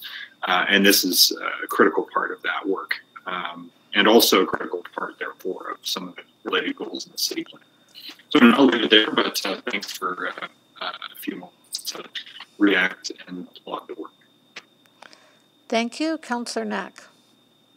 Uh, thank you, Madam Chair, and, and, again, first thanks to all the speakers today, and and uh, I, I, do want to really thank the administration. I thought the, the safe mobility strategy was excellent, and and so to answer the high level question, yeah, we're absolutely headed in the right direction with it. Uh, and I just I want to make sure I say that clearly because I do want to focus on on this, and so I appreciate the motion. Um, I want to offer a caution, which is that what I heard in today's answers, and I'd like to maybe do a separate follow up on it, not today in the committee meeting, but just maybe offline, is even if we had the money to do 60 communities next year, that we are hesitant as a city to authorize that because we want to set up a process that allows us to and and rightfully so. I understand why we want to make sure we can closely measure the success of those actions that we've make sh- that we can verify that the community did do whatever requirement of engagement that we have. Uh, and and so my worry is yes we're going to do this work and say sure communities can go fundraise but that's all that does is take the money portion of the funding out of the equation and it doesn't take the other part of work that I just heard that we want to do. And and so I, I would like to throw out a challenge and, and explore this and see if maybe at a separate time we will need a motion for this, which is to say, um, are we willing to be a little, little little less risk adverse in saying that if we've got communities and it, let's say we have 50 communities that do the work next year and are ready to see something implemented this in, in summer 2021, why we would say no to that. Can we set this up in a way that is going to empower communities to identify those challenges and measure them and and measure them by pilot by actually putting the test into action. So what I worry about is that we're going to only do 10 communities next year and that we're going to want to see how that went before ramping up and then getting through a what is now a, a, fairly large backlog of communities, I think. So I, I, I'm wondering if we can help reduce the risk on administration's ends as a council by saying, yes, we're okay with trying this out in a lot of different communities and then using that data from all of those various communities to understand the success of the program or the failures of the program or possibly both because we'll have a, a larger data sample to then inform ongoing changes because the the biggest impact I see is is truly changing out the tools that we're going to be using to try this. And these tools can be moved to other communities. So it's not even like we would be wasting money by trying this in 50 communities and having 10 where it didn't quite work and then saying, okay, that's fine. Well, the tools there get removed tomorrow, and we put in some new tools, and we transfer those other tools to the next 10 communities that have now started doing that work. So, yeah, we can ask the communities to fundraise themselves, but it's not actually going to change the work that I just heard stated by administration, which is monitoring and testing. So, I, I, am interested in exploring this further, and so I will reach out uh, uh, to to see are there opportunities. You know, to, where I think council is wants to empower admin to maybe feel like they, they don't have to um, be worried about the risk of of trying a bunch of these very quickly. Just like we're trying through other uh, conversations that we're going to have tomorrow around halls and, and ways to do this. I, I so I'm just hesitant and, and say, uh, appreciate, absolutely support this motion, but I don't actually think it's going to solve the problem I just heard of potentially many communities in every ward wanting solutions. And so I would hope that we can maybe through this work say, well, instead of worrying about who's paying for it, we have potentially enough money to do that many communities. Let's set up a process that allows that many communities to have that work implemented in summer 2021. So uh, thanks. Uh, sorry for taking up some extra time in lunch here, but just wanted to offer that as a, as a caution. Thank you. Thank you. And just to close, I, I, really appreciated everybody's input today. I think the safe mobility strategy and that the 2021 work plan that's embedded in the plan is great. I'm excited to see the additional collaboration and data and uh, really appreciated using the GBA Plus lens and how that has informed our work in a new way. And really, we're one of a kind doing some of that work, and really wanted to say thank you about that. Um, the intent of this motion is just to explore some other ideas. Right now, my understanding is if you want to add lights to an alleyway, neighbors can come together and get a levy and improve the safety of that alley. Uh, if you are in neighborhood renewal, you can uh, get different blades, and there's some ways to uh, that you have different levies do different things. So I think we do take a bit of a hybrid approach uh, in many areas. Um, and I'm not sure if there's things that we think a community could add through additional funding. Maybe it's a levy that they need to use. Uh, maybe it is to get prettier, more than the basic uh, speed bumps. I don't know. Uh, I just think that we need to explore it and then be really clear. I'm very concerned about the equity concern, and I think uh, I heard that from some of my colleagues as well. I am. I do not want to impact the, the safety of any neighborhood, but I think there's ways that we might need to think differently, and I think we're at a time and a space that we need to think differently about how we do our business. Is there some things that can be done differently? Maybe it's fundraising, maybe it's levy. I do not know. And maybe with equity issues, we can't do that. But I, I think we need to explore all options and see maybe there is a few things that we need to be clear and we, they could do. Uh, I, like Councillor Knack, am concerned about the how many communities can get in the street labs. Because um, I think many will, will want to try. Um, and I hope that we're going to say as many as possible can have those community conversations. What a great problem to have that so many communities came up with solutions. Um, and maybe that's something when we have the March conversation, we'll be able to say, hey, it's been an awesome ride, and we need funds to do this. Um, I don't know. But at the end of the day, we're committed to building safer communities. That's the thing that we have, uh, we talked about it yesterday with the city plan, safer communities by 2030. Uh, I think they all link together. The city plan, the safe mobility strategy, they all are, are pieces of the big plan. And I, I think um, we're building the city for today and for the next generation, and safety is on our horizon. So thank you for the work you do each and every day and for your partners to keep our city safe. And with that, I will call the vote on this motion.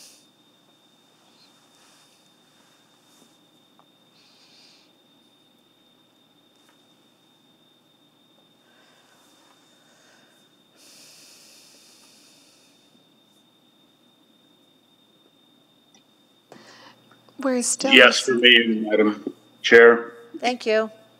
Thank you, uh, Councillor Caterina. We're also missing Councillor Banga and, and your vote, Madam Chair. Oh, I did submit. Uh, Okay. Yes. I can see that you're in the correct meeting, but it hasn't come through. It's just Councillor Banga. Councillor Banga, can you verbally? Mine is yes. Okay. Thank you. We have five votes. Madam And display the vote then? And that is carried unanimously. I believe that addresses the receipt for information on this item as well. So we have completed 6.1.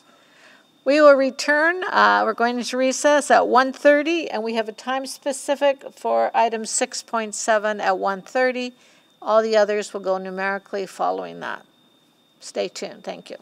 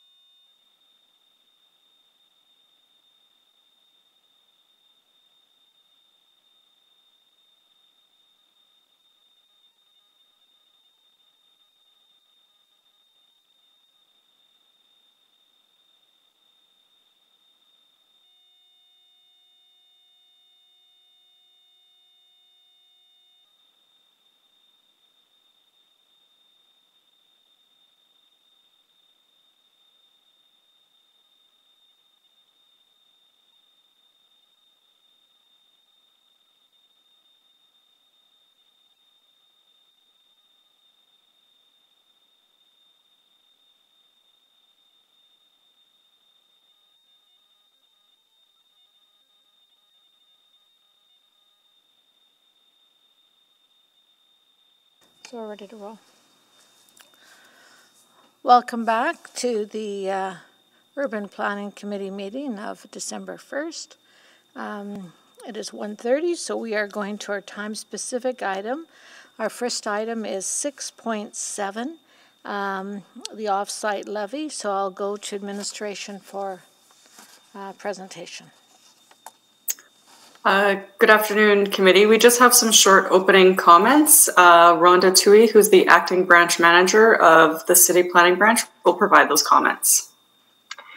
So the report that we're bringing forward today brings an update on stakeholder engagement for offsite levies, including an overview of the engagement process, associated outcomes, and the next steps, including further refinement of our operating principles, a governance model, and the development of the offsite levies bylaw. We recognize that our engagement with industry partners is important and will continue to engage with them in the offsite levies. We will return to Council in Q2 of 2021. With me today to answer questions is Lindsay Butterfield, Director of Urban Growth and Open Space, Open Space Strategy, who's leading the offsite project. In addition, we have Deborah Rhodes, Chief Financial Officer with the Edmonton Public Library, and our Fire Chief, Joel Zatylny. Thank you. And Madam Chair, apologies. Uh, we haven't conducted a roll call since returning from the recess. I can confirm that I see all members of the committee here, but just in case you wanted to, to conduct that.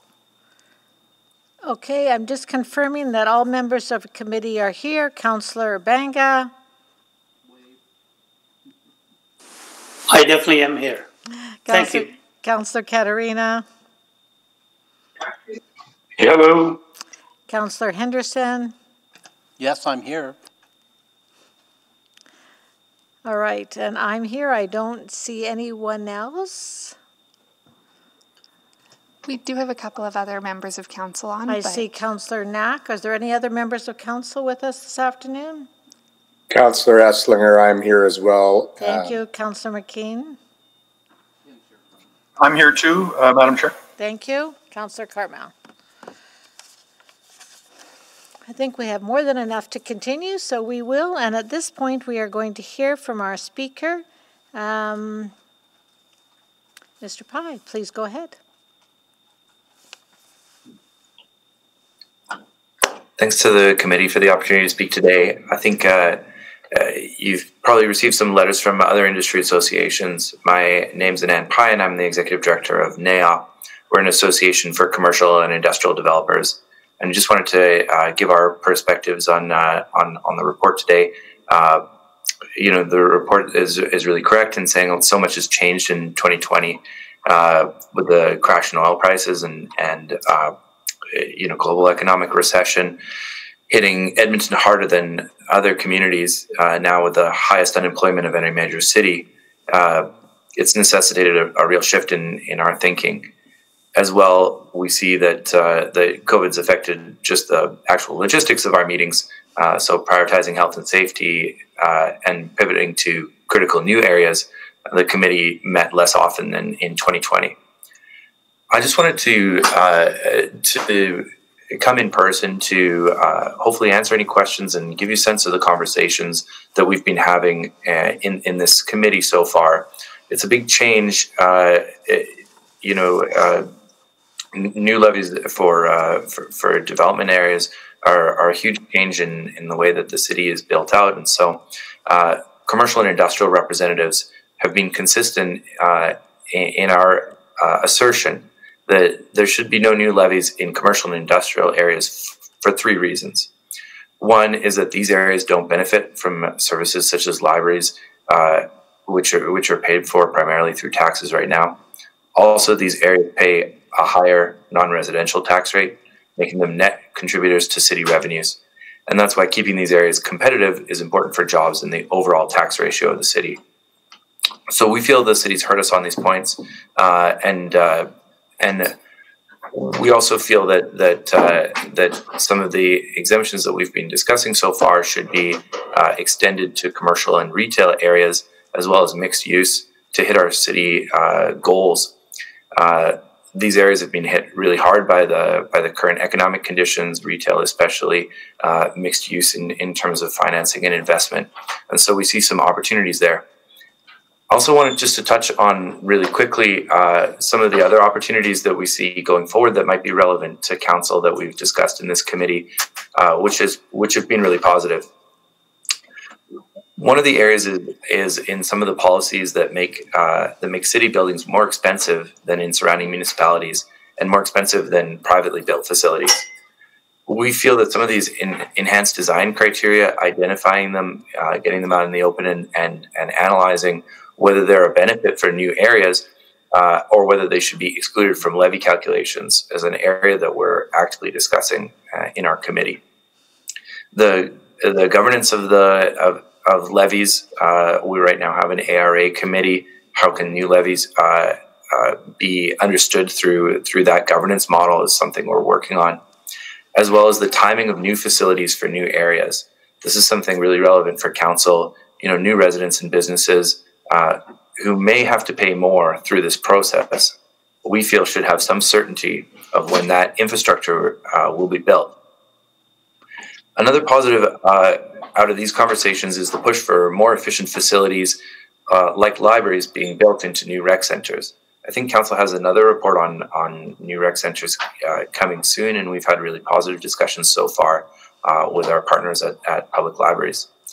In the event that this can't happen uh, by combining libraries and, and, and, rec centers to make more efficient parking and, and land use decisions, we feel that uh, that we've been pushing towards uh, looking at lease structures like happens in, in St. Albert and Sherwood Park, where uh, where public libraries could be leased in new commercial areas to share the land and, and, and parking there.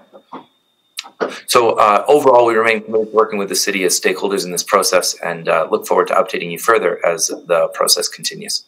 I'm happy to take any questions. Thank you. So we'll, uh, we'll open it up now for questions. Councillor Henderson? Well, just really quickly, because I understand the argument around libraries, but for you know for commercial industrial, I'm guessing things like fire halls, um, you, you you you you probably do benefit from, and in actual fact, I'm guessing getting a fire hall faster to you actually probably helps on your insurance costs and those other kind of things. So there is benefit there. Yes yeah, there is some benefit in. So in you're just saying there's a certain kind of thing that you that you might want to you might want to carve out for the industrial and commercial pieces, but not that all of the stuff that we're talking about would necessarily be carved out. That's correct. Yeah. Okay. Okay. Um, good. Okay. I just I just wanted to I just and I, and I guess another another thing in terms of because I think what we're talking about here and just your thinking on this what we're talking about here are long, much longer term plays, I think, than what's happening this year or even next year. So that's why I'm struggling a little bit with the argument that what's happening to us in this particular case right now, none of this stuff would really likely come into play. I'm thinking for another year or two at the fastest. Um, so I'm not sure why the, the kind of COVID and, and, and gas price issue is, is you know, I, I, I'm, I'm really nervous that we start making – short-term decisions that have long-term impacts. And this seems to me as a long-term impact kind of decision. Yeah, I think uh, I think overall it accelerates a trend uh, away from oil and gas, and as well in industrial and commercial areas, which I'm speaking to specifically. Uh, you know, the the in those areas locating more and more outside of the city. So I, I think I, I I think that COVID is accelerating trends just broadly, uh, as much as, as you know it being a singular point in time. But I mean, this comes down to the same problem we've always had: is it becomes the lowest common denominator rush to the bottom, um, and that if if if one of the things that we can put on the table is is a higher level of facility, a higher level of of of, of industrial neighborhood, um, then how we pay for that is going to be one of the challenges. So there's a, there's a trade-off there, is there not? Yeah, I think there's a trade-off, and I think uh, you know we're, we're seeing the result of the of that trade-off with the uh, with the decisions that that some of the large industrial users have been making. Yeah. Okay, thanks. Those are my questions. Thank you very much. We'll go to Councillor Banga. Thank you, Madam Chair. Um, Mr. Pry, uh, thanks for coming today and uh, uh, expressing your concerns and uh, enlightening us. So I know you're uh, you're advocating for uh, for I guess your clients or your members, and my question to you would be, since the cost is always trickling down to the consumer. So whether it's industrial or it is uh, residential. So if somebody uh, who is living in the outlying areas of the city where this uh, off-site levy is uh, going to build a library or fire hall or whatever else, you think they would have the same kind of argument because they are supporting the whole city infrastructure while their their own is being funded by themselves. Comments, please. Thank you, Councillor. That's a really good question. I think you know it goes down to the uh, to the dichotomy there is between between levies, which are an upfront payment, or or property taxes, which is you know as you say a payment um, uh, continuing on, and and of course you know. Uh, we, we, we don't like either. So we you know so we, we try to we try to advocate for uh, for ways in which we can uh, we can rationalize those costs. And so some of the areas that we're looking at is is the overall cost of the uh, uh of the facility, how we can make that lower while still providing the, the valuable services that, that libraries and fire halls provide, as well as how can we ensure uh, some level of certainty on the timing of those uh, uh, of those new facilities. And these are areas we've been working really well with administration on. Um, so so I, I, know that's that's a bit that's a bit of a non-answer, but I think uh, I think those are the areas we've been working on the most in in this committee, and I think we may uh, you know we, we may never come to a full agreement with with all industry players on uh, on on exactly everything, but but those are areas that we're that the these are areas that we've been able to explore lately. Okay, I know it has to be explored. Um, at the same time, uh, let's say, I think in the previous uh, uh, counselor's uh, answer, you un- you answered uh, about the fire hall, but there are some things uh, like library, of course they're not going to use it. But fire hall, everybody's going to use it.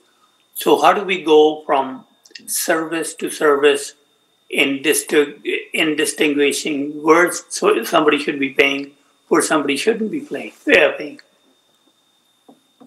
One of the areas that we've been uh, really uh, uh, united on as an as different industry associations is that is that new areas that benefit should should pay. And, and while I can't speak on behalf of the other organizations, you know, I think that's a good principle to hold in mind. Um, the other area I think that that is specific to commercial and industrial areas is the is the differential in tax rate uh, of those areas and the and the ability of those businesses uh, to to move you know inside or outside of the city.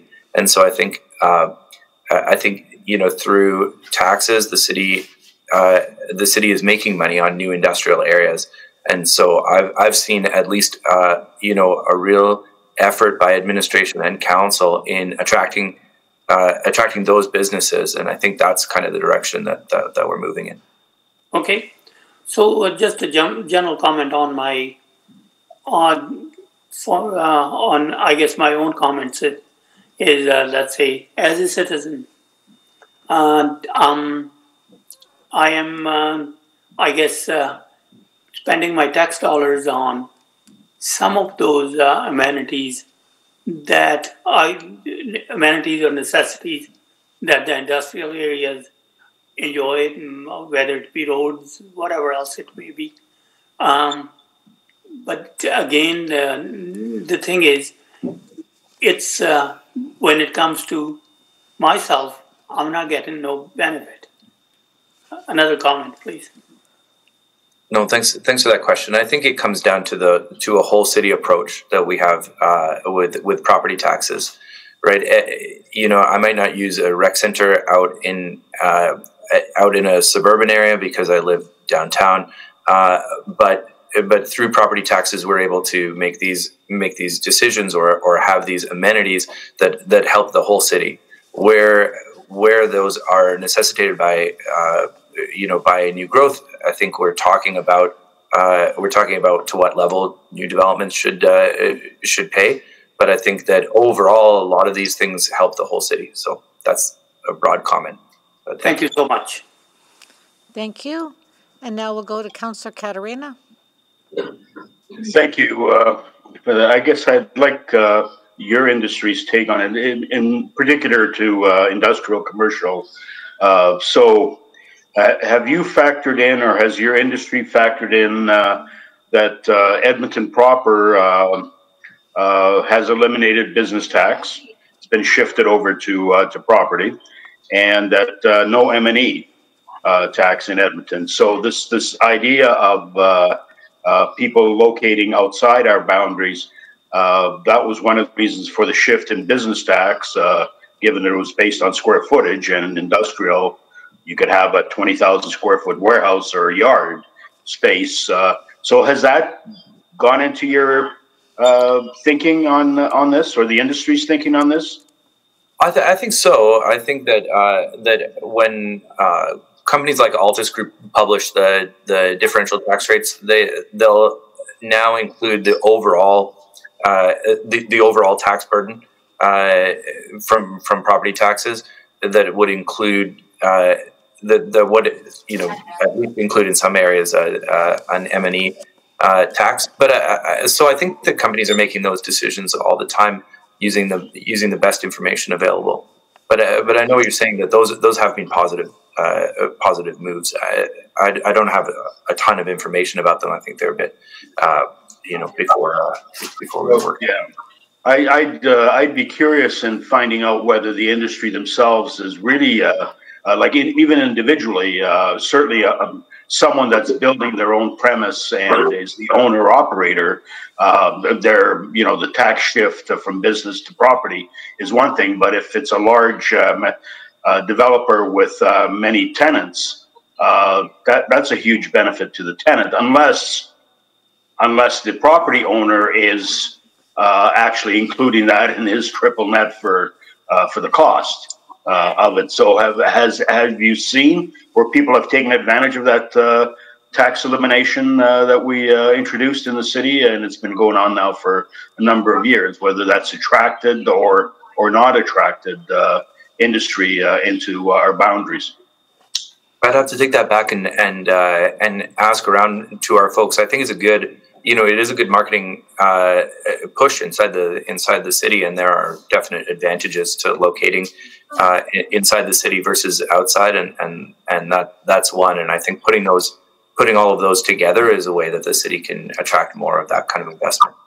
Yeah, no, I'm sure from our perspective, cities, our administration perspective, that I would think would be a normal sort of uh, sales pitch. Uh, but I'm more concerned about the industry themselves. If uh, if they're just uh, concentrating on on property tax and using that as the wow, the city is really getting us because of the property tax lift. But that's not actually all property tax. That's uh, the business tax that was shifted over as well. So you would have had to pay that, and M and E uh, uh, tax, uh, which we don't charge for, for here. You'd have to pay for that somewhere else. So uh, when all things being equal, where do we stand as a city versus the region? That's a that's a great comment, and I think uh, maybe I could connect with our with our friends at uh, at, at, groups like MNP and, and Altus, which which uh, publish reports on on that kind of thing, and and and, and, come back because it is a good it, it, it's, it's definitely a consideration for sure. Okay, thank you, uh, Madam Chair. That's all my questions. Thank you, and thank you, Mr. Pye. That is all the questions that we have for you. Appreciate you coming and speaking today on this issue. Um, now we'll turn over to administration and questions of administration. And Councillor Henderson selected this item, so I'll start there. Councillor Henderson. Um, yeah, no, I just, um, I, you know, understanding that the, that the work continues on this. I mean, I, I, guess I would ask you the same question I asked Mr. Pai about, you know, long-term versus short-term, because I, this really does seem to me is a long-term, a long-term consideration, and I'd be nervous that we make choices based on the short-term that um, you know, that, that have a long-term impact. Agreed with you, Councillor Henderson, and this is one of those forward with focus projects where we need to continue to keep our eye on the long game of the type of city that we're trying to build and the type of city that's articulated in city plan. But with that being said, what's important is that engagement uh, is required uh, through uh, the requirements for the provincial government, as well as we want to be transparent in our processes that we develop with industry. So in the short term, what's been what's been important is engagement has been impacted in the ability to engage over the course of this project. So short term, we need to continue to engage, but we need to keep our eye on the long term through this one for sure. Yeah, no, and I and I I don't have a problem if it has to slow down a little bit. I mean, that's that's not my concern. My concern is that we begin to compromise some of those pieces that are about long-term sustainability for the city because we're worried about a, a, a very short-term kind of concern. And I, I, if that, I, that, I just wanted to ask that question because I think, I think this is about long-term sustainability, and I, um, I, I can't speak for the rest of council, but I, for me, that would take precedence over, over, over what, what the short term looks like. Um, my other question is one, and it's interesting because I, I just had a chat, a long overdue one, with some of the folks from IDEA over lunch. Um, and, you know, they were talking about the ways in which, uh, and I know this has come up, for instance, in the report that we were supposed to get tomorrow, but it's actually been put off um, on, the, on the whole uh, Rollie Miles uh, Rec Center piece. Um, the ways in which we may be able to look at this kind of levy uh, to deal with some of the need um, for facilities or restoration of facilities, particularly in areas of our existing areas of our city, um, where we're going to see a lot of infill, we're going to see a lot of more people moving in, and whether or not we're looking at that piece of the puzzle as well. Councillor Henderson, at this point, we're not, not in phase one. However, as we look uh, to develop the growth management framework for the for implementation of the city plan, we will need to look at that in the longer run. Okay, so it is so it is part of the longer term thinking. I mean, I, I recognize it's more complicated. Um, although interestingly enough, we do have that that sort of pilot report that's coming back to us on the Rollie Miles piece that is a very similar kind of conversation about other ways in which you may be able to look to neighborhood and what's happening in neighborhoods, both existing and and new build, in order to make some of these amenities that you know amenities that are going to be critical to make the neighborhoods work happen. So, um, so uh, but so that it's in our long-term site, but not in our short-term. It does have to be in our long-term site, and perhaps the project team could speak to that if they'd like. Uh, it is about pace of development and being thoughtful about how we implement that.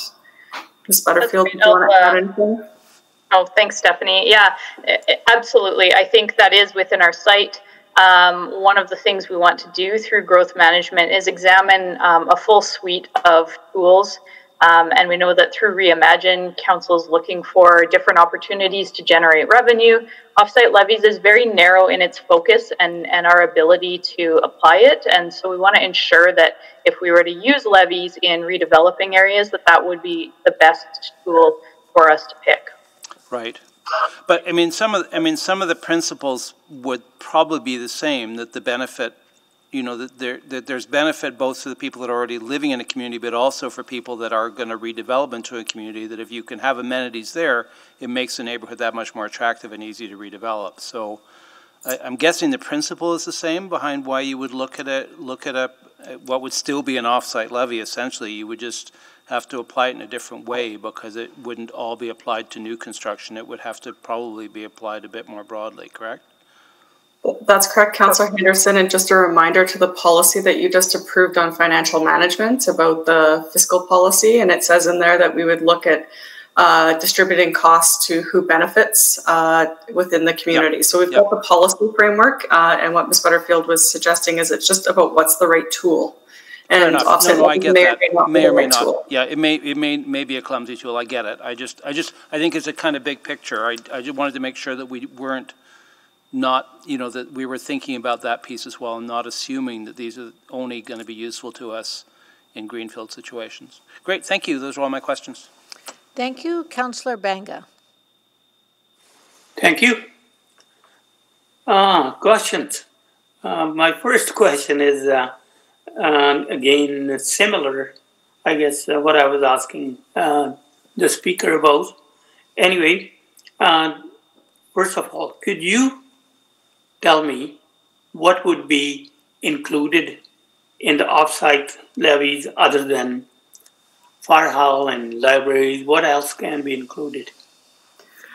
I'll let Ms. Butterfield speak to what tools we have um, under the MGA and what we're looking at right now. Right, so under the MGA, um, there's an ability for a city to apply levies for uh, water and uh, sewer infrastructure, roadways, um, and some of the new items that were included in the last revision to the MGA were libraries, fire halls, police stations, recreation facilities, um, and interchanges. And so we've looked at which ones are um, the best immediate fit in this first phase of the bylaw, um, understanding that we'll continue to explore opportunities in the future. Okay. So um, is this offsite levy being deployed in any other jurisdictions that we know of? Uh, yes, they are, and uh, they're used in the city of Calgary, for example. And I'll let Ms. Butterfield uh, expand on that uh, answer as well. Sure, we do know that uh, the Calgary has uh, they applied many of these charges very early on. Um, I would say that a number of municipalities in the region are looking to see what the city of Edmonton does before um, they would make any changes. I do know that it's been explored at a preliminary level elsewhere, but I don't have a, a complete list of municipalities at my at my fingertips right now. Uh, no problem. And uh, so, I guess uh, uh Alberta government gave the okay in uh, 2019. So I suppose Calgary jumped on it right away. Is that the case? I know Calgary has had long had uh, offsite levies in, and perhaps uh, Mr. Johnson could speak to the timing of uh, what uh, the provincial government rolled out when. Thanks, Stephanie. So, yeah, provincial government gave two different rollouts of this. There was the expanded powers that happened in 2019, and then there was also city charter powers that go even beyond that. Um, Calgary uh, was already utilizing some of the expanded powers, and this kind of ratified that and now we are looking at with the methodical engagement with industry of what is available in our context up here. But 2019, um, they already had levies before then, but um, that's where they became legitimized. Okay, and uh, how it is different from BIAs and uh, or LE improvement or whatever.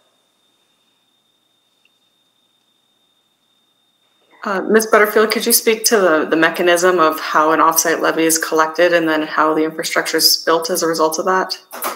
Sure. So levies are a very specific charge outlined in the MGA. Um, I, I, don't know all the nuance of how it's different from other specific charges uh, necessarily, but um, the basic intent is that the capital costs are able to be covered through a levy it's generally applied as an area charge. So you take the cost divided by um, the area of benefit, and that benefit needs to be proven. And, and so those are um, the very highest level basic principles that we're looking at when we're applying levies in the city of Edmonton.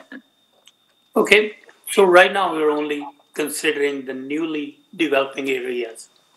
Do you think there are people are going to be raising the question of fairness about basically what I asked the speaker that uh, they're paying for the whole, whole city infrastructure, but they themselves are supporting their own?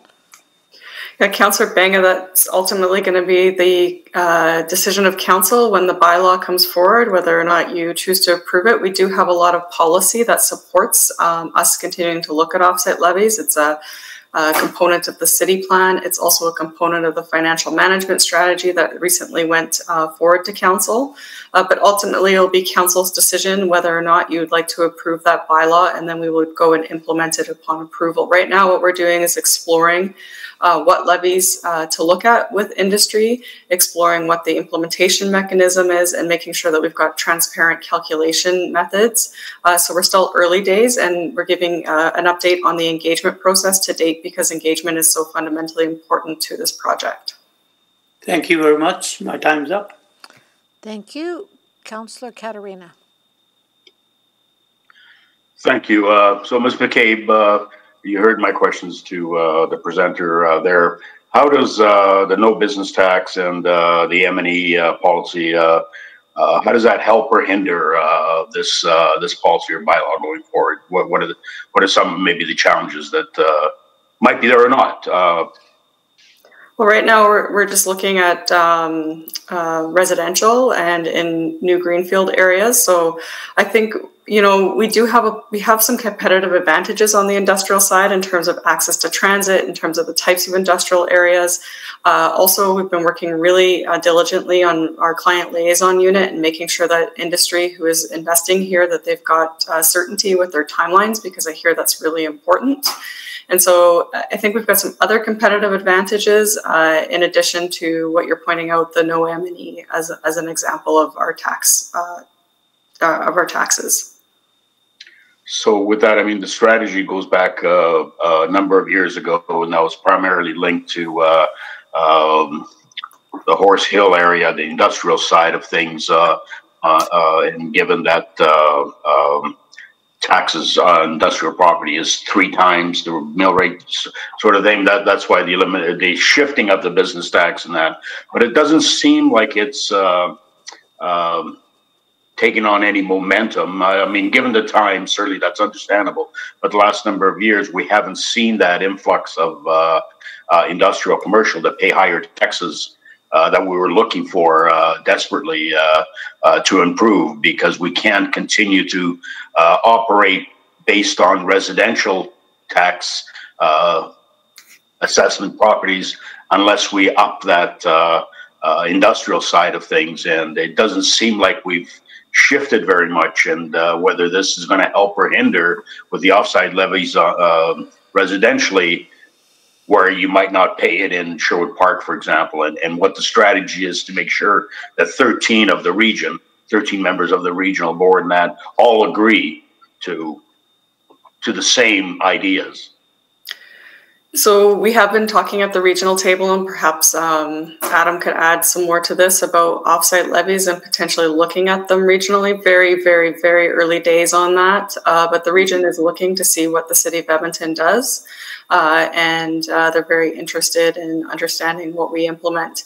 Um, you're correct. We need to look across the region to make sure that we're still competitive as part of the industrial investment uh, action plan work that was done you know maintaining our ratio uh, is is challenging uh, and so making sure that we are competitive in terms of our timelines uh, in terms of our fees and in terms of the way that we deliver our service is really critically important so with that, Ms. McCabe, uh, when when the bylaw comes forward, uh, obviously in that, all these things will be considered, obviously in what what the bylaw should look like or what the charges should be, what the actual levies themselves should be in order to maintain that uh, um, uh, being competitive with uh, with the region at that point. So I, I just assurance that we're, we'll look at some of the advantages that we have now uh, to include in the package uh, for the offsite levies and to justify what we're doing versus what others are doing. Yeah, Councillor Caterina, we will consider that as we bring the the bylaw forward and uh, put that in the report in terms of some of the trade-offs associated with implementing the the bylaw. Uh, but ultimately, uh, to recognize and realize the vision um, as outlined in the city plan, offsite levies will be part of the toolkit that we will be looking at. So we will make sure to continue uh, to articulate the trade-offs associated with it, as well as the value proposition. Okay, and going back to the regional part of this, is there uh, uh, a mechanism uh, or, well, sort of not a forced agreement, but a, a mutual agreement with the region that cannot be reversed as elections come and go and mayors and councilors come and go, uh, that once it's set, uh, that we have some sort of agreement that we know uh, cannot be changed for a, a, certain amount of time anyway. Well, that's a challenging one, Councillor Caterina. Um, you know, I think uh, ultimately the elected officials are the decision makers here, and if the decision makers within the region want to make different decisions, then uh, you know we'll continue to work at the regional table because we believe in the importance of that um, and the importance of us to be able to work together to be able to attract people to the Edmonton metro area. Uh, but ultimately, it's up to the the, the politicians of the decision makers, the decision makers. So. Um, I think we can put some work at the regional table about MOUs if we were to go down that pathway, uh, uh, as well as look at what other tools there are. But ultimately, city councils are the decision makers. Perfect. Thank you very much, Ms. McCabe. Thank you, Councillor Cartmell. Uh, thank you. Uh, I just wanted to circle back to the conversation we were having earlier today about crosswalks. And it seems to me that the arterial road assessment, which is essentially an offsite levy, uh, was uh, crafted and created in response to an ongoing backlog of arterial road twinning, arterial road construction that the city simply could not keep up with. It could not keep up with the pace of development and keep up with its obligations uh, to supplement what developers were doing by building the, the, you know the second half of that road or you know going back a number of years the whole road has the, has uh, some sort of levy for crosswalks been discussed uh, or has there been a conversation uh, around expanding the ARA um, uh, levy to include crosswalks is that a possibility or should it be a design and standard conversation uh, Ms. Tui, perhaps you could answer that question. I'm, I'm going to ask if Jamie knows further. I, I know we hadn't include crosswalks uh, at the time, and ARAs were developed in conjunction with industry. It was a kind of an industry led, and we worked with them and worked together. We've gradually been looking at what the needs are and adding them in, but perhaps Jamie could uh, weigh in there. Sure. So, counselor, there's the there's the ability to add the ancillary infrastructure into the ARAs. Um, as as Rhonda mentions, though, we, you'd want to have that conversation with industry and make sure that we have buy-in on that. The other aspect you mentioned there actually is probably worth pursuing as well, and that is where are we at with the design and construction standards? We do a lot of uh, development of roads and construction of roads is done by industry at the time of subdivision. That includes the local ones as well. And so you have the opportunity to look at those design standards and say, what is our traffic safety mechanisms in relation to these? And that that is a clear opportunity there. As far as the authority goes, yes, the, the city charter gives us very broad authority on what we can do an offsite levy for. It's just whether it's palatable in the current economic climate and where we're at here. Yeah, and and so very good point. It speaks to a conversation with our development partners. I guess the question then is, you know, is there a subsequent motion in order here uh, to ask for that conversation to be had? Do you do you need uh, that motion, or is it better in the standards? Looking for some guidance here, but just from the perspective that the only way we ever get rid of the backlog is if we stop adding to the backlog, and I, it seems to me that you know crosswalks are a very very small part of the overall roadway infra- infrastructure that that is already within the ARA uh, parameters. So, thoughts, Ms. McCabe? Yeah, Councillor uh, Cartmell, if you'd like us to look at that, perhaps a motion would be in order, but I would widen the motion to look at what the mechanisms are for funding um, in for additional crosswalks in new neighborhoods. Because I'm assuming you're are you asking about just new neighborhoods here, not retrofit? Yes, just just going forward, not looking back. Yeah, that's my view anyway. Yeah. Uh, if you could give us a few minutes to take a look at that. Sure. That's not, I'm not on committee, so. Pardon me? I'm not on committee, so I, I can merely suggest and not move at this Fair enough, yes. I'll just offer that up. Thank you, Ms. McCabe. Thanks, everyone. So I am not sure. We were going, I was going to go to Councillor Henderson to move to receive this information, but I'm not sure if you want to.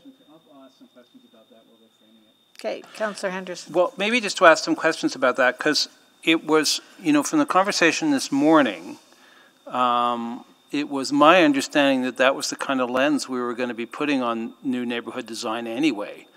Um, that that uh, so which would mean that it would be built, you know, because I would have assumed things like crosswalks and, and those pieces of the puzzle would be part of part of what was being approved by us as acceptable or not acceptable to begin with, and part of what would go into the cost of, uh, paid for by the ARA or by the developers themselves. So I, that's why I'm, I'm, I'm not quite sure I understand this motion. Um, given given what we given what we heard from the traffic safety this morning was that that lens was going to be put on new design anyway. So Yeah, am I- am I missing something here? Yeah, no, Councillor Henderson, I think you're making a good point, and uh, you're right. In new neighborhoods, the developer pays for the transportation-related infrastructure, and perhaps I'd let Ms. Petron add to that. Yeah, and they pay, and they have to build it to our standards. They don't get to make the Right. standards up themselves. And, and our standards, I think, based on our traffic safety stuff this morning, are gonna be different in the future than they were in the past. And Mr. Cebryk's here as well. He, he's looking like he wants to weigh in on this. Uh, Counselor, definitely, um, just to, to expand on what Mrs. McCabe said, is that we do uh, include uh, different traffic amenities as part of the neighborhood uh, design and, and safety. I think to Miss uh, Lamarre's point was we were trying to, um, I think, engage the development industry a bit more in terms of looking at it from a proactive perspective, but they're already contained within what we, uh, what we do review and approve. And, and that, so this has more to do with our standards than whether, you know, they have to build what our standards say they have to build when it comes to this, do they not? That's correct, and our design and construction standards were updated last year to reflect, uh, to fully reflect the complete streets approach to the design. And, and we'll have the traffic safety lens on it that was part of the report that, that we green, green lit this morning, correct? We'll continue, yes, we'll, and we'll continue to look for ways to embed that lens into our decision-making. So I, so I'm, I, I, I don't know, I'd, I'd, um, I'd have to hear from Councillor Cartmell if I'm missing something here, but I, I just assume from what we were told this morning that in terms of new neighborhoods, this should now be happening anyway, and if it's not happening anyway, then I'm, we, then I misunderstood the answer we got this morning. No, it is, and I, sorry, that was to Councillor Cartmell, not to me. Go ahead, Councillor Cartmell. No, no, no, I, I can't ask him a question if he wants to click back on, uh, but no, uh, uh, um, Mr. Cebryk also tried to answer, so. Go ahead, Mr. Cebryk. Thanks. So uh, I- I think you're right, Counselor. We are trying to, the intent of this morning's conversation was basically in line with what you're saying. Okay. So Yeah, so uh, I'll, I'll wait to hear from Councillor Cartmell if he wants to come back on, but I'm, I'm guessing, I'm hoping, I will be deeply disappointed if the motion that he's working on isn't redundant. So, and I think, I'm, I'm, I'm- I'm guessing he's hoping that as well, but uh, we'll see if he has any thoughts on it. Well, we'll wait for a few moments. Right now, we have Councillor Banga, then Cartmell. Councillor Banga? Thank you, thank you, Madam Chair. Yeah, my questions are probably similar to uh, Councillor Henderson's questions. Uh, this morning, when we heard from the speakers, it was all about all existing um, places where people are exper- experiencing those issues. Um, for the new ones, I believed again that uh, all those uh, issues are going to be considered, at least uh, factored in. Uh, for with this motion, uh, if we can't do anything for the existing one, then what's the sense having it? Then we are just uh, repeating what we discussed this morning. Yeah, Councillor Banga, if I have the opportunity to answer that, I think there's a question there. I was going to say that a motion isn't needed, so if I could clarify my previous um, answer to my question, what happens in new neighborhoods is the latest design and construction standards are used uh, uh, for design of the roadways, and they're added to subdivision, and um, and we continue and we work with the developer on that. And so we will make sure to continue to look at that as we as we look at new neighborhoods that come in. And it's more about the retrofit of existing neighborhoods. Okay, and uh, for the new uh, neighborhoods, uh, um, they're already paying for the road, for the for some of the infrastructure there, and uh, this is uh, nothing new, I suppose. Um, but if we could also add uh, for example, sidewalks in there too. Most of our design and construction standards require sidewalks on both sides. Uh, and I know in some industrial areas, it's sidewalks on one side. So Yeah. that's already included. I should say crosswalks, I'm sorry. Uh, crosswalks. So uh, perhaps uh, Ms. Petrin could speak to uh, where we require crosswalks or Ms. Sizer if she's on the call. Uh, Thank you. Uh, Yeah, so when we're working through uh, design with uh, developers in new neighborhoods, we do discuss where crosswalks may be needed on arterial roads, and then uh, as well as pedestrian signals as well can be included, and then that is dealt with through the arterial roadway assessment bylaw in terms of the cost. So in that case, do you think what we perceive from the initial, I guess, evaluation could actually change when all the development around that area uh, kind of completes? I- think that's the the difference between a developing community and a new uh, an existing community where there's maybe some retrofit needed. Um, so there's always the opportunity to go back and look at um, how the safety of our roadway can be improved. Okay, thanks. That's all my questions. Thank you. Uh, Councillor Cartmell. Thank you. Uh, So just in the uh, chats alongside, I, I'm understanding that a motion is not needed and we can have some further conversation with our development industry. I, I appreciate your comments, Councillor Henderson. It's, uh, uh, and maybe it's just my bad memory of, of calendars, but it just seems that very new neighborhoods don't have crosswalks. We hear from somebody this morning who's, who's in a house that's three years old and the crosswalk isn't there. So I'm, you know, if it's in the design standards and they should be built with the subdivision, then why aren't they there? And so maybe it's it's simply a matter of reinforcing that need uh, on approval of subdivision or those kinds of things. But I'm happy to leave it at that. Thank you. Um, Well, Councillor Henderson. with that being said, I'm, I'm prepared to move, which is just to receive this for information, I think, is it not? Yep. So, uh, and, uh, and, um, you know, I think, I- and, and just to say, I think this, the, the big pis- picture, this is important work that's really about our financial sustainability going forward, but I think, you know, I think Councillor Cartmell's point is well taken, you know, that if, that we also need to, to make sure that we're building neighborhoods that we don't have to be retrofitting 10 years from now. Um, and that really has more to do with our current, with, you know, making sure that our design standards and our expectations for safety are part of our thinking going forward. But that's part of the existing ARA, that's more about our processes um, of what we're doing with the money we're already connecting through levies. Um, and uh, this is, uh, this, this hopefully will give us some tools um, which I think are as much in the new neighborhoods' interest as any. I mean, fire stations are such an interesting one in that, you know, the, the, the cost of insurance, the cost of building, the kind of building that you can put up is very different if you have a fire station than if you don't. So arguably, there's, there's, there is real interest and, and, and if you, if you know you can be, that a, that a neighborhood's going to have a library or going to have a rec center, it makes it that much easier um, to, to, to make these neighborhoods that people are going to want to choose to move into. Um, and, and I'm really looking forward as well, longer term, to understanding how that applies to the neighborhoods where we're trying to encourage redevelopment and infill in the future and how we can make, how we can facilitate their amenities as well to make them equally attractive. So that being said, I'm really looking forward to the next stage of this work. Thank you very much. Uh, With that, I will call the vote. Please vote.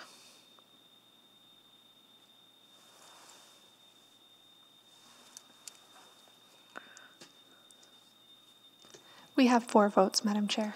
Thank you. We'll display the vote. And that is carried. Thank you very much. So now that we've finished our time specific at 1:30, we'll go back to start with 6.2. And uh, Councillor Banga, you had selected that. It's information report. Do you have questions? Or did you need more information?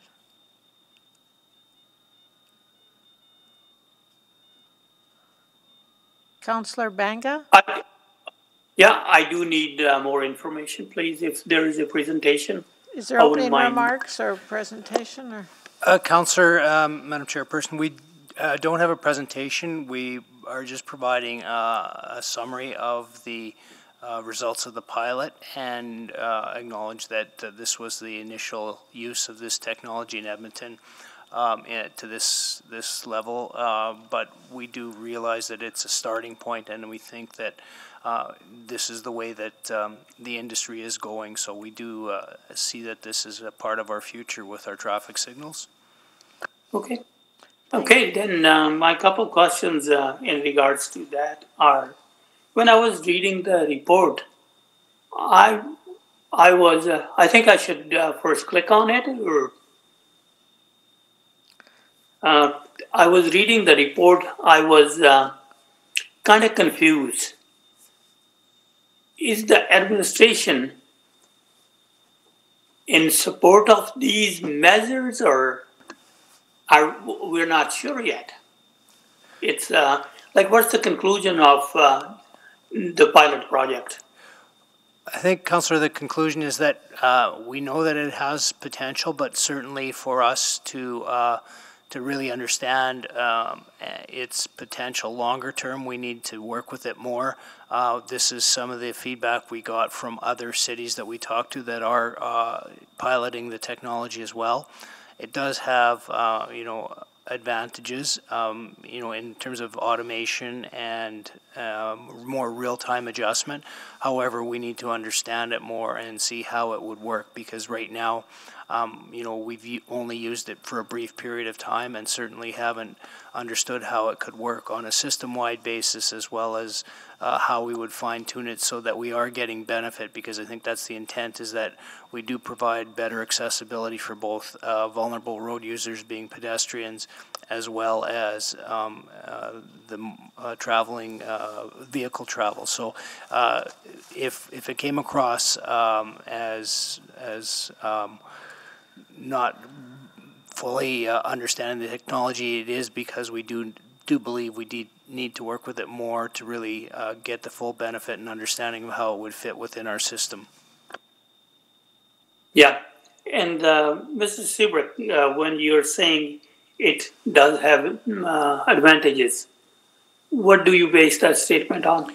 So the the potential of the technology is is so that it is more real-time adjustment and more responsive to changing demands.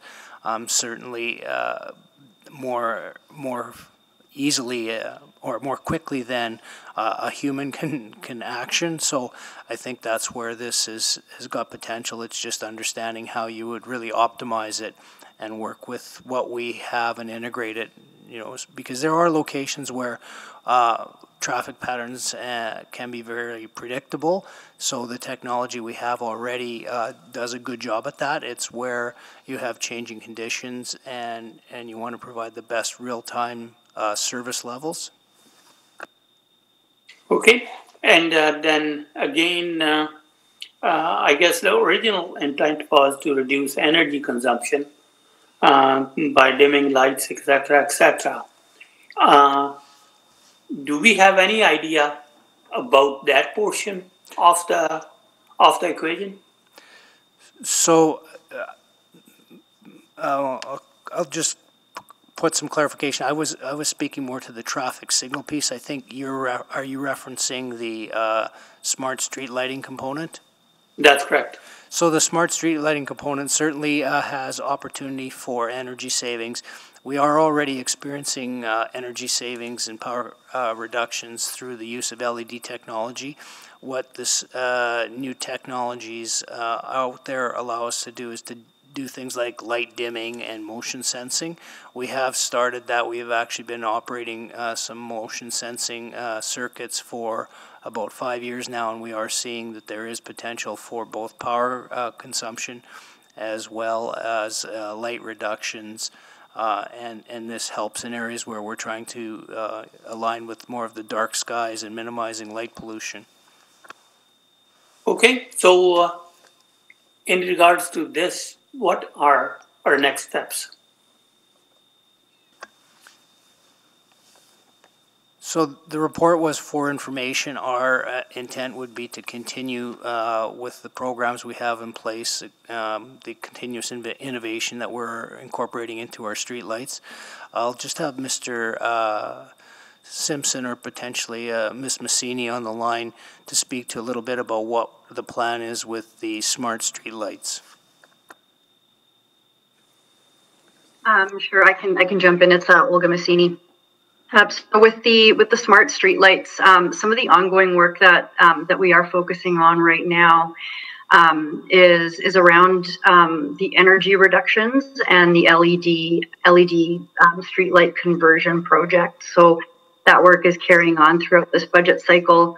Um, the next connection um, around around that is in relation to the Smart Transportation Action Plan, and um, with smart with street lights in general, we have some opportunities for adaptations to um, to increase pole attachments that um, that can give us feedback and um, and tell us a, a greater story of um, of what's happening on our streets in terms of um, lighting conditions, you know, weather related issues. But um, all of that tying back into actions within the Smart Transportation Action Plan and future city plan alignment. Thank you, Madam Chair. I'll uh, move the recommendation when the time comes. Thank you. That'll be for information. But first, we have Councillor Henderson. Yeah, just really quickly, since we've had it selected, I'm, I'm curious to know, do we have any theories why we didn't see benefits from it? Is there a limitation in the programming, or is it because it's, or is it in part because it throws the, it doesn't fit well with the rest of the system and throws everything out of sync? So perhaps I'll have uh, Ms. Massini uh, just provide some detail in terms of the specifics of the pilot. So, you know, we when we chose this um, this particular corridor, we, we chose it because it had a high variability in, in terms of traffic patterns.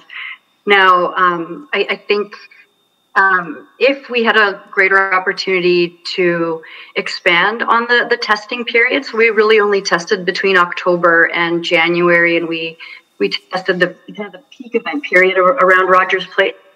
Um, I, I, believe that some of those um, those issues that we experienced around the transition, around the, the signal timing and coordination. Um, we could potentially have worked with the vendor um, closely to understand limitations in the system. Um, because it is still rel- relatively new and in, um, in, in a testing testing phase, um, it's that transition period that actually increased travel time so the transition from identifying a new pattern and implementing a new a new timing was was one of our biggest issues. So so it's not that this will never give us benefit, but it's just either we haven't played with it enough yet, or it's not quite sophisticated enough to give us the benefits, which is why you want to keep on going with it. Yeah. Is that? Yeah, absolutely. Yeah, and we're we're we're continuing to use a lot of that that equipment today. So, um, you know, even with um, with traffic volumes in the downtown dropping with um, with the pandemic, we're still using a lot of that equipment to continue to measure. So it, it really hasn't all all gone to, uh, yeah, to no, waste. I'm, I'm I'm just surprised there weren't advantages, but but it may be that you know that computers aren't quite as smart yet as we think they are. So great, thanks. Thank you, Councillor Knack.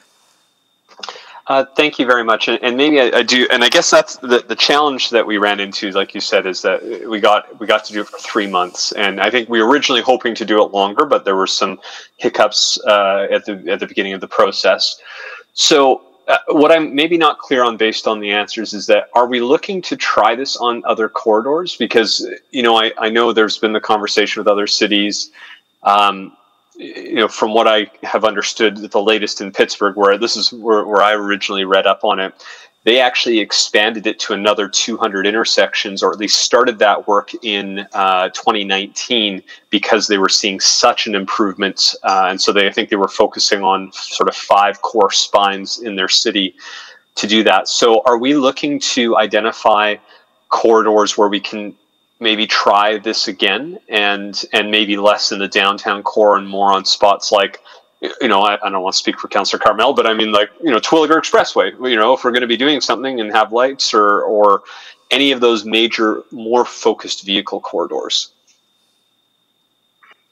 So broadly I would say I would say yes. We would, we would be looking at um, at, at implementing or integrating um, you know more much more current systems you know, quite quite similarly to um, a, lot of our current systems today. So, you know, in part, um, what what you experienced, um, Councillor Knack, was um, we were upgrading our central um, our central um, controllers. That's our central traffic management system to be able to to align and adapt, and and we'll be able to integrate a lot more of these systems in, into the future.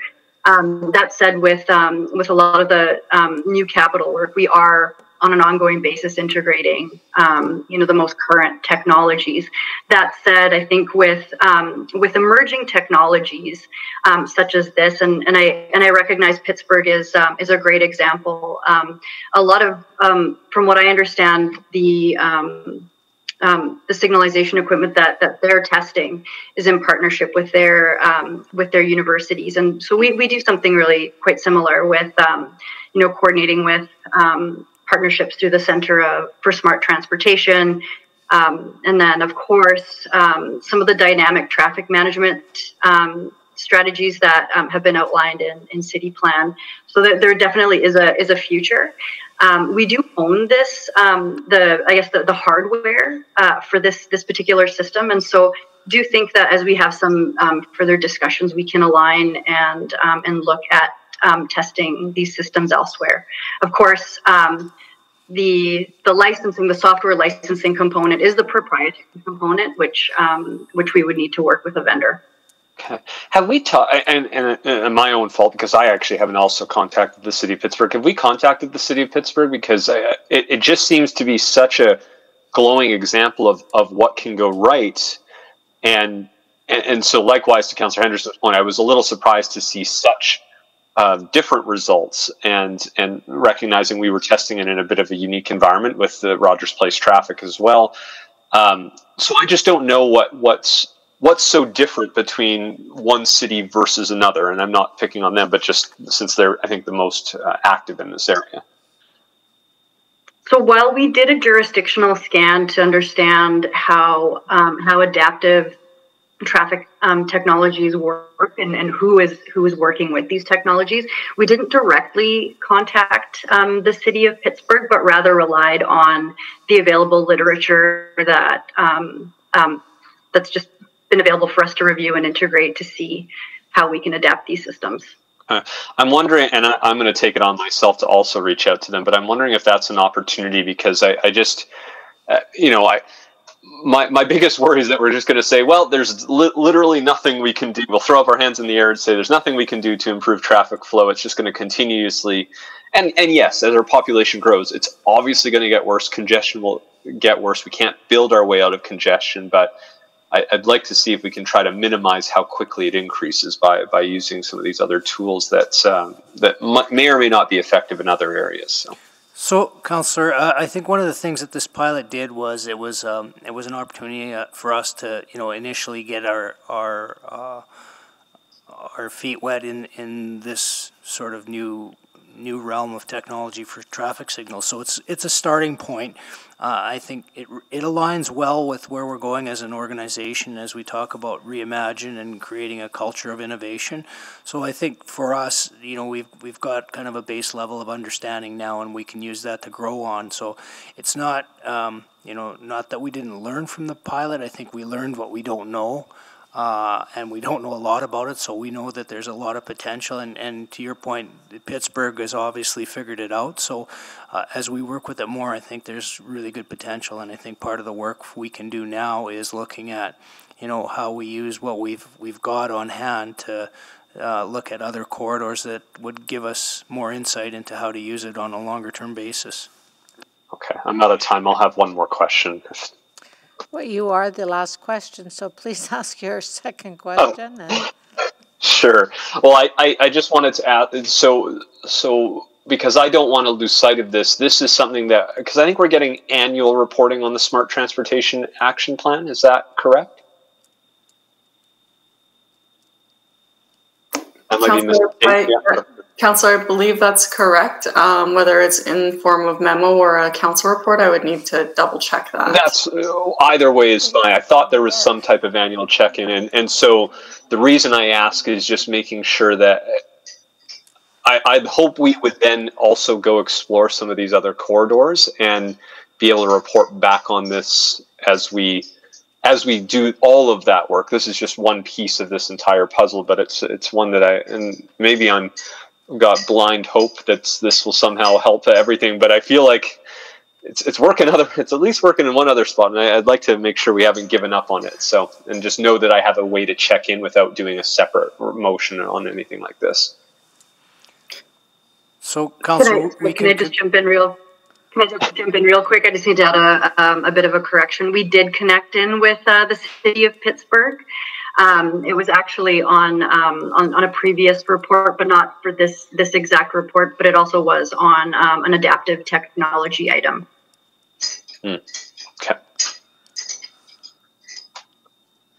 Was there another comment? Somebody, there were a couple of people that were responding when I. Sorry, Councillor, uh, it's Gord Cebryk. We can commit to, uh, as part of the uh, regular update on the Smart uh, Transportation Action Plan, we can commit to uh, moving forward with um, any updates as we examine other corridor locations and potential learnings for um, this this technology.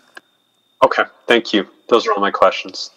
Thank you, and I think Councillor Banga indicated he was going to move to receive this for information. Any other comments, Councillor Banga, or is that good? No, it's all good. Thank you, and uh, I move the recommendation. Thank you. All those in favor, I guess, please vote.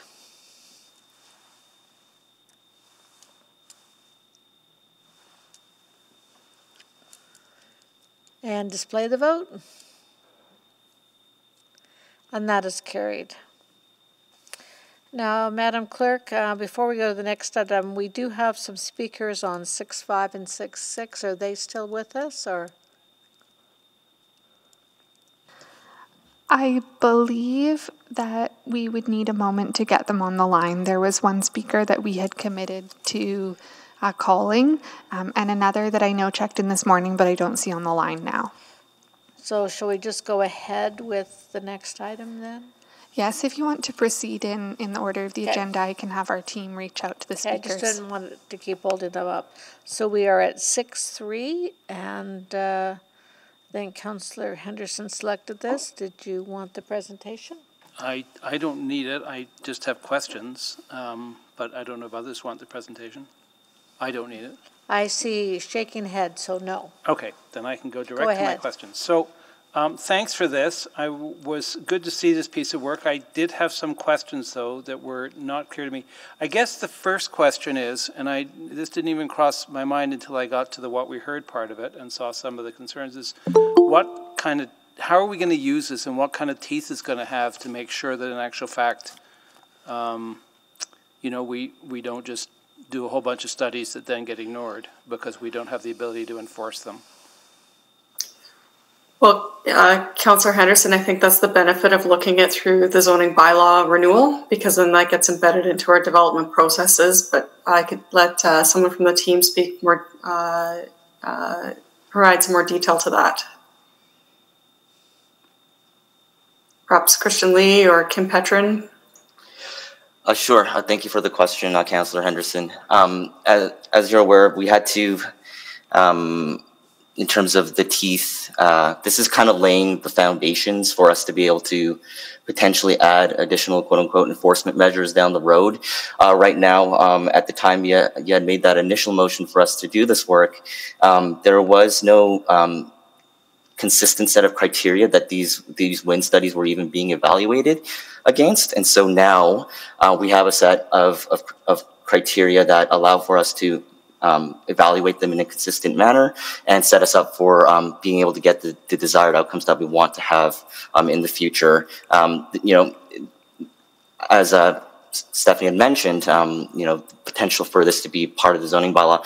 We do plan on bringing back um, amendments to the zoning bylaw to ensure that they are they become actually in effect, especially at the development permit stage, because right now, uh, the only way we get wind studies um, clearly outlined in terms of, of the information we request and what to do with them is through the direct control provision process. And so we don't have any provisions really for our standard zones either.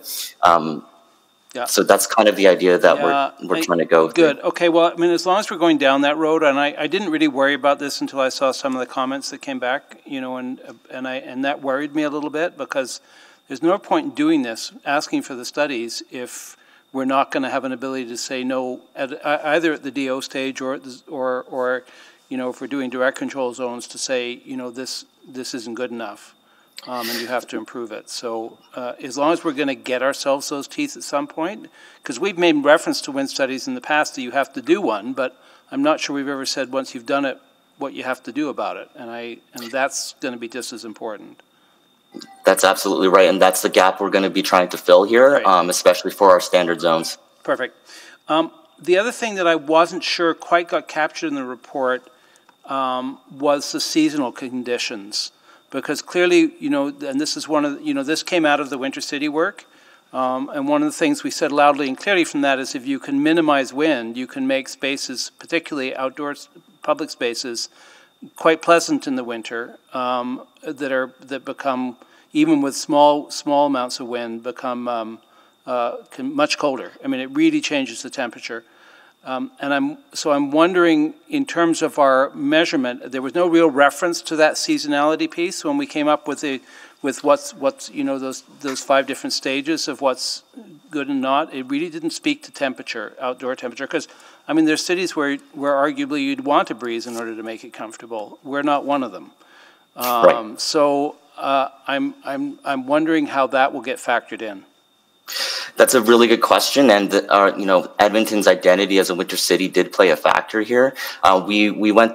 Uh, we requested um, some some evaluation of of uh, two different sets of criteria, one for winter and the other one for non-winter. Um, and for winter, um, there within the technical document um, that that was attachment, uh, I believe attachment two, um, outlines two sets of criteria, one for winter and one for non-winter. And in winter, the tolerance for um, uh, wind speeds for sitting, standing, walking are, are different than what they would be in the summer. And part of the terms of reference and, and what we would require in those uh, wind study reports would be to differentiate be- between the two so that um, the report would identify these these areas within the site are appropriate for those types of activities, i.e., sitting, standing, walking, having a coffee, etc. Um, the other question, I'm going to run out of time, so I'll need a second round, but, but I, maybe I'll start with this one. One of the things I think that we've done in the past, we've always looked at buildings in isolation, and we haven't looked at the cumulative effect. Um, and that, you know, and clearly, um, clearly that cumulative impact is part of what we need to be able to understand as we do these wind studies. So um, is that part of the work that we will do in the future, that it's not just what happens in one building, but what that building will do um, in its larger context, or the way in which the larger context may actually change the way a building itself functions and operates? That's that's an excellent question, Councillor Henderson. Um, we currently don't, to my knowledge, have a comprehensive 3D model of our entire city. Um, we have had requests over the years to have this information developed, but it, it, it's resource intensive and takes a lot of time. Um, and the appetite for it hasn't been strong enough to be able to get it done. But my understanding in on a high level is that we are in the process of finally being able to do that um, do that work. And yes, we do intend for this in, this information that we get out of the terms of reference as these taller buildings that impact wind conditions get developed um, to be evaluated and see the before and after effects, not just on a lo- on a local micro level, but on a more macro level as well. Okay, I'm out of time. I would keep on going, but I- there may I be others that have questions. No one else having questions, so if you would like will to go to your second I- round, I will- please go ahead. Okay, um, so I'm, uh, I guess, uh, based on that too, um, I was a little bit concerned that we were looking at base conditions as a kind of starting place to measure against. Because if a base condition is negative to begin with, is already problematic, um, I'm just a little bit worried that, you know, that, that, um, again, it has to do with that cumulative piece. You know, I'm thinking, you know, and we're, it's, you know, it's interesting. I mean, the, the story I always tell is the piece that is now called Oilers Way, that is connecting City Hall through to the, to the, to, uh, you know, which was, is not just, you know, it's an imperfect, it is, it is a perfect but not pleasant microclimate where the wind actually direct, changes directions halfway along. I flagged that for the Oilers and said, if you want to make this Oilers way, you're going to have to do something to fix this. And nobody, they said yes, yes, and then I think did nothing. In actual fact, I think we've made it worse, not better. And now we're going back in and doing a retrofit to try and put stuff down at ground level to deal with that wind piece. So, um, you know, I, I, that's why my concern about base level, you know, we, we might have been able to do some things with, with the new buildings we've added in, including our own tower, that could have helped rather than make it worse. And I'm wondering how we're going to look at that piece of the puzzle.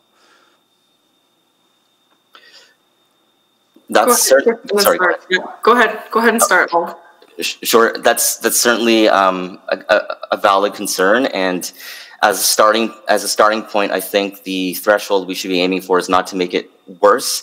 Um, through our engagement over over the summer with uh, with industry, um, and again with all the other slew of factors that played into the development of this, um, this again sets the foundations for us to be able to, first of all, consistently evaluate, but in the future also sets us up to be able to, again, add additional measures to be able to perhaps, again, have taller buildings um, reduce rather than just have the benchmark be the status quo, but reduce the impact of those wind conditions on the public realm.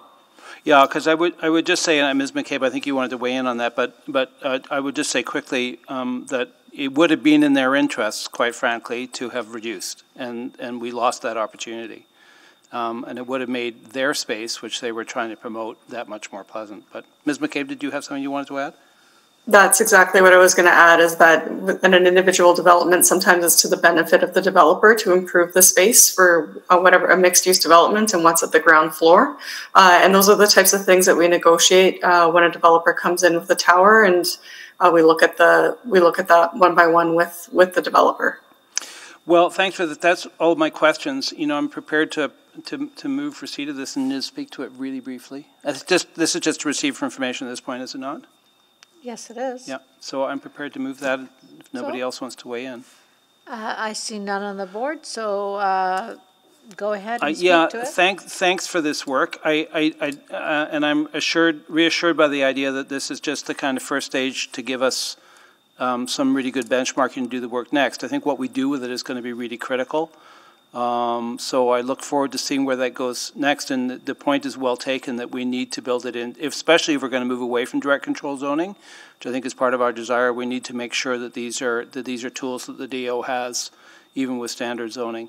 I, I would also really, really encourage, uh, you know, I think maybe not the whole city 3D modeling, but I think there are definitely contexts like downtown, like some other areas, you probably some of the areas, um, uh, well, there's other areas that are now developing with, with, with more of these kind of microclimatic effects.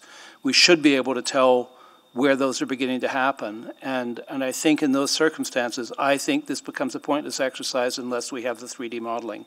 So I would really encourage us to look at building that for areas where we do have cumulative impact. Because uh, otherwise, I think we're going to miss things. We're going to ask for buildings to do to do one thing that will make no difference because they have not taken into consideration um, the cumulative impacts of what's happening around them, and and it will be a great effort that will go no. So I think we have to do that. I know it's complicated, but. Uh, it's way easier to do now, you know, with, with, with some of the tools that you're talking about than it probably would have been even five years ago in terms of the technologies that are available to us. But if we're going to keep on building the kind of areas we want to build and make them people friendly for our climate, um, we have to have the tools to do that. And that means the 3D modeling, and that means then having also the tools to make sure that, that, um, that we can enforce the choices that actually can make sure we end up with good good pedestrian space. So thank you for this. I look forward to see what happens next. Thank you. I see no further speakers, so I will call the vote. Please vote.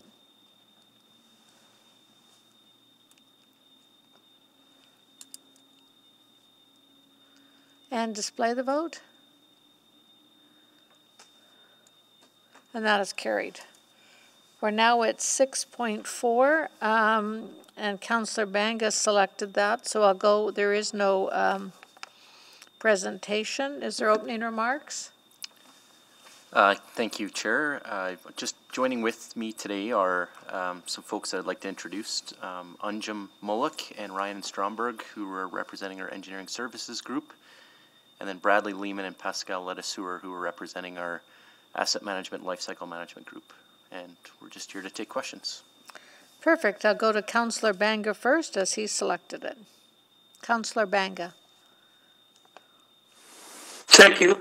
Just a few questions. Uh, uh, it is, uh, I know uh, the specific uh, specifications uh, for the construction are either being done by the city or uh, or by the developer.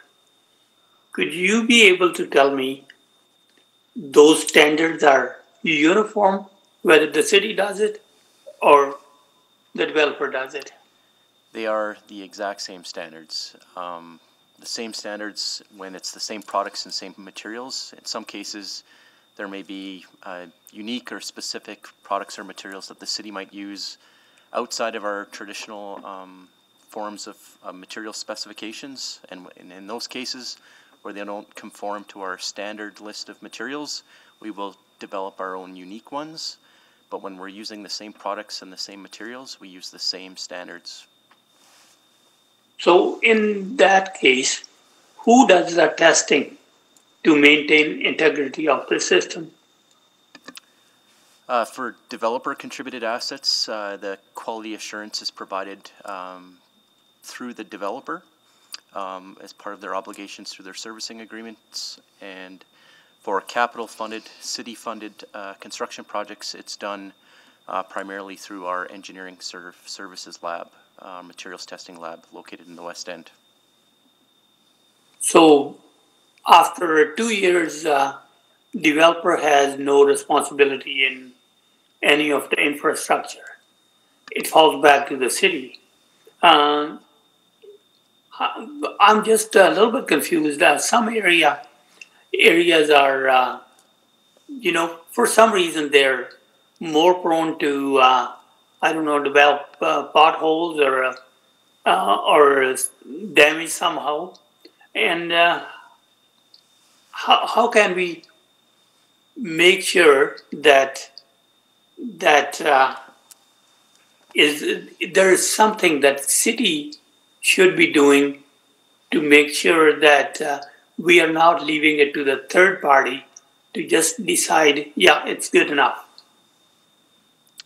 So, as, as part of the process um, to contribute assets, and I perhaps maybe there's somebody from Ms. McCabe's area that could um, also add to this, but the developer is responsible for providing independent third-party verified results. Um, the quality assurance is provided by a third party and then submit it to the city for review and verification, at which point we um, inspect the work, go through the quality assurance material, and then um, there's kind of a two-stage process, uh, construction completion certificate uh, when the work is complete, which then um, the warranty period starts for, depending on the the type of asset, it can be one or two years, and then um, a final acceptance certificate is also then issued by the city. Again, doing an, a site inspection as well as a review of any of the corresponding uh, quality assurance documents to support that work.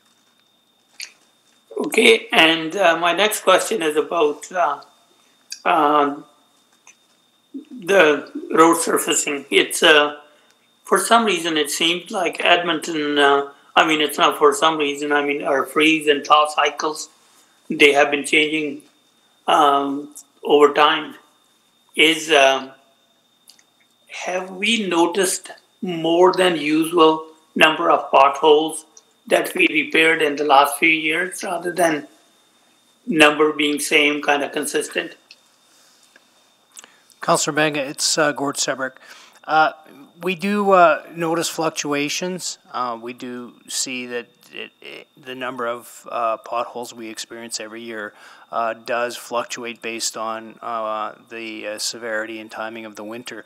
But we also know that we've uh, been making headway in the investments that council's approved with respect to rehabilitation and renewal. So, you know, the work that's been done in the neighborhoods as well as the arterial road uh, rehabilitation program has allowed us to um, not have to be on those roads fixing potholes as much. So there are a couple of factors, but certainly the investments in rehabilitation are having an impact. Okay, so uh, in uh, in freezing and thaw cycles, uh, there would be another jurisdictions that are pretty similar to us. have we consulted them? It seems like we have more uh, potholes or uh, road repairs needed. Um, are we talking to them? Uh, there are a number of contributing environmental factors that uh, influence the, as the report outlines, that the the the prop propagation of, of potholes. And um, you've mentioned one of them. One of them is freeze thaw cycles. Um, that's kind of a, at the immediate surface. There's underlying some um, conditions as well in terms of the geotechnical substructure um, and what that material is made out of. So it's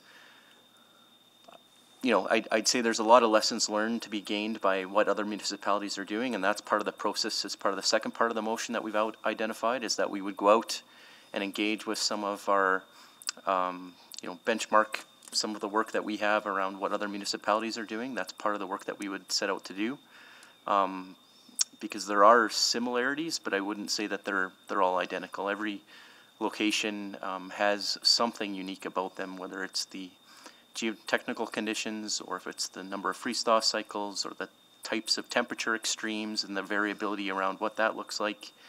Um, there are a lot of different things that influence the, the presence of potholes. Thank you so much.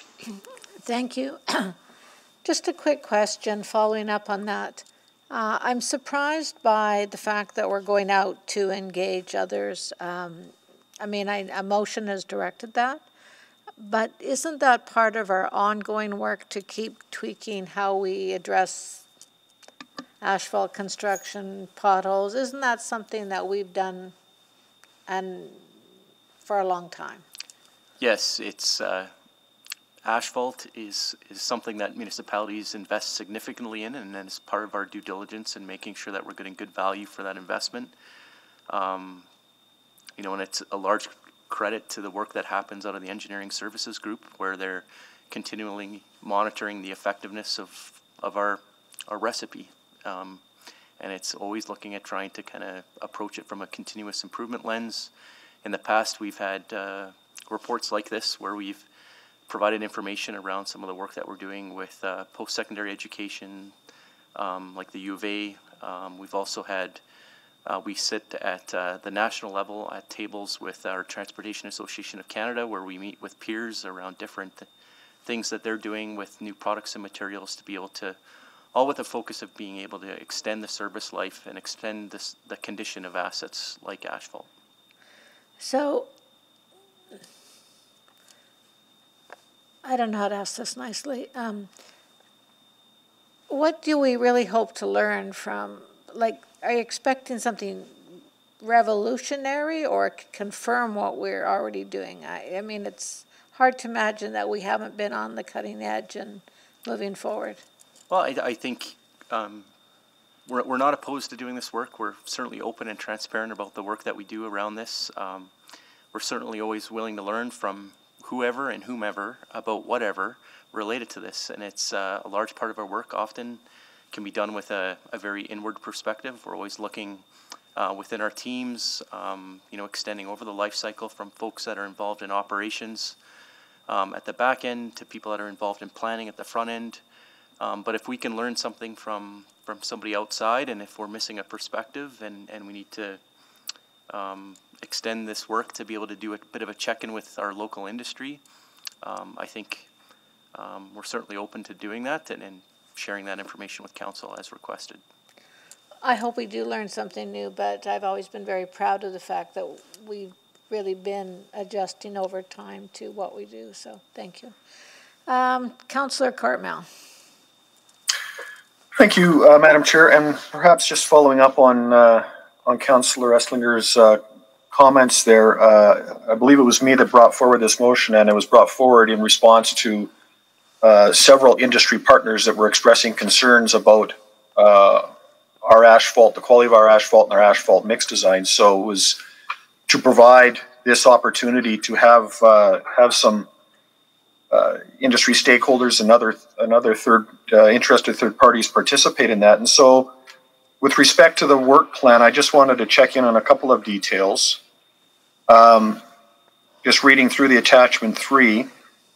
uh, and it speaks to a survey or a, a, stakeholder survey. Is is a survey the only opportunity that interested third parties and partner uh, stakeholders might have to get involved in this conversation?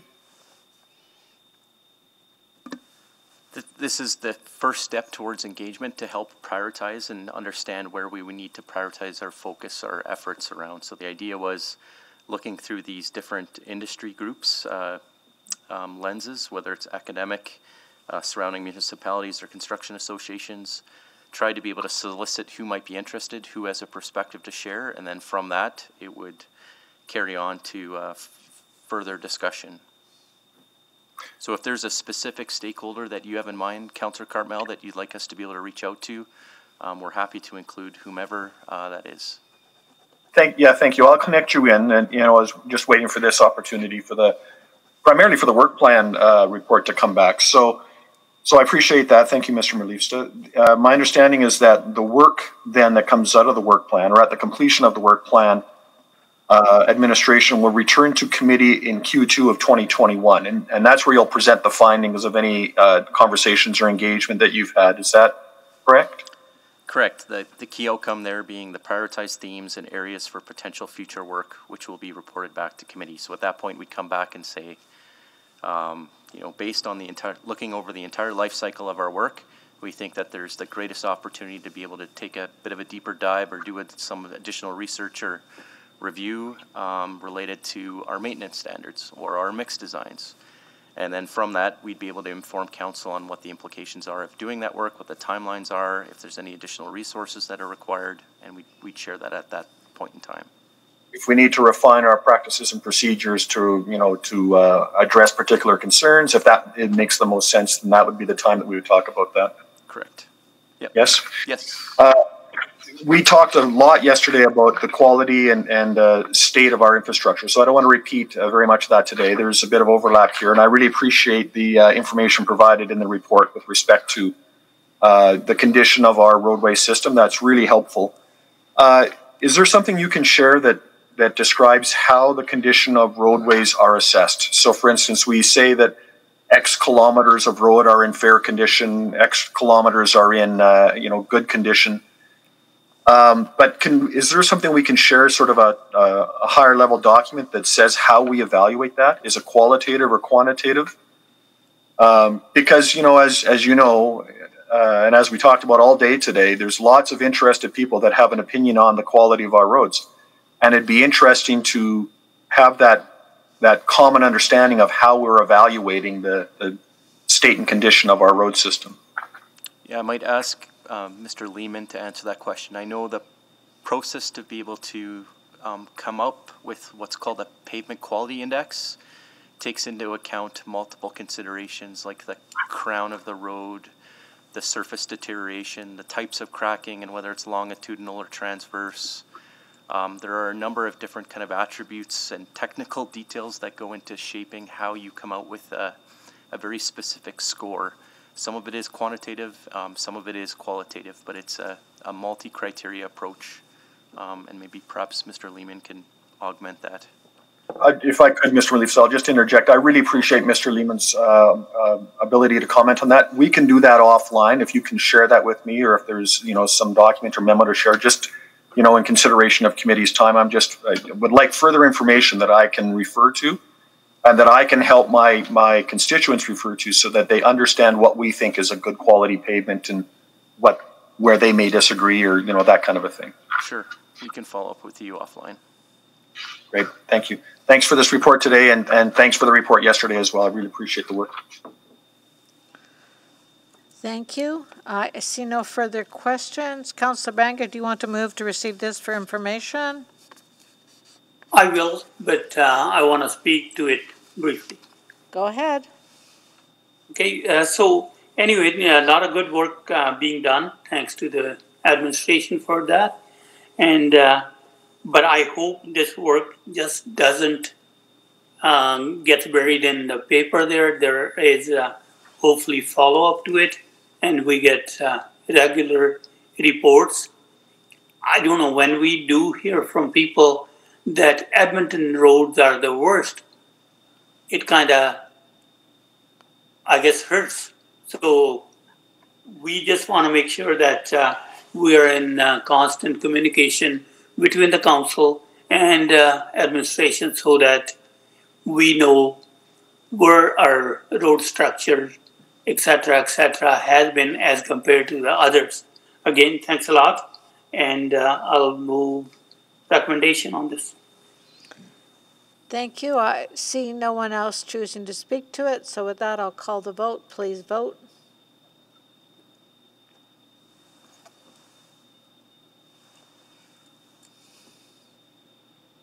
We have four votes. And display the vote. And that is carried. Thank you very much. We are now at item 6.5, so we'll start with administration comments and then we'll go to our speakers. Uh, Madam Chairperson, committee members, members of council, uh, today we've prepared uh, the report on gravel roads, in particular maintenance and renewal. Uh, it does reference two external uh, bodies of work in terms of uh, assessing our program and our investment in the maintenance. We have uh, with us this morning or this afternoon uh, Brian Simpson, our branch manager, Parks and Roads, as well as Eduardo Sosa, our director of uh, infrastructure maintenance, and we have Colin Roy from the IBI group who conducted the uh, external uh, work on this project. So we'd be happy to uh, take any questions following the speakers. Thank you, and we have two speakers. Um, the first one is Francis Roy. You have five minutes. Please go ahead. Go ahead.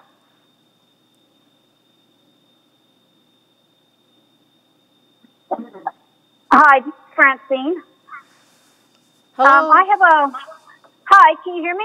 Yes, we can. Please go ahead. Hi. Um, I lived in the um, part of Edmonton that was annexed um, off of the 510 uh, in between Edmonton and Beaumont. And um, when we were a part of Leduc, our roads were fantastic. Never had a problem uh, with the roads. When we first moved into that area, that was like a walking path for the residents where we would take, I would take my grandkids up and down on their bikes, on the stroller. Uh, it's impossible to do it now because it's all gravel. It's like a huge rumble strip. And I phone in every week in the summertime, in the spring, summertime, and fall, because we have major potholes. The ro- um, back in this the summer, they ended up taking all the asphalt off the 510 and redoing our road, but it made it worse. It's just one big rumple, and they've had the gravel or the grader go out there sometimes twice a week, and um, it hasn't done any anything. Uh, and when we were part of Leduc, like I said, we never had any problems. Um, and then this spring, the county of Leduc, when the ditches got too full so our property wouldn't flood, they would send out the pumping trucks to to pump the water away from our property, and um, we have to do that now. Um, yeah, and like I said, I call in once or twice a week. I'm like the queen, ho- uh, the queen of pothole complainers on on your guys' hotline. Um, so yeah, I guess that's. Uh, I'm just going over my notes here. I think that's. Um, yeah, that's it. I don't know if you guys want the road or the address of it. Well, Ms. Roy, uh, we have one more speaker, and then counselors, if you'll stay on the line, counselors will ask you some questions. Is that okay? Yeah, yeah, that's fine. Thank so, you for listening to me, guys. All right, thank you for sharing. So we're going to go to uh, Jane Smith now. And Madam Chair, uh, I was just notified that Jane Smith has withdrawn their request to speak. Okay, I'm sorry. Uh, Ms. Smith is no longer able to speak with us, so I will open up for counselors' questions.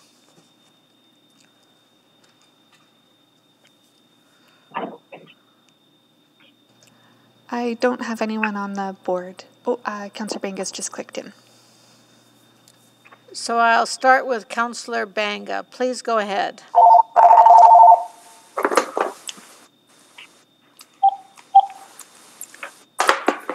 Hi, sorry, I had to shut my phone down. Anyhow, uh, just uh, what the speaker uh, stated, I, my office been getting complaints, especially between uh, Ellerslie Road and uh, and uh, 17th Street on Beaumont. It again, uh, there. I heard quite a few people saying that the roads uh, were better when they Councillor were under. Banga, uh, we're asking questions of our speaker. Oh, I'm sorry. Ms. okay. Roy. Yeah. Do you No, have questions for her? her. Yeah, but anyway, uh, my question to the speaker is what kind of, uh, when you're saying uh, you are, uh, you can't uh, bike or do whatever, could you be able to uh, discuss more in detail? What would be, like, what, what is the real concern? Is it, uh, is it the gravel? Is it the dust?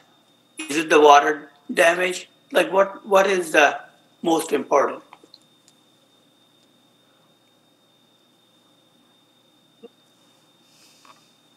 Hi, it's Francine. Um, the problem with the road is the four, I'm not sure what you guys call it. I call it Chinese asphalt. Um, that's what we had. And then over the first couple of years, you guys, like the first year, you guys would just gravel, uh, just go over it with the graders, tear up that asphalt that we had, and it created it to be um, like gravel. So, and then with the young kids, it just is not a place where you want to take the kids, the younger kids on a bike. Like I, I'll still ride my bike to go get my, my, my mail at the end of the street. But it's not a place you want to take the kids falling off onto the gravel, uh, the younger kids. It's not a place I want to take stroller in the winter or in the spring. It's like potholes. Um, and I did have damage on my car. Um, it's just not what we had when we were Leduc. It's disappointing. Okay, so could you be able to tell me approximately where you are located? Yes, I am on 56th Avenue and 80th Street Southwest. I am just um, south of Summerside. Okay, yeah, no, I got it.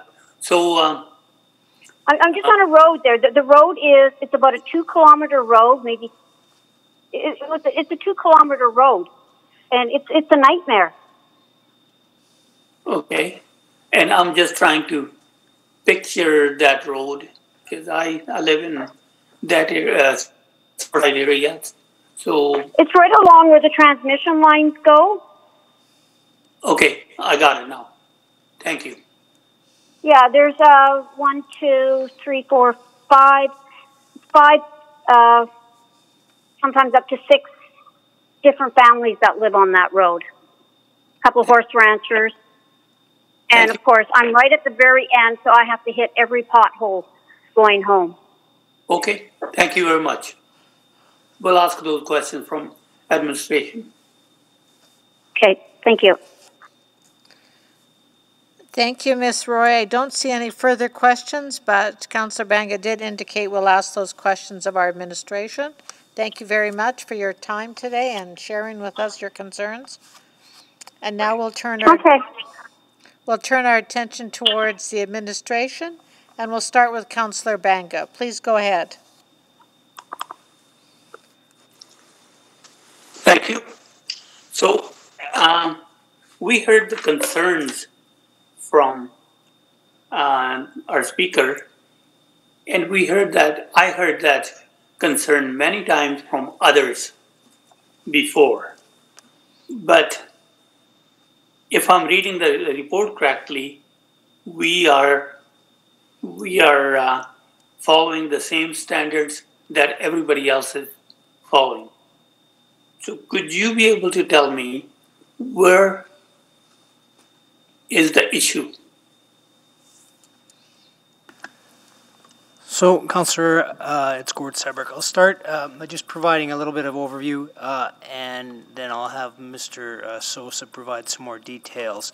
So, I think part of the challenge is the condition of uh, the roads that we uh, inherited from the annexation. Certainly, we're not in as good a condition as we initially anticipated that they would be.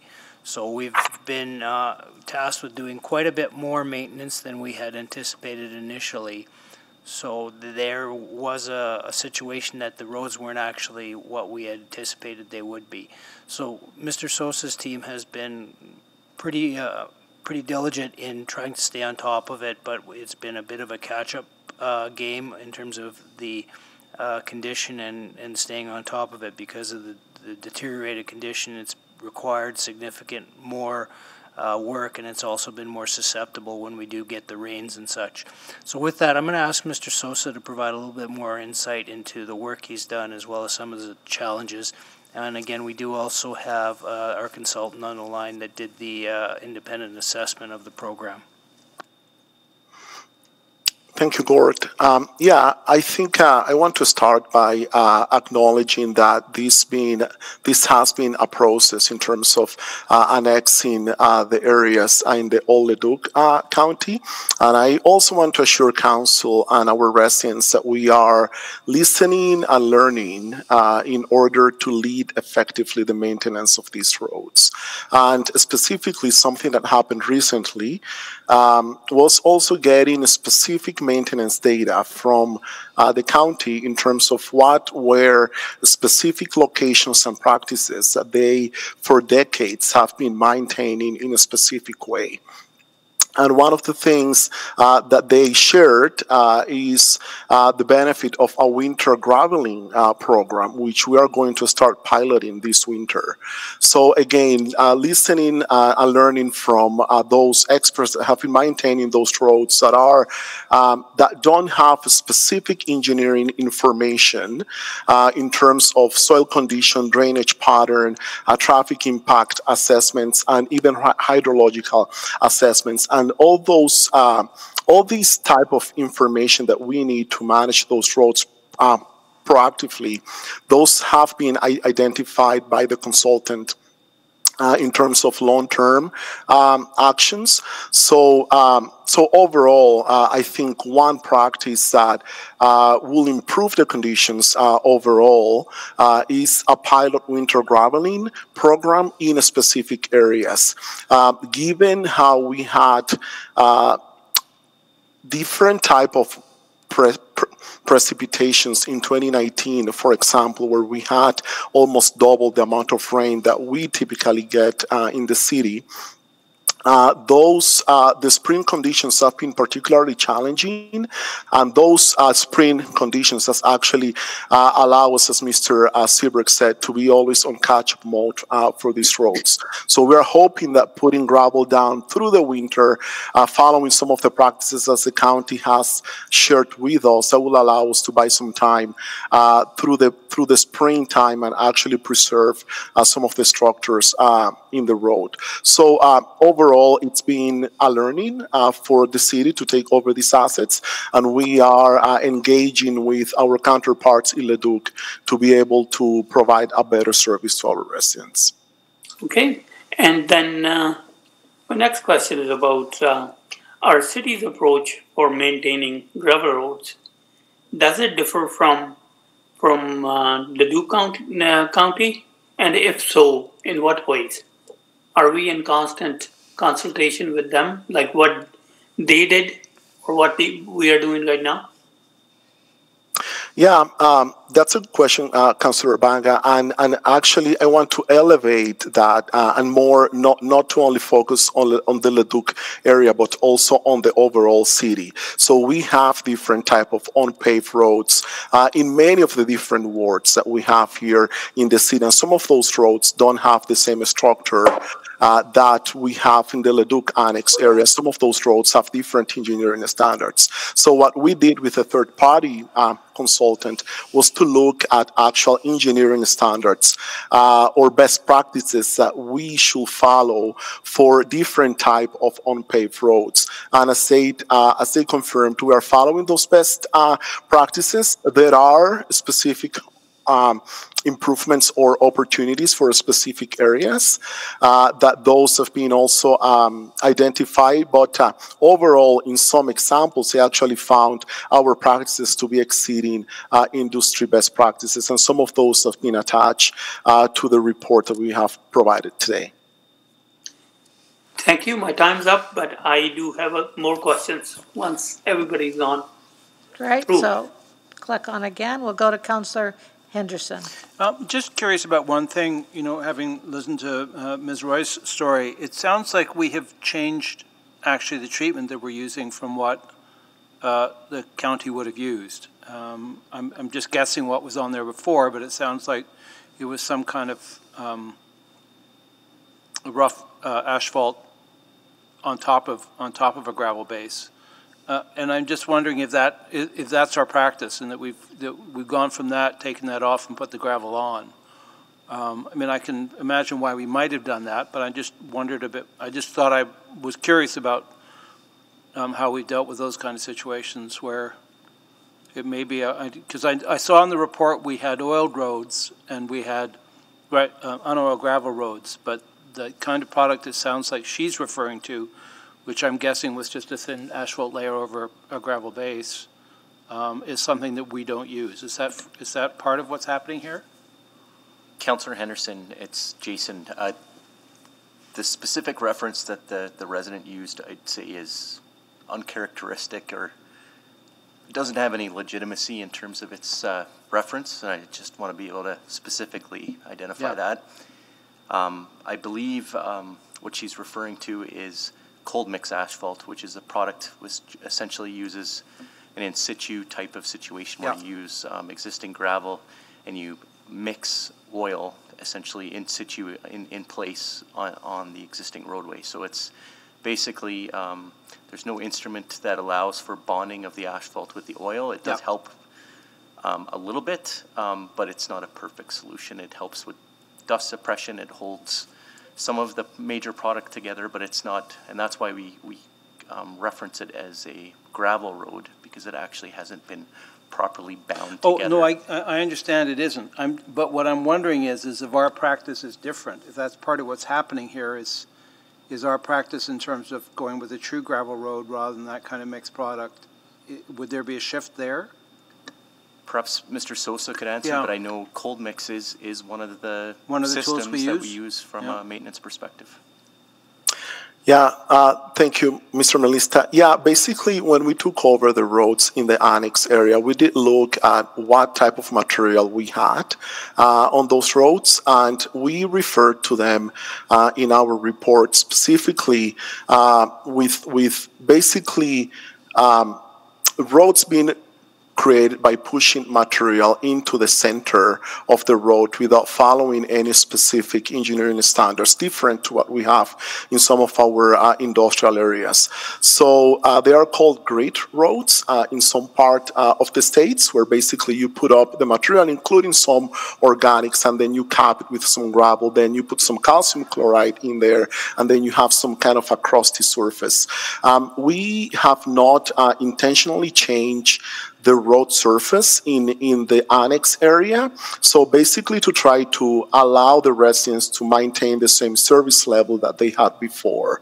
So, and that has actually um, uh, that has actually required that our maintenance teams not only do, you know, the consistent graveling or profiling that we usually do, but basically we have a mismatch of different maintenance standards, which we are trying to regain now by number one, replacing some of the bases uh, in some areas where drainage has actually uh, undermined the structure uh, of the roads. So, uh, and I mentioned this just to give you an example with the type of asset that we're managing. So, to your point, it's not uh, are, are not roads built based on the standards that we have.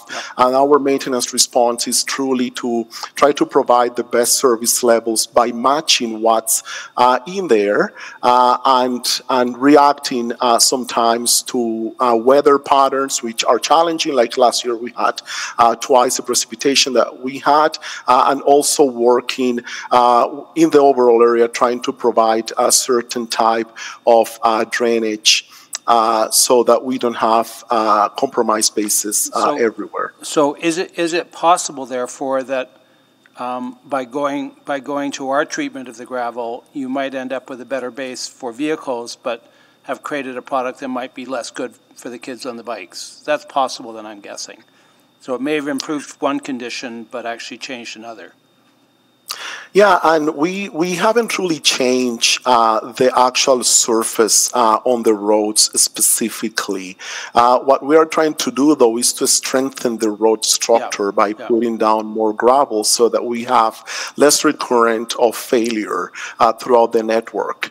Um, so, and uh, also really listening and learning from from the residents. Uh, I, you know, we're really proud of the team, basically speaking on a weekly basis with with the residents um, uh, in those specific areas just to be able to match uh, the service levels that uh, we have. But to your point, uh, more the ongoing construction and catch up that we've been in, that, that might have created challenges for some road users. for sure. Short-term change may give long-term benefit. Yeah, okay, I'm out of time. Thanks. Thank you. Um, I just have a question about the drainage. Um, the speaker talked about uh, previously Leduc would come along and drain the ditches, and now they're responsible. And I'm just wondering um, uh, how that impacts the road conditions. Um, I, it's alluded to in the report from IBI, but it wasn't the scope that they were looking at. So could you speak to me about that? Is it a factor? Should is that one of the reasons that they're seeing something different? Uh, Perhaps I'll have Mr. Simpson just provide some uh, details on the drainage work that we've been undertaking.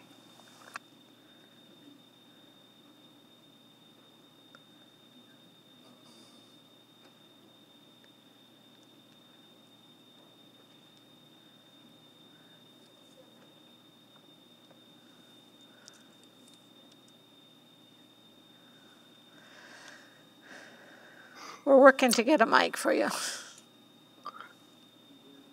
It's coming here.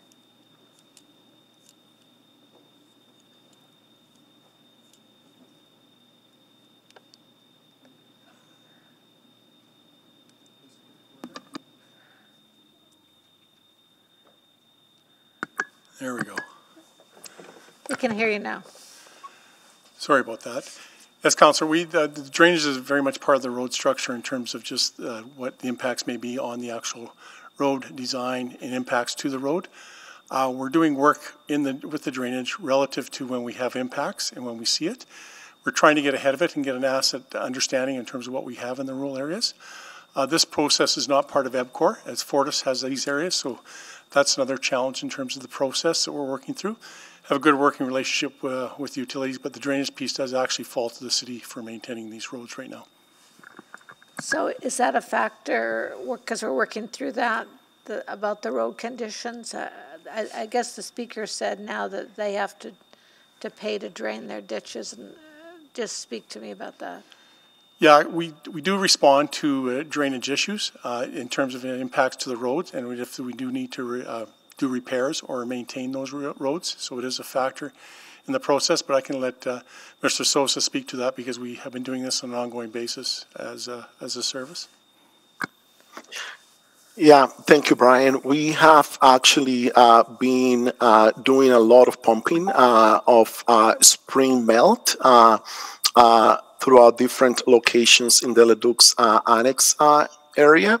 Uh, there are some uh, some practices that are more around uh, historical components that the county used to do. Um, partnering with uh, some some residents basically uh, to prevent uh, some roads uh, failure. So what we are doing right now is connecting with uh, the county to get uh, specific locations where we know if flooding occurs there, then the road will be um, will suffer uh, some of the consequences. But um, overall, as Mr. Uh, Simpson said, we have uh, been taking on many of the activities around uh, drainage, including uh, culverts, uh, replacing many of them, and also doing some localized ditch um, repairs uh, and profiling. Uh, this year, particularly, we had one of the biggest uh, ditch profiling projects that, that we had um, uh, in city history, basically uh, aligning some of the some of the stormwater flow um, in, in, in the area. Uh, we can actually commit to to also reaching out.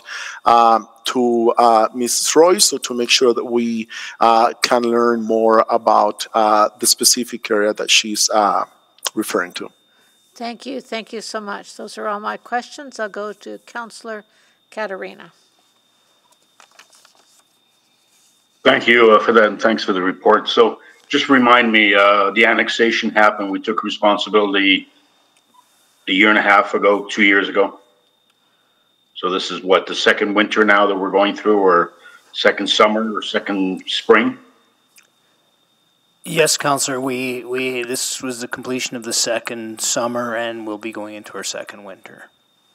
Right. So I mean, it hasn't been uh, a lot of time in that, and uh, so Mr. Cebryk, uh, you know, you've mentioned it. Uh, Eduardo's mentioned it. Others have mentioned it that you're learning. Uh, so tell me what the difference is between Leduc County annexation and uh, Sturgeon County annexation to our north. What what's the difference? Since we've had that uh, for the last 45 years, no learnings. We're just learning now on how to deal with uh, rural. Uh, Councillor, no, I think we've been dealing with rural roads for uh, a period of time, and certainly um, we have a, a, practice and a procedure which was outlined in, in the report uh, I think what we found, again, I alluded to earlier, was the fact that the condition of the roads uh, in Leduc County, in the areas that we annexed, was not to the same level uh, that we had anticipated, and and we're playing a lot of catch up now.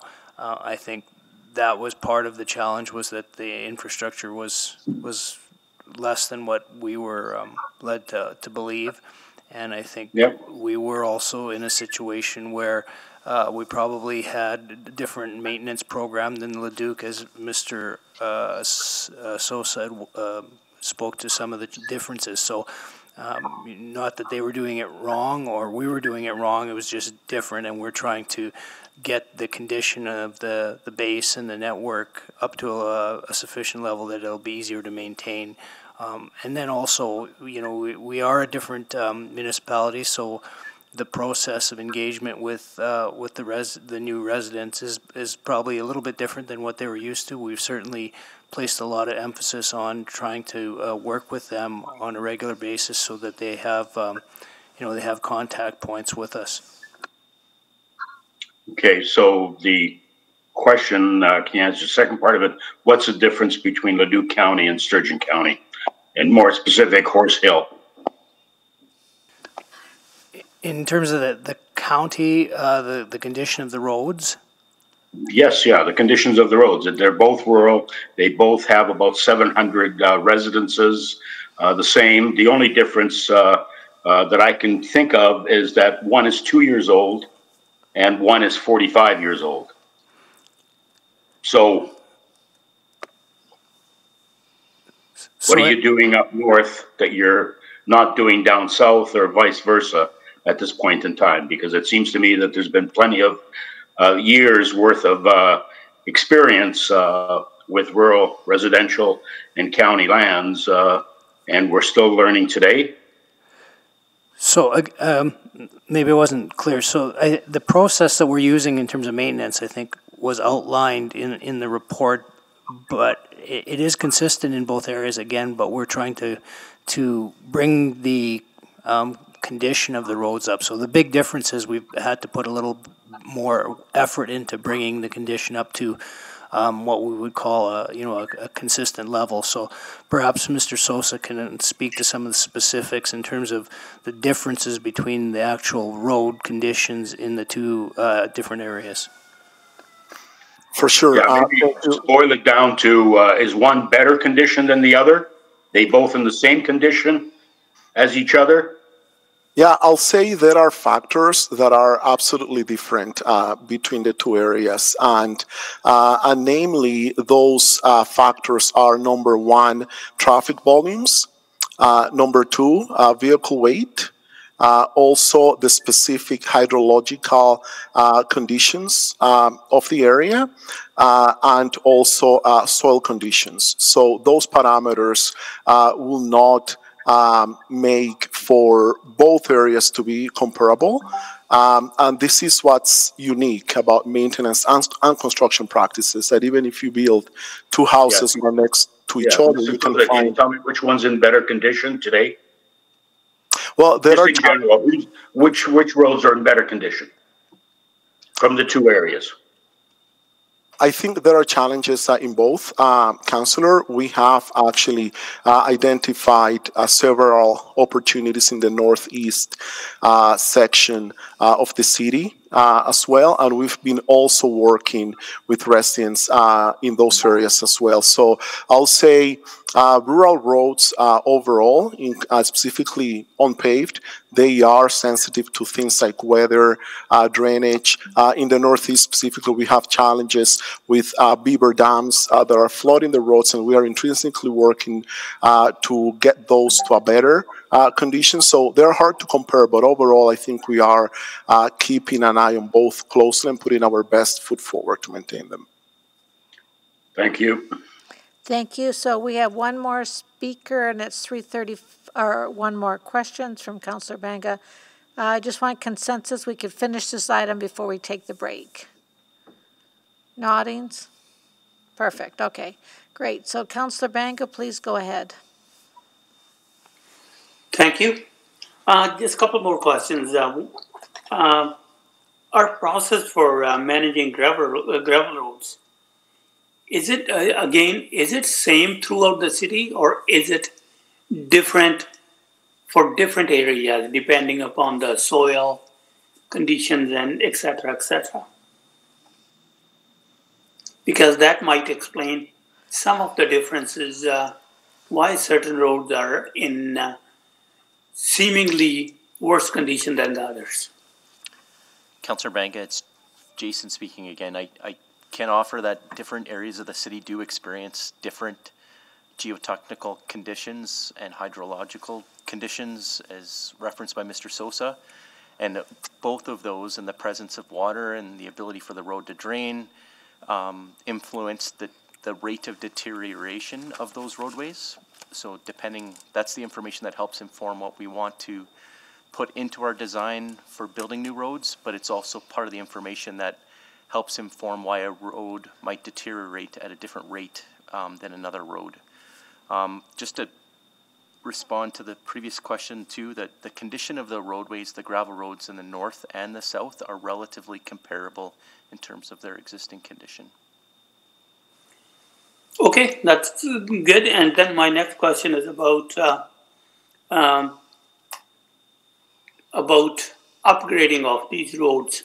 So these roads are not going to be upgraded until a developer comes along and uh, I guess develops a subdivision. Would that be correct? Councillor Banga, I, I think that the report next to this, actually, the Meridian Street, outlines a couple different paths for council to decide, you know, given the context of Meridian Street, that the same options that are presented as part of that report could be applied anywhere. And I just um, bring bring to your attention again the work that we're doing as part of our um, municipal stimulus program funding that uh, council approved. So we are going through and specifically within the areas where the industrial roads, which have gravel roads. Uh, we are upgrading the condition of those. That's that's referenced as growth because we're increasing um, the pavement structure. So we are um, converting those from gravel to asphalt roads within the industrial areas. So that was a choice that council made to invest and put capital resources, capital funding behind those projects. Okay. And since the damage uh, to the roads is caused by uh, traffic volume, uh, drainage, number of vehicles on the road, and of course the weight of the vehicles. Could you tell me who mon- monitors the weight restrictions? Is it the city or is it somebody else? Community standards through the bylaw process. Uh, does it also the city police through their commercial, commercial truck uh, unit would also monitor those, councillor? Okay. And uh, would you be uh, able to comment on how aggressive we are in that aspect? What I can say, we will set the road bans in place uh, based on the weather changes, and if we see an issue with a particular road, we'll notify uh, community standards just to be aware of it and be on the lookout for. Two challenges we have in the rural area are potentially overweights and also the illegal dumping of uh, litter into the rural areas. Okay. Um, Ms. Sosa, I got one more question for you. Um, I see some roads, they are, uh, I would uh, take an example of 34th Street from, from Ellerslie to Anthony Henday. This road is probably getting repaired about, I would say, minimum four to five times in summer. At what point in time we think or you think uh, it is going to be upgraded to a priority where the cost of maintenance is more than more than uh, uh, cost of uh, revitalization in the in the I guess short run. Yeah, that's that. That's a really good question, uh, Councillor Banga. So um, yes, we do need to go uh, to some areas to make sure that we maintain access uh, and proper service level to our residents, and uh, we also work together with our lifecycle management team uh, in in IIS, and they are working uh, on on creating an asset management plan for uh, unpaved roads where uh, some of those aspects are going to be clearly defined um, and also um, basically uh, approved on uh, uh, as a corporation. Um, so basically, we do find um, opportunities uh, to rehab section of the roads when the maintenance uh, is is becoming too too taxing. Um, in our crews, and those are basically um, those are basically say uh, ad hoc, unique uh, type of projects where we work together uh, with our capital team to work uh, on, to define where can we uh, rehab instead of uh, maintaining. Um, I'll pass it on to Mr. Meliefste or to Mr. Lehman if they have anything to add. Yeah, I, all I can offer is that the the work that that happens at a maintenance level is closely coordinated and integrated with the work that we do from a capital planning perspective. So the work in order to make sure that we're being proper good stewards of the investments that are happening at a maintenance level and at a capital level, the work needs to be coordinated and planned uh, together. Thank you. Madam Chair, I'll move the recommendation. Thank you. So there's moved receipt of information. Anyone wishing to speak to it? Uh, no, it's all good. Thank you. Seeing that, please vote.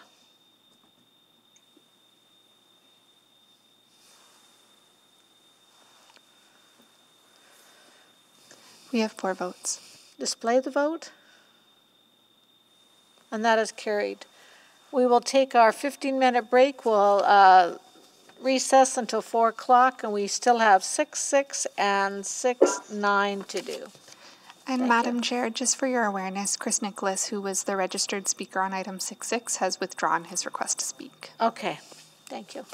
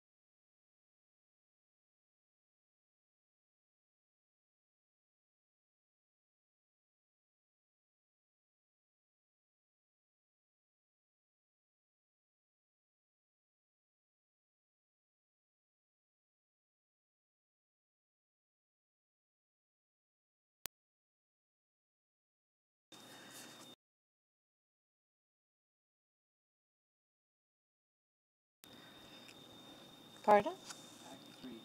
Act three. Do I need to do another roll call? Uh, if you wouldn't mind.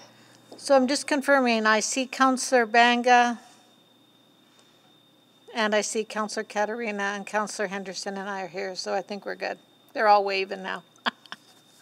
so we're all back. And we're going to go on to item 6.6. Uh, Good afternoon, committee. Uh, We've got a short presentation for this item. I've got Kim Petrin here, who's the branch manager of development services, and Kelly Sizer, who's the general supervisor, one of the general supervisors in development services, who's going to do the presentation. Over to you, Kelly. I hope they're online. Thank you. Good afternoon. My name is Kelly Sizer, and I'm speaking today about Meridian Street upgrading options. Next slide, please. The typical process for upgrading and constructing roads in developing areas is that the developers fund and complete construction to an urban standard. Costs are shared with other developers for arterial roads up to four lanes through the Arterial Roadway Assessment bylaw. Required upgrades are determined at subdivision and conditioned through a servicing agreement. The first stage in a new neighborhood typically constructs an arterial road from an, an existing urbanized roadway to the access point of the new subdivision. This ensures that new residents have an upgraded surface to drive on, including pedestrian facilities. And in some areas, these upgrades can be considerable. Administration negotiates and works in collaboration with developers to determine arterial roadway upgrades that can accommodate growth, enhance safety, meet residents' expectations, and allow for a financial investment that permits development to proceed. Quarry Ridge was developed prior to the Arterial Roadway Assessment bylaw and without a neighborhood plan in place. It did not see the arterial roadway upgrades that we expect with the new development today. Administration is currently working with active developers in Horse Hill to negotiate staged upgrades to Meridian Street, as reflected on this slide and shown in three stages. But there are currently no committed timelines for construction. Next um, slide, please. Options for Meridian Street upgrading were reviewed, and next steps are the following. Current levels of roadway maintenance will continue annually in the months of May to October, including blading of the cold mixed portion of roadway every two weeks or on an as needed basis as received through 311 notifications. Administration will continue negotiations with developers for staged arterial upgrades. The portion of Meridian Street between 153rd Avenue and 161 Avenue will be reviewed and considered for possible municipal stimulus program funding. Next slide, please. Uh, thank you. We will be pleased to answer any questions you may have.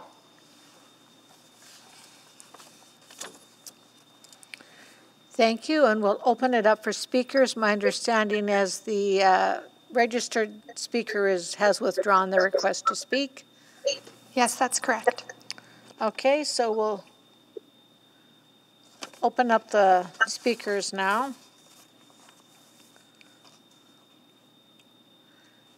We'll start uh, with uh, Councillor Henderson. Did you have questions? Uh, I selected this because there was a speaker, so no, I don't have any questions. Okay, we'll go to Councillor Caterina.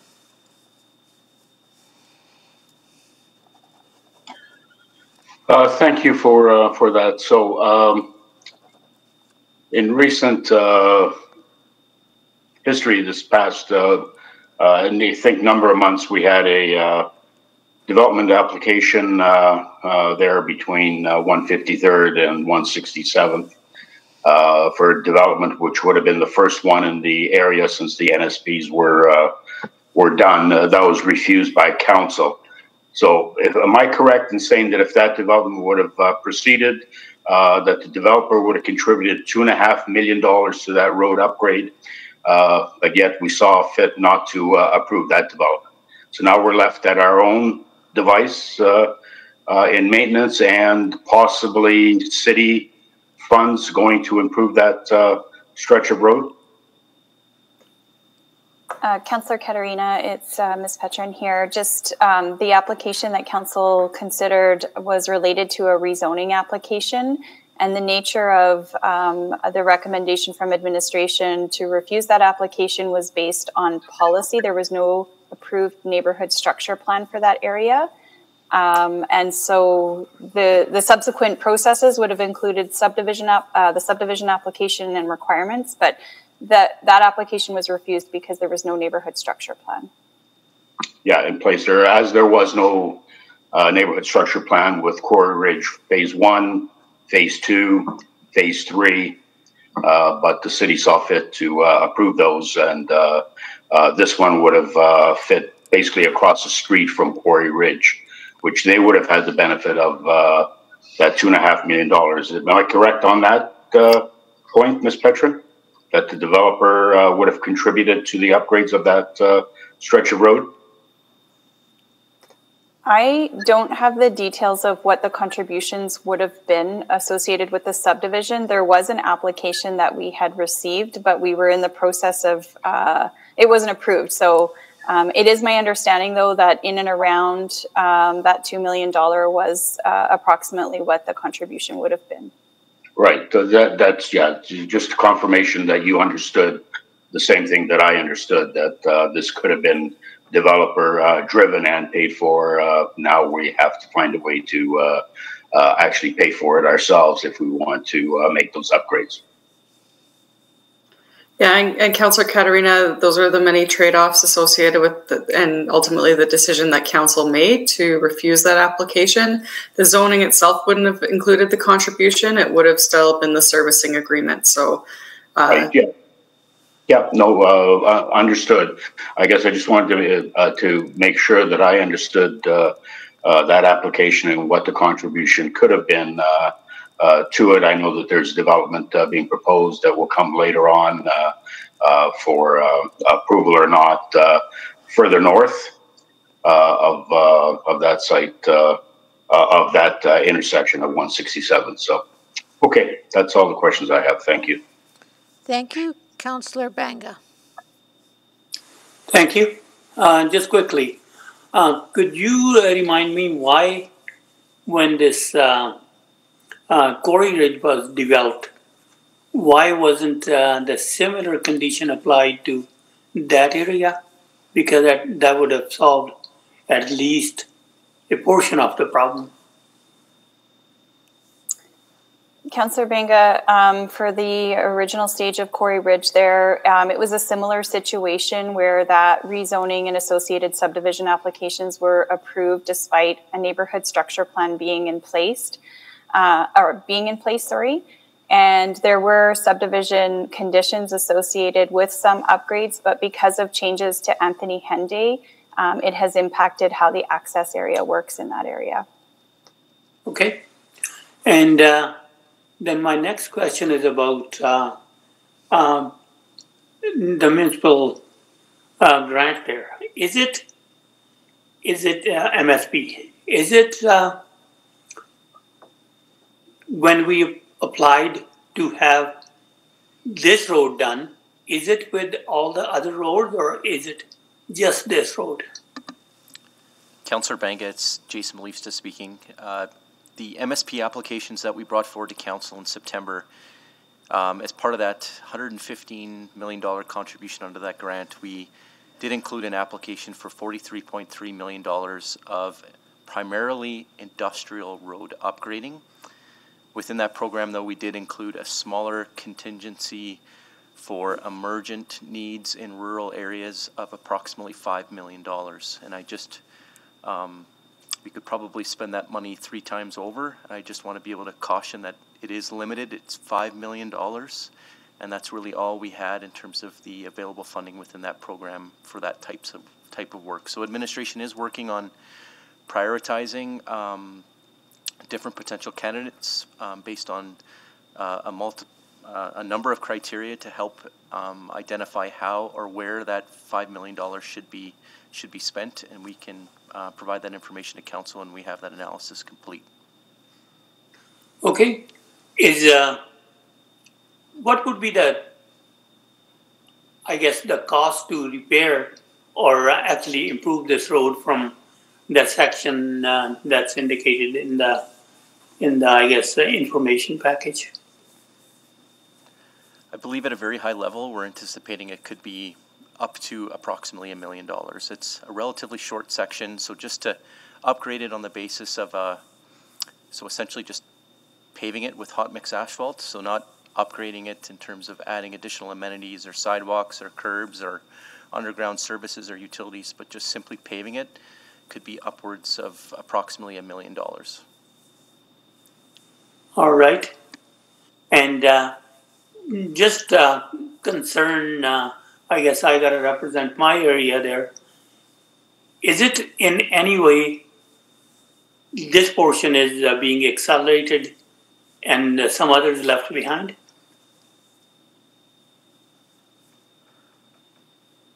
Perhaps I'll let Jason speak to the capital budget prioritization, but at the end of the day, for development, it's developer driven. So the phasing and staging of development within new neighborhoods is based on when uh, new development is coming online. Uh, for the component of uh, this that's being looked at for the capital fund, it's put through a pretty rigorous um, capital budget prioritization criteria, and it would not, it would, it would have to go through that criteria uh, process before we'd make that recommendation to council. Okay, thanks a lot. Councillor Banga, just to add um, to that, just to be clear that what we're working through in terms of advancing upgrades for this area of Meridian Street is working with the area developers um, to negotiate a staged approach to having it upgraded, not necessarily accelerating it. It's it's developer driven. Thank you very much. Thank you. I'll go to Councillor Henderson, then Paquet. Well, uh, this is sort of Quarry Ridge is just before my time, I think, but I wouldn't mind some history on that because I think, you know, to follow up on Councillor um, Caterina's uh, observations, you know, what we're paying for right now is the price of letting a development go ahead without a plan being in place, a larger plan in place, correct? I mean, if there'd been an NSP, if there'd been an NSP in place when Quarry Ridge went ahead, which the council decided, decided not to wait for, and I think it was contentious at the time for exactly that reason, um, this would have been dealt with. Yeah, Councillor Henderson, and that's why we brought that last uh, rezoning forward with a non-support because there's not a plan in place there. Yeah. Um, and, and I guess the other piece of that puzzle is when Quarry Ridge did go ahead, there must have been an understanding at that point that this road could be a long time to come before it got paved. That you know the green light was given on Quarry Ridge, understanding that the in, the existing infrastructure was the existing infrastructure. Is that is that the case, that is, or have I missed something? No, that is my understanding that that was communicated at the time. Uh, that there would be uh, challenges um, as a result of that, uh, but uh, yeah, that's that's the information in the context I have. I'm not sure if anybody else would like to add to that from the project team. Councillor Henderson, I would just add at the time that phase one of Quarry Ridge was advanced, um, it was an application that was uh, recommended that not, it not be supported again, yep. given similar to the recent Quarry Ridge application where there was no neighborhood structure plan uh, in terms of the policy direction for that area. Yeah, that, that, that, that was, I, I have a vague memory of that, although it wasn't, I wasn't part of that debate. Um, so at this point, ultimately, it will get taken care of by an ARA, um, which I'm guessing Quarry Ridge will be a non-participant in. They're going to get it for free. Is that also true? So, um, in terms of what we're working with the active area developers to negotiate, um, you know, there there is a, a, basin, and I'll I'll maybe let Kelly Ms. Sizer uh, speak to that further in terms of the existing residents. Yeah, because um, how would we how could we retroact? We, we we don't have a mechanism for retroactively collecting from them. I don't imagine, do we? Ms. Sizer? Councillor Henderson, that's correct. So that land has been developed, and unless it redevelops, it will not be charged ARA fees. Um, the ARA assessments will be charged of any new developments that go into the area. So the so the irony of this is, if and when it gets paved, um, everybody else will pay for it, and it'll it'll go into the price of their of their of their housing, and Quarry Ridge will essentially get use of it. Yes?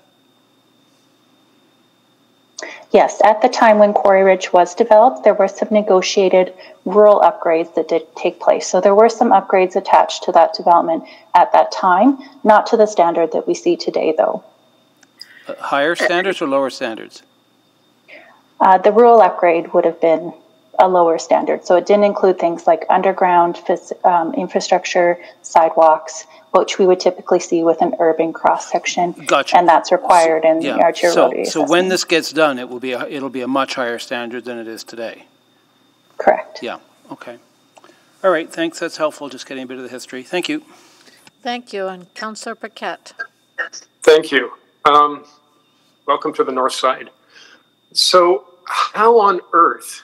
Did, uh, so this was basically just council deciding to go ahead and leapfrog development to allow this community to be built. Is that correct? I would say not quite, Councillor Paquet. Okay. Um, I would um, like clarification because this is really a, a thorn in uh, the side of the residents of Quarry Ridge who have bought into the area and built all in uh, in good faith that the city was operating in good faith with them. The assumptions at the time, some of the assumptions have changed over time. So Quarry Ridge was advanced based on the upgrades and access via 167th Avenue. And at the time, Northeast um, Anthony Henday was not in the picture. So the traffic flows in the area have definitely changed. Yeah. Um, and the information that council would have had, council at that time, definitely had different information than, than what we have here now. Okay, so they had an access road that got disrupted by the construction of the Henday, forcing people to use Meridian now as one of their main routes out of the area. Um, and of course, we know the situation with Meridian, which is why we're here. There was no neighborhood structure plan. So I'm really failing to understand the logic here because even if they had this access on 167th, if there was no neighborhood structure plan, this really was a leapfrog of development, was it not? And Ms. Petrin had spoke from a previous question. She can answer uh, answer it again. That at the time, administration had brought forward uh, a non-support of this, and the council made the decision to support it. Yeah, yeah. Okay, so now we're in a situation that uh, what happened happened. We've got to deal with it now. We know that developers are working right now on a neighborhood structure plan. We also know that the money that would go into this road, this two million dollars, would not have built out Meridian. That was going to infrastructure, not that segment of Meridian exclusively. Is that right?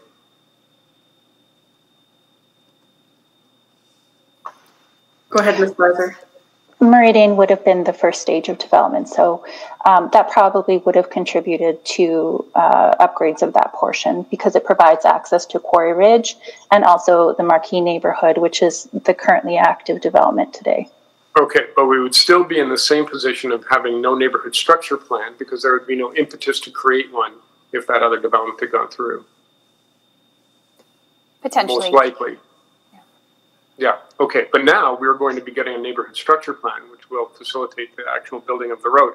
The question we have before us then, in my mind, is do we invest in, in the creation of this road, of upgrading it, knowing that there's neighborhood structure plan coming and knowing that there is a desire to continue to build in the area. So we know that we will get recouped and it actually won't be a very extended period of time before we get recouped that in- investment. So thoughts on that? That's ultimately the trade-off before council in terms of there's a lot of asks in the capital budget and where do you put the the funding. We are working with the developers in the area right now on a negotiated agreement, and perhaps Ms. Petrin or Ms. Sizer could add some more to where we are at with that. Okay, because this road is also used by Evergreen, it's used by folks living uh, north of this area, and it's been we what do we spend like fifty five thousand dollars a year on this road over what the past ten years or more? Uh, when you add it up, I mean we're getting to a point where it's kind of it, kind of begs the question why don't we just deal with this? It is a challenge, Councillor Paquet. Um, we don't have the budget to fund this arterial road, and it is an obligation of the area developers. Um, but nonetheless, we do have a number of developers working in the area that we're negotiating um, various ways to see improvements to Meridian Street, and it's really balancing both the residents' expectation, which is what we're what you're hearing, um, with servicing standards, safety, uh, the financial implications to the basin, as well as you know looking at how we're supporting or accommodating growth. Yeah, sure. Now, uh, one thing we can basically, all things being equal, without any major disruptions, we can basically assume that with a neighborhood structure plan and uh, based on that, we can now uh, approve new development because there is actually a plan uh, that within the next few years we will see movement on Meridian. Is that what I'm hearing?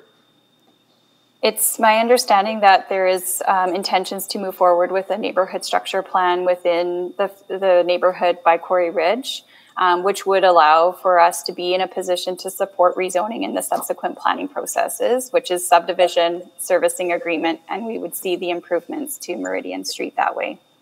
Okay, and uh, that'll. I think they're coming back with an application this, uh, you know, within the year, and uh, at that point, uh, as ground breaks, we know that we can either uh, expect Meridian to start developing uh, fairly soon after that, or we can jump the gun and maybe start, um, you know, six months or 18 months before that. Is that basically, do I have the, the gist of it? If the city took it on, we could start a little earlier. If we leave it to developers, it'll start a little later, but either way, it's going to happen for the, the city to take it on, we need we need to find uh, the funding and budget to do so. But nonetheless, yep. yes, you've got the the approach and process right if a developer uh, intends to advance the projects okay. in that area. So, Councillor right. Paquet, your time's up. It looks like you. you might need a second round. I have no one else on the table. If you want to request a second round, if that's okay, I beg the indulgence of the committee. They're all, oh, wait a minute, I have Councillor Caterina, so you'll have to sign up and come back around. Oh, yeah, absolutely. Go ahead, And, Councillor uh, Caterina. That's not to jump in. I know somebody had uh, asked for uh, why some of the decisions were made and when they were made about Quarry Ridge because it was out of the ordinary. Um, that w- preceded prior to 07. So Councillor Henderson and I were not there for that discussion. Quarry Ridge 1 happened for whatever reasons it happened uh, before the Henday was uh, even contemplated uh, there for 167th.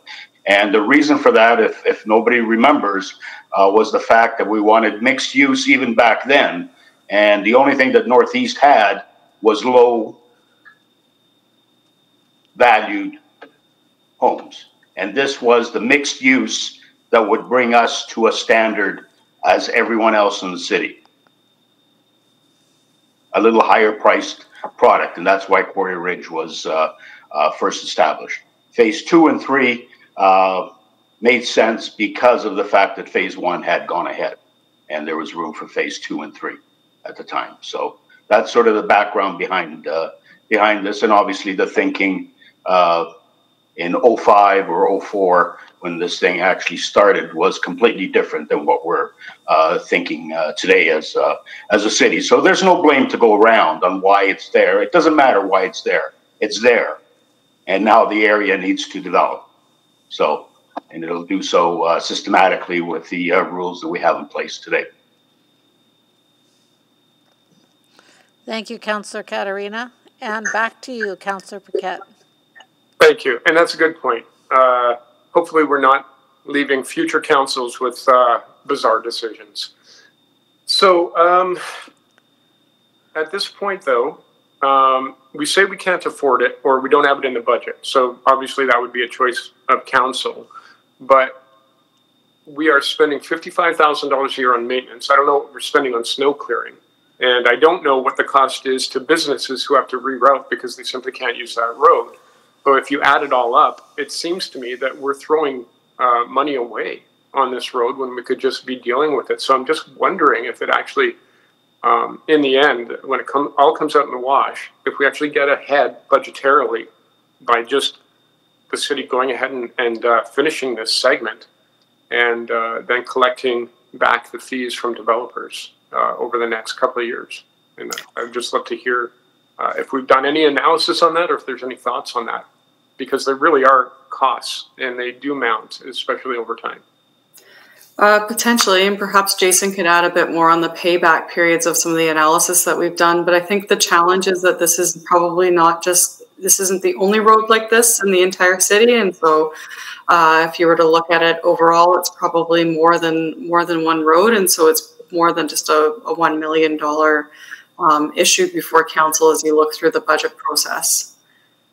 Jason, did you want to add to the payback periods?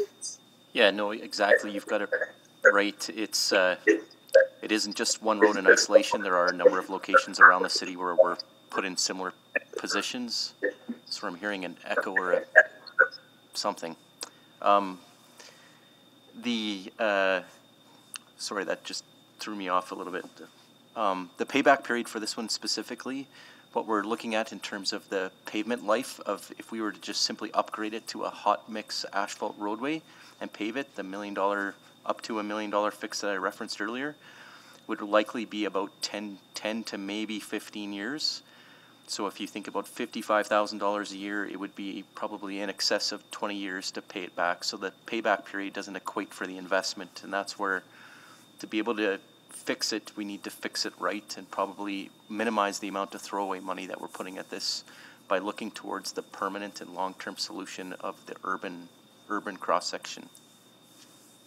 Okay, I'm a little bit confused about the payback question. Sorry, uh, just so one is the investment that we make to maintain this road the way it is, and then the other is developers would be paying into uh, um, the road itself. So I'm not sure I'm understanding the timeline or what we're referencing.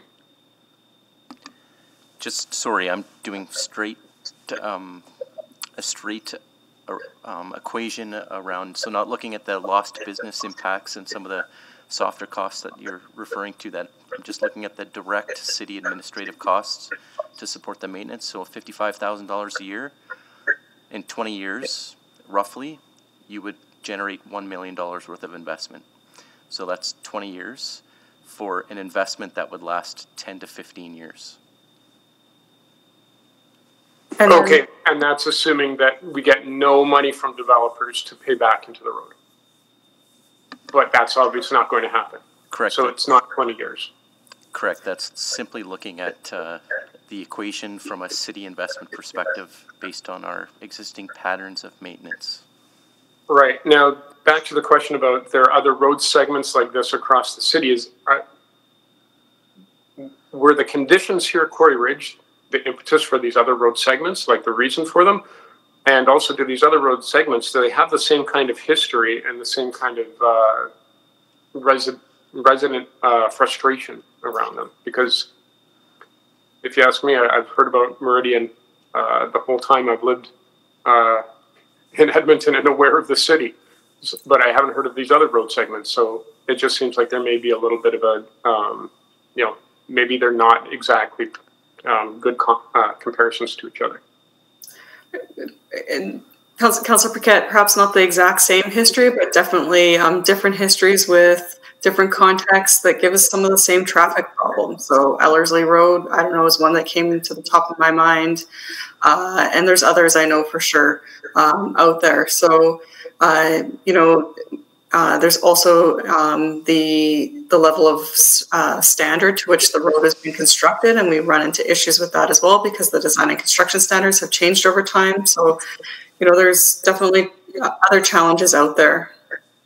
Okay, well, uh, I think we need a strategy on this. I'm out of time, but if anyone wants to answer, that would be great.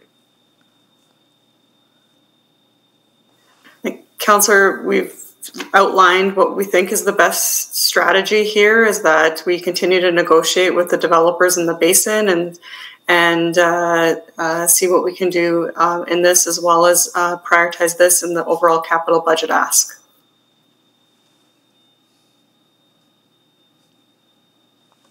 Thank you. I'm, I'm way over time. So at this point, at this point, receiving this information allows it to go through the next steps as suggested, is just confirming that. That's correct. So that would continue your negotiation with uh, developers and follow the schedule as suggested here in stages. That's correct, Councillor. So I'm looking for a motion to receive for information. I'll move this uh, for information, Madam Chair. Thank you. That's moved by Councillor Caterina. Did you wish to speak to it? No, thank you. Okay, I have Councillor Henderson as well. Well, just, just for clarity, uh, and because I think this is, the reality is, if, if we believe that it was, that developers were going to step up and do this in the next few years, I think this was Councillor Paquette's point, that you, you know, that you might, we might be able to save ourselves two or three years of 55,000 by starting it now. But the thing that we would start now would have to be the full build, which is a lot more than a million dollars, correct? That would, that, the million dollars just buys us something we would tear out in three years. Yeah, correct. I, I made an assumption based on, on the questioning. I w- I wasn't sure if Councillor Paquette was specifically referring to the rural upgrading or the urban upgrading. Well, no, I think his model only makes sense if we, if we, if we go with the full, if we go with the full meal deal now, which, and, and, and there's, all we would be really doing at that point, for the risk of sitting there and having to finance it for a decade or more, depending on when it gets built, um, we would, uh, we would save ourselves fifty-five thousand a year, and I'm guessing the financing would be more than fifty-five thousand a year, Yes, yes. Yeah, To- and I, I'm, I'm to not have a throwaway product. speculating too that perhaps maybe Ms. McCabe or Ms. Petrin could confirm or Ms. Sizer, but uh, if we were expecting any kind of a form of recovery through the area um, bylaw by the participating developers in that area, it would be towards the permanent ultimate Yeah. um, construction. So, so the only point in doing the temporary one is if we thought it was going to be there for 20 years, then we might break even. Exactly. If we, if we were speculating that the development activity could be prolonged based on current conditions, or that, that's where you're right. That's, yeah, so, so probably from a short-term point of view, it is actually probably less to us to wait, assuming, you know, because there's a gamble with us going in and doing it. Um, If we do it, we could be sitting on significant debt for, for a significant period of time if the developers don't step up and start building it themselves, correct? Correct. That's correct. Okay, thanks. Thank you. I see no one else on the floor wanting to speak to it. Then I would call, Um, if, it- if it's okay, sir, I couldn't click onto the, um, but is it okay if I say a few words? yes, I thought you might, but I hadn't seen you clicking in. Yeah, thank you. Um, well, first of all, I do want to thank administration for the work they put into this. I mean, it is good information. We've got a number of scenarios to chew on. And uh, Councillor Henderson makes a good point. This is really, you know, we have to balance, especially now, how we uh, approach the budget, what we do with debt financing, what we don't.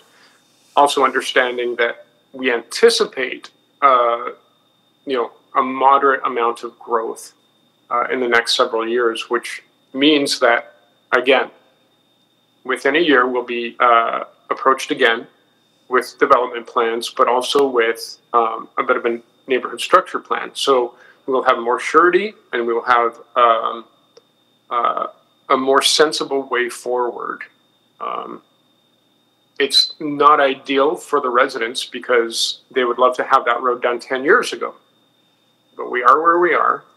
And uh, the fact is that within the next several years, there will be a finished road and to the standards uh, of an urban standard, not a rural standard. So um, it is a bit more of a wait. Uh, I do lament the fact that we may be losing uh, a few bucks uh, on a road that we're not going to keep at this point, but uh, Councilor Henderson does make a, a very good point if we were to build it out to that standard. So um, the lesson learned here is that uh, you know we just need uh, more sensible plans when it comes to development, so that no one is sort of left in the lurch, which is a little bit of what's happened to the folks who moved into the Quarry Ridge area, and that's just a flag I think that we should always have going into the future. Is that the people of Edmonton expect us to actually be approving plans that make sense and that are actually implementable for the benefit of the of the residents. They don't expect us to approve plans that end up hooping us down the road. They don't expect us to approve new neighborhoods with low density that just end up costing us more and make it so that we can't even afford to give them the standard that they should have by living in the city. And I think that we've that we're going to accomplish that with the city plan, but many of the frustrations from the decisions of the past persist and we're dealing with them and we're living with them. uh, and that is a frustration. And so, you know, in the end, this is really it all circles right back to um, the city's responsibility in setting uh, the stage so that there isn't a massive split between uh, suburban and urban, and uh, you know that we actually have these really good conversations with developers about responsibility to the people who buy into our plans because they expect us to have very very good plans that will benefit them uh, for trusting us with their investment in our city. And that's all I've got to say. Thank you. Thank you. Seeing no one else on the board to speak, I will call the question. Please vote.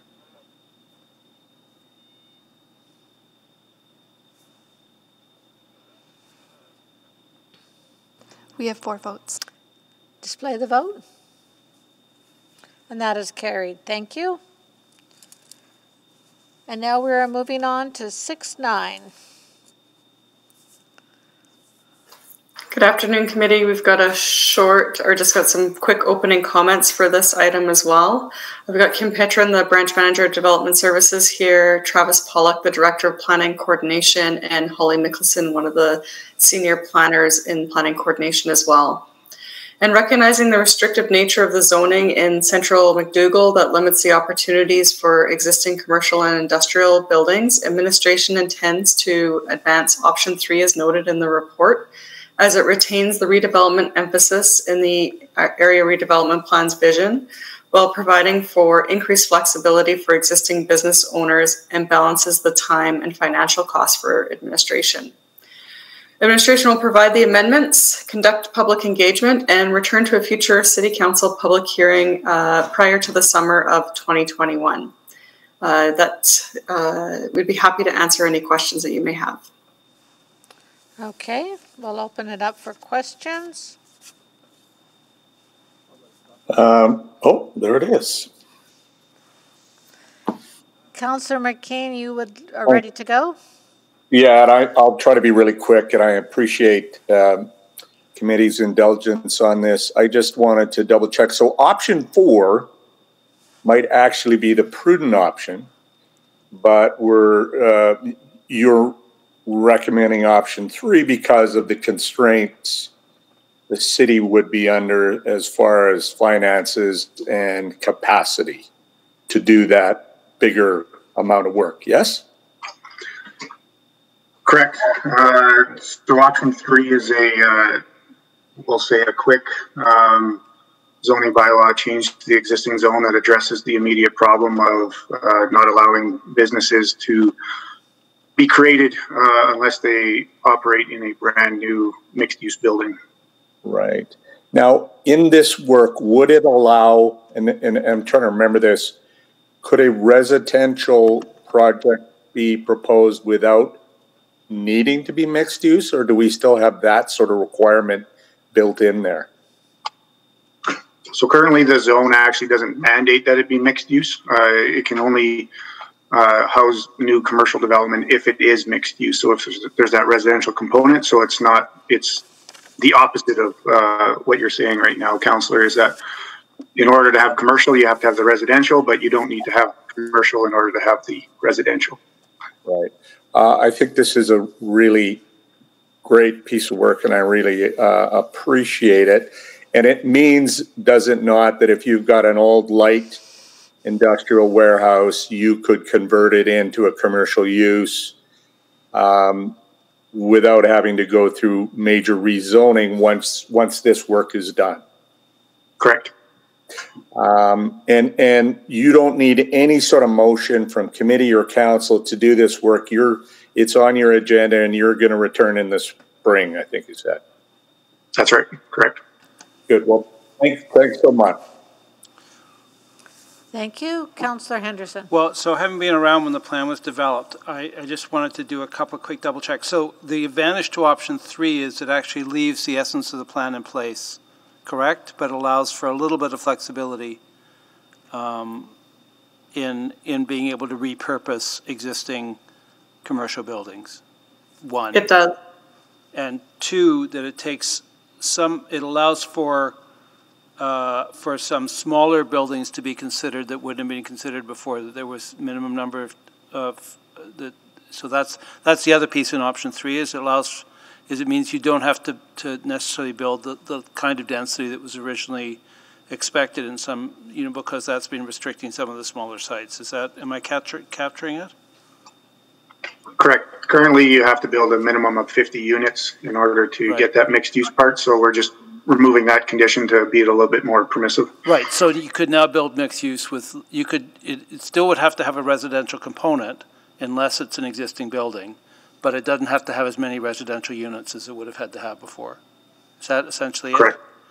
Um, Correct.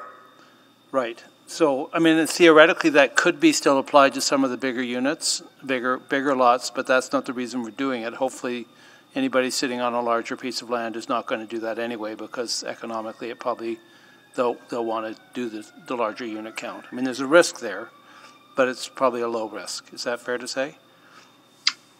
Yes, I would say it's low risk, uh, and the trade-off being that the additional opportunity to create activity and vibrancy through the, the new businesses that would open up in the existing buildings or a smaller building that's not 50 units.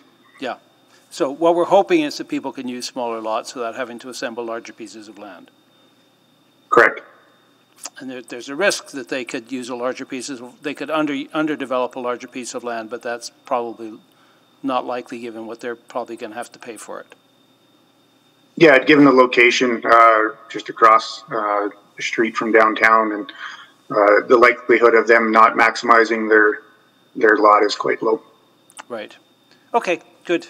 Great, thanks. I just thought I'd do a double check, because I know there were parts of this that were really important to the community, and, but we've, we've done a check in with them on this, have we, or is that the next step? Uh, we've checked in with both the Beat North Edge BIA and the Community League on Okay, it. that would probably catch the people that I know had a lot of invested in this, so as long as they're aware of it, because we hear from them every time we ditz with this, so, great, thank you. Are you willing to move it? receive? Happy to move this receipt for information and expect to see it back, probably in the form we have it in front of us as a real bylaw. Great. Does anyone want to speak to that?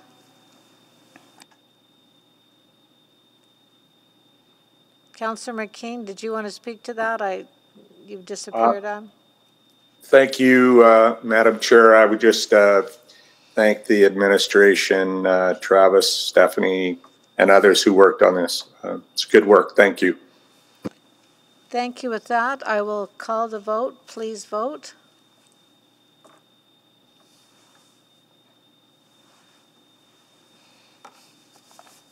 Display the vote. And that is carried. That concludes our agenda today, and uh, I need to ask for notices of motions and councillor inquiries, because I forgot earlier. I see none. I uh, had not received any, but we wanted to give you that opportunity. With that, we are adjourned. Thank you all. Good night.